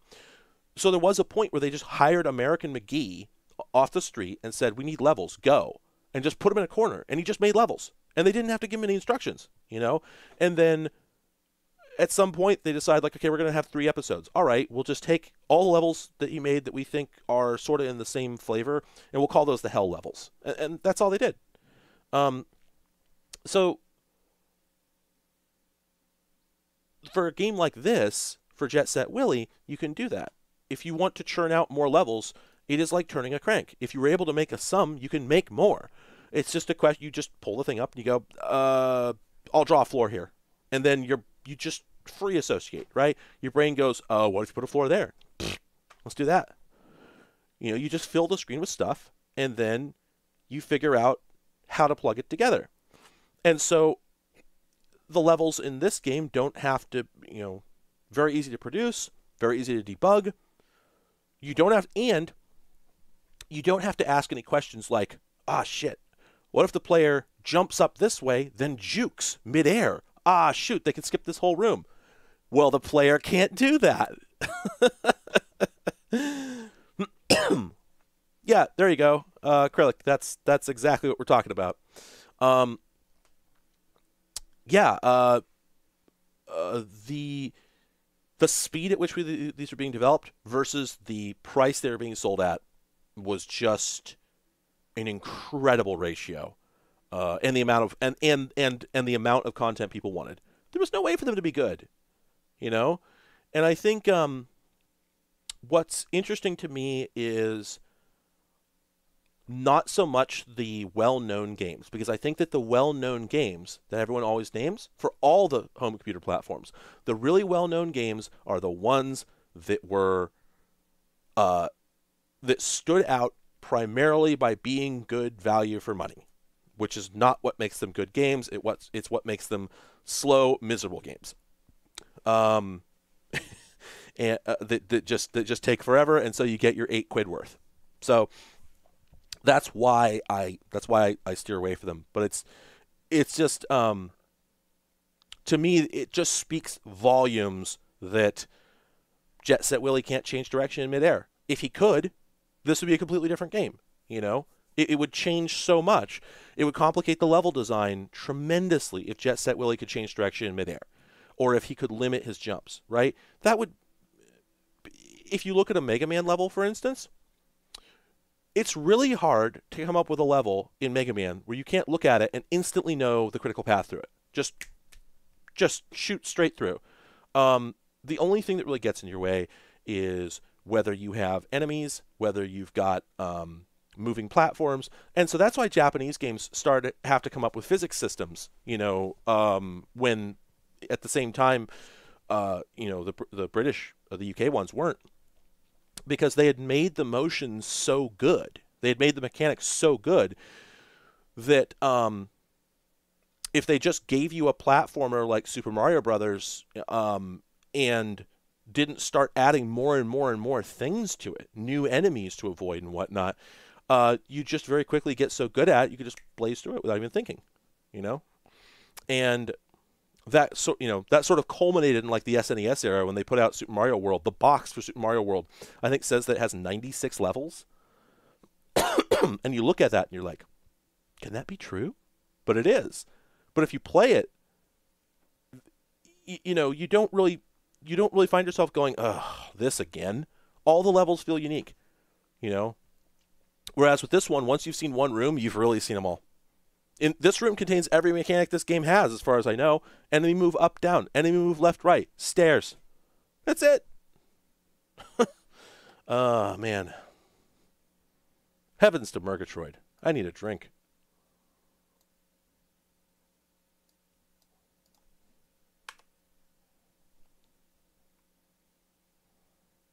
Y- yeah? Hang on a second. What?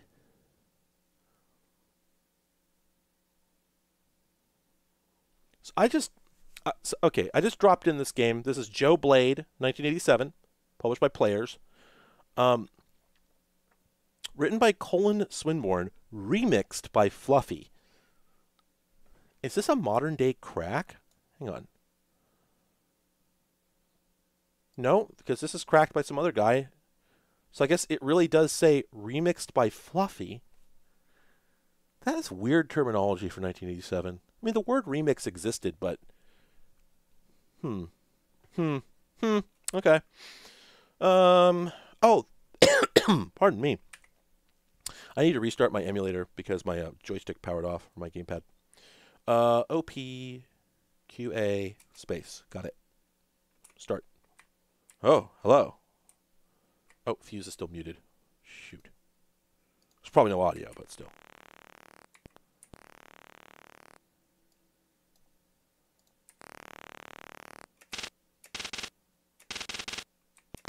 Okay, I seem to have unlimited ammo. How I go in? Maybe I came out. Maybe I'm supposed to go to the left.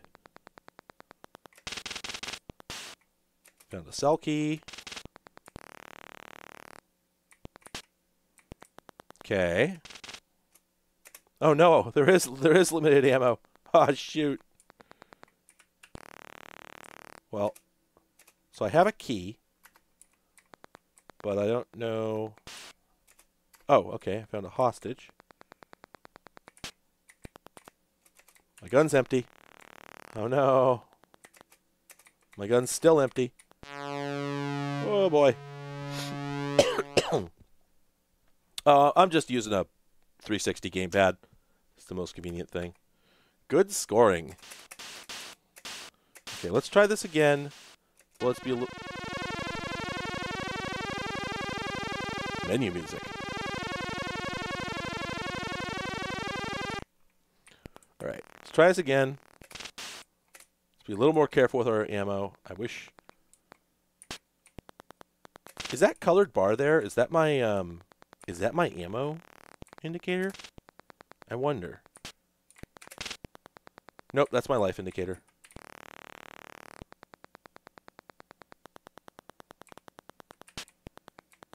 Oh, I didn't actually expect that door to open. So I guess that's what I use my keys for. Oh my god, this is one of those games where... Okay.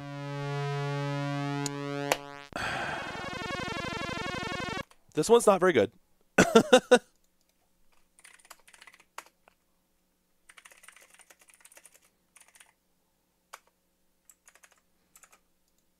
Give me a second.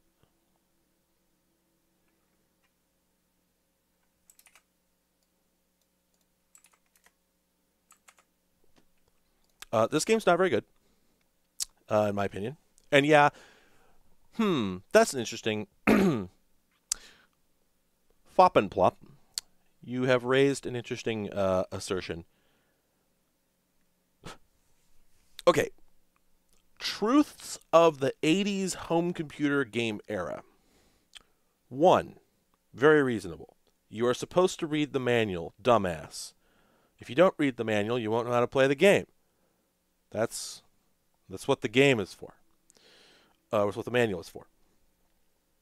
Another thing, though, is God. I think a lot of games wanted you to draw a map, and my opinion on this, this is um, this is interesting.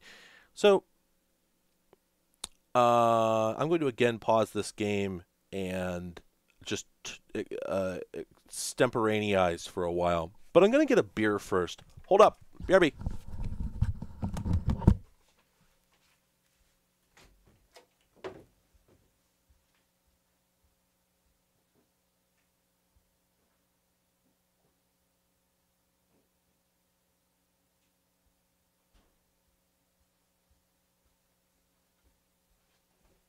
Can check.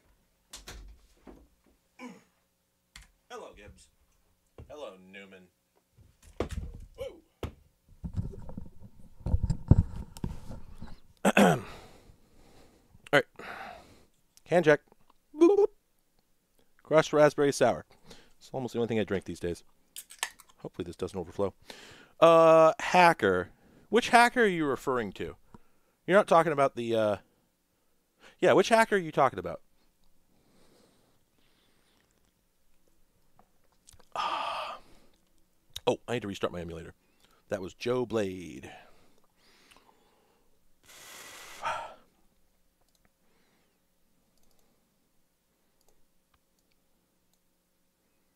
We're going to play Joe Blade 2 next. Um,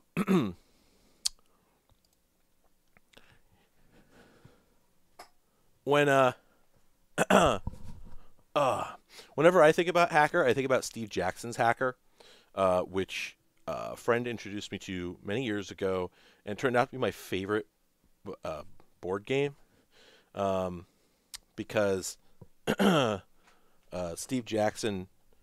Steve Jackson was making a game. I don't remember what it was, and then due to some like satanic panic about hackers at the time, uh, his company got raided by the FBI uh, because they thought he was making a game that would uh, correctly instruct someone on how to become a hacker which was not true.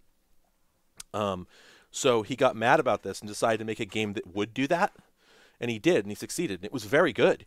Um, and it's a tabletop game where you have a de- it's it's all cards, um, but you have a deck of cards.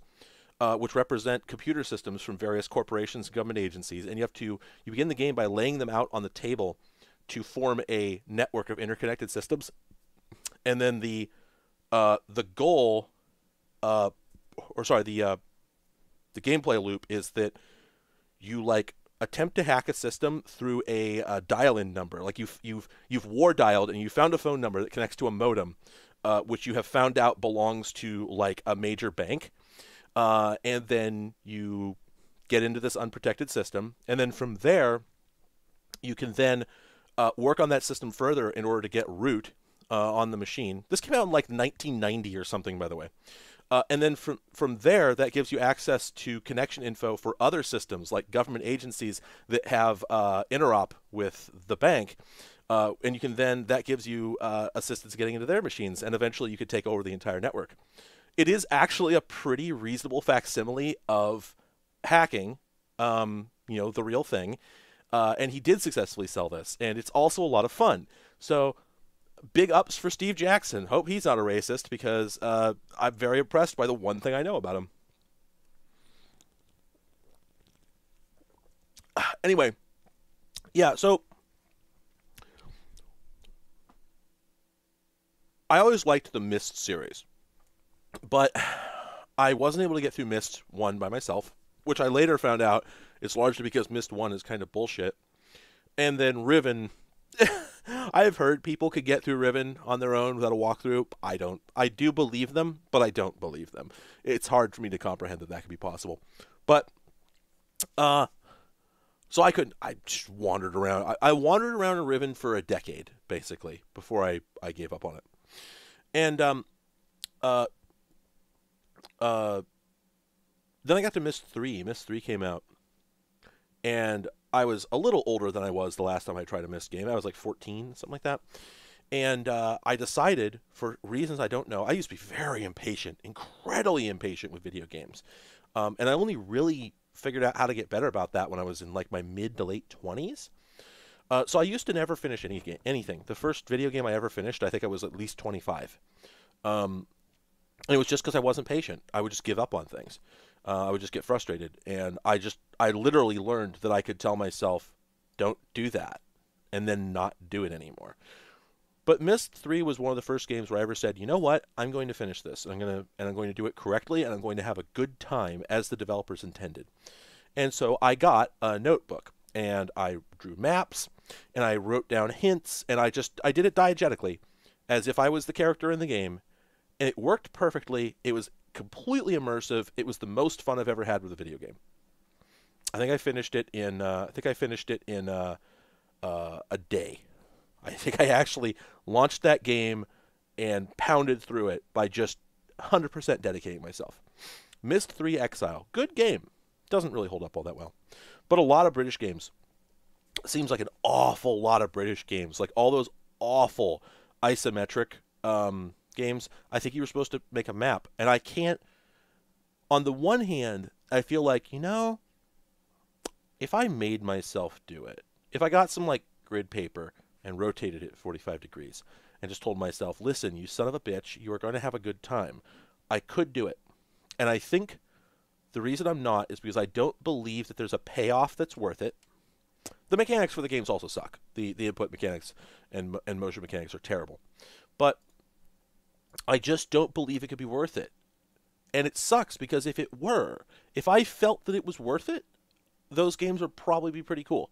But I know they're not going to contain anything like a cool narrative or anything. They're just going to be abstract rooms with the same 13 sprites moving on a linear path.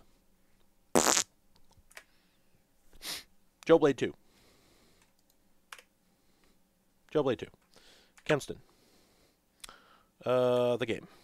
All right, this is Joe Blade 2. Whoa. What? I can't. Oh. Whoa. Okay, this is different. So, I killed one of them. Also, there's a 10 minute time limit. How did I kill that guy? What are the numbers in the lower left? Or they're not numbers. What the hell? There we go. Oh, did I did I kick him? Is that the situation? Come on. Ah. Yeah, I don't know. Where? I'm like collecting trash cans? What? What's going on here? Oh.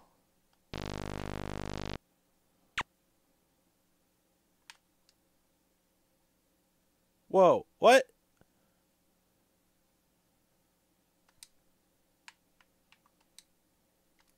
What? What? What's going on here? Man, I don't know.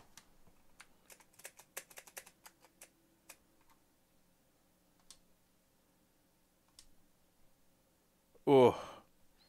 All right, so this one's not good. That was from 88. It's the year I was born. Joe Blade 3. That's him. That's Joe Blade.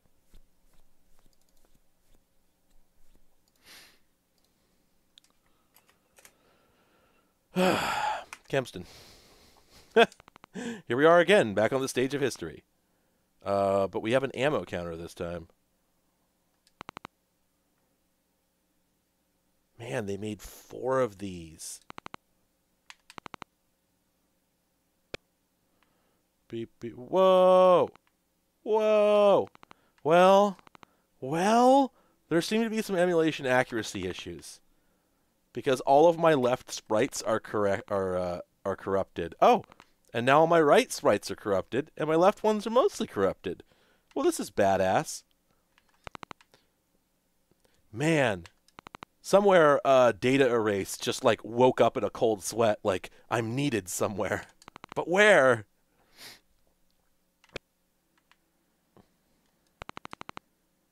I guess I have a disguise, so maybe I don't need to fight them.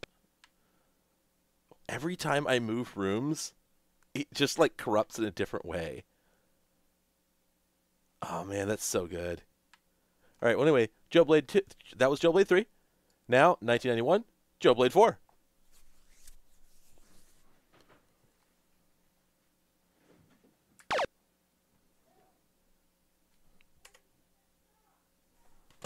Oh shit. I'll be back.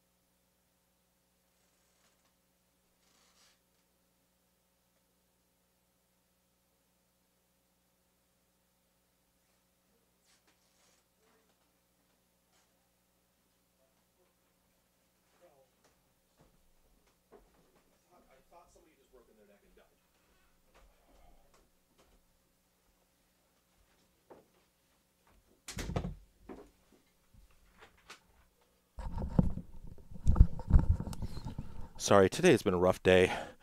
There was a very concerning sound from upstairs. Uh, I, honest to God, I just heard the exact. If you ask yourself, what does it sound like for someone to fall down the stairs and break their neck? I heard that. It was um, a kitty that got stuck in the hand loop on a paper bag and somehow managed to produce the exact sound effect which everyone in my house perceived as the precise sound of someone falling down the stairs.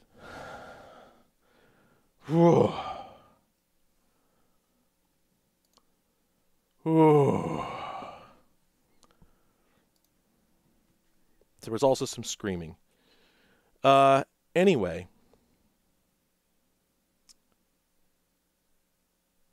It was Sarah. All right. Um, let me get this together. Man, I yeah, they just they they dang it, they did it again. It's the same game. And again, it's it's one of those things where like you don't want to be you don't want to be too critical because you don't know how much of it you know you don't know what someone else's perspective is like but you just look at this and you're like man it sucks that it sucks that people were excited about this. I'm sorry. I apologize for what a mean thing that is to say but oh man have better standards. Uh jocky wilson's darts challenge which there was a follow-up to this called jocky wilson's compendium of darts. Anyway let's look at this darts game um up to the oak? Oach? Och oh is that is that written in like uh sort of a scottish accent or something? Um anyway it, hey gibbs need to lay down lay down please god you're in the way all right um oh my god. Um okay all this iconography is good but can i bring your attention to the lower left icon? Somebody sent me uh somebody sent me the like you know somebody sent me a meme image that looked exactly like that earlier. That's the joke. Uh anyway how do we hmm joystick doesn't work. Nothing works. Nothing works. Well delightful. Uh no trust me this cat year round this cat is is in my way. Okay. Doesn't work as a sinclair joystick either. Doesn't work there either. Uh how about cursor doesn't work there either yeah i don't know what to do yep so joystick just doesn't work nothing works i want to play jocky wilson dart challenge let's try this other dump Oh. Figured something out. Oh. Oh. Oh.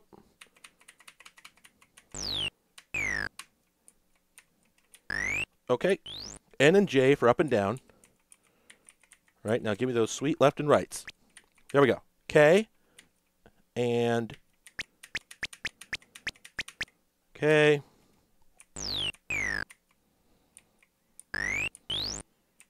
There's got to be a button for going left.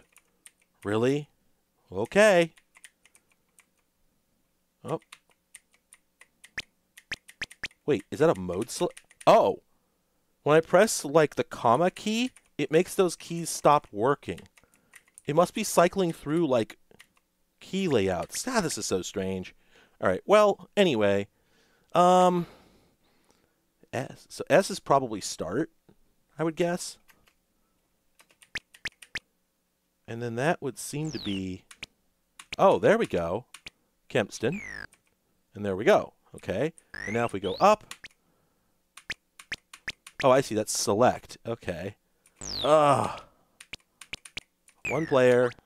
Go. Oh, boy. That was a lot.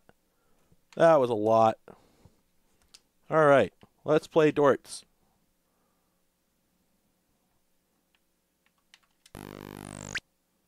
I've played this before. I wonder if I played this on stream. There we go. I bulged that eye. Oh. Oh, wait, really? Are we really getting a replay from a different perspective? That's cute.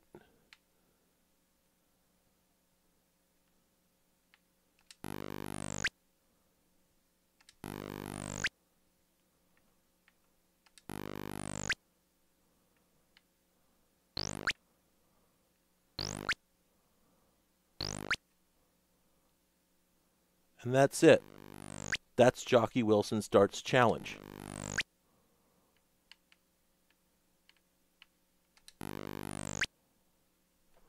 Ugh. Yeah, I don't I don't know I don't know darts.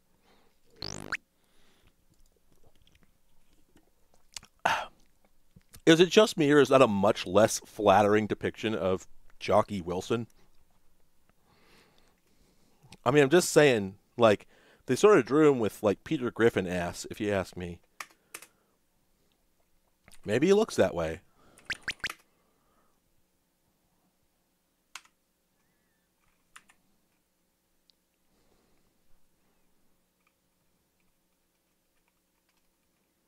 Oh, maybe that was the CPU playing. Huh.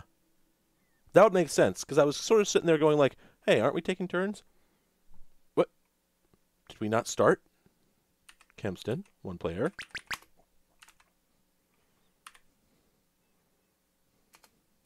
What?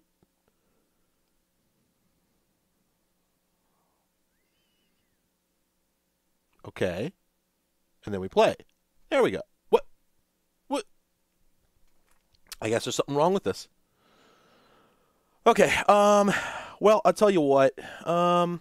I'm tired, and it's really warm in here, and I just realized I've been doing this for uh, four and a half hours. It's probably a good idea for me to go. Um. So, thank you so much, everyone. Really love you. Uh. Really, really uh, love that you all came. Um. Boy, I'm I'm tired enough. I can't. I. I yes, I love you all. I am married to everyone here. Um. No, I. Uh. uh I'm very tired.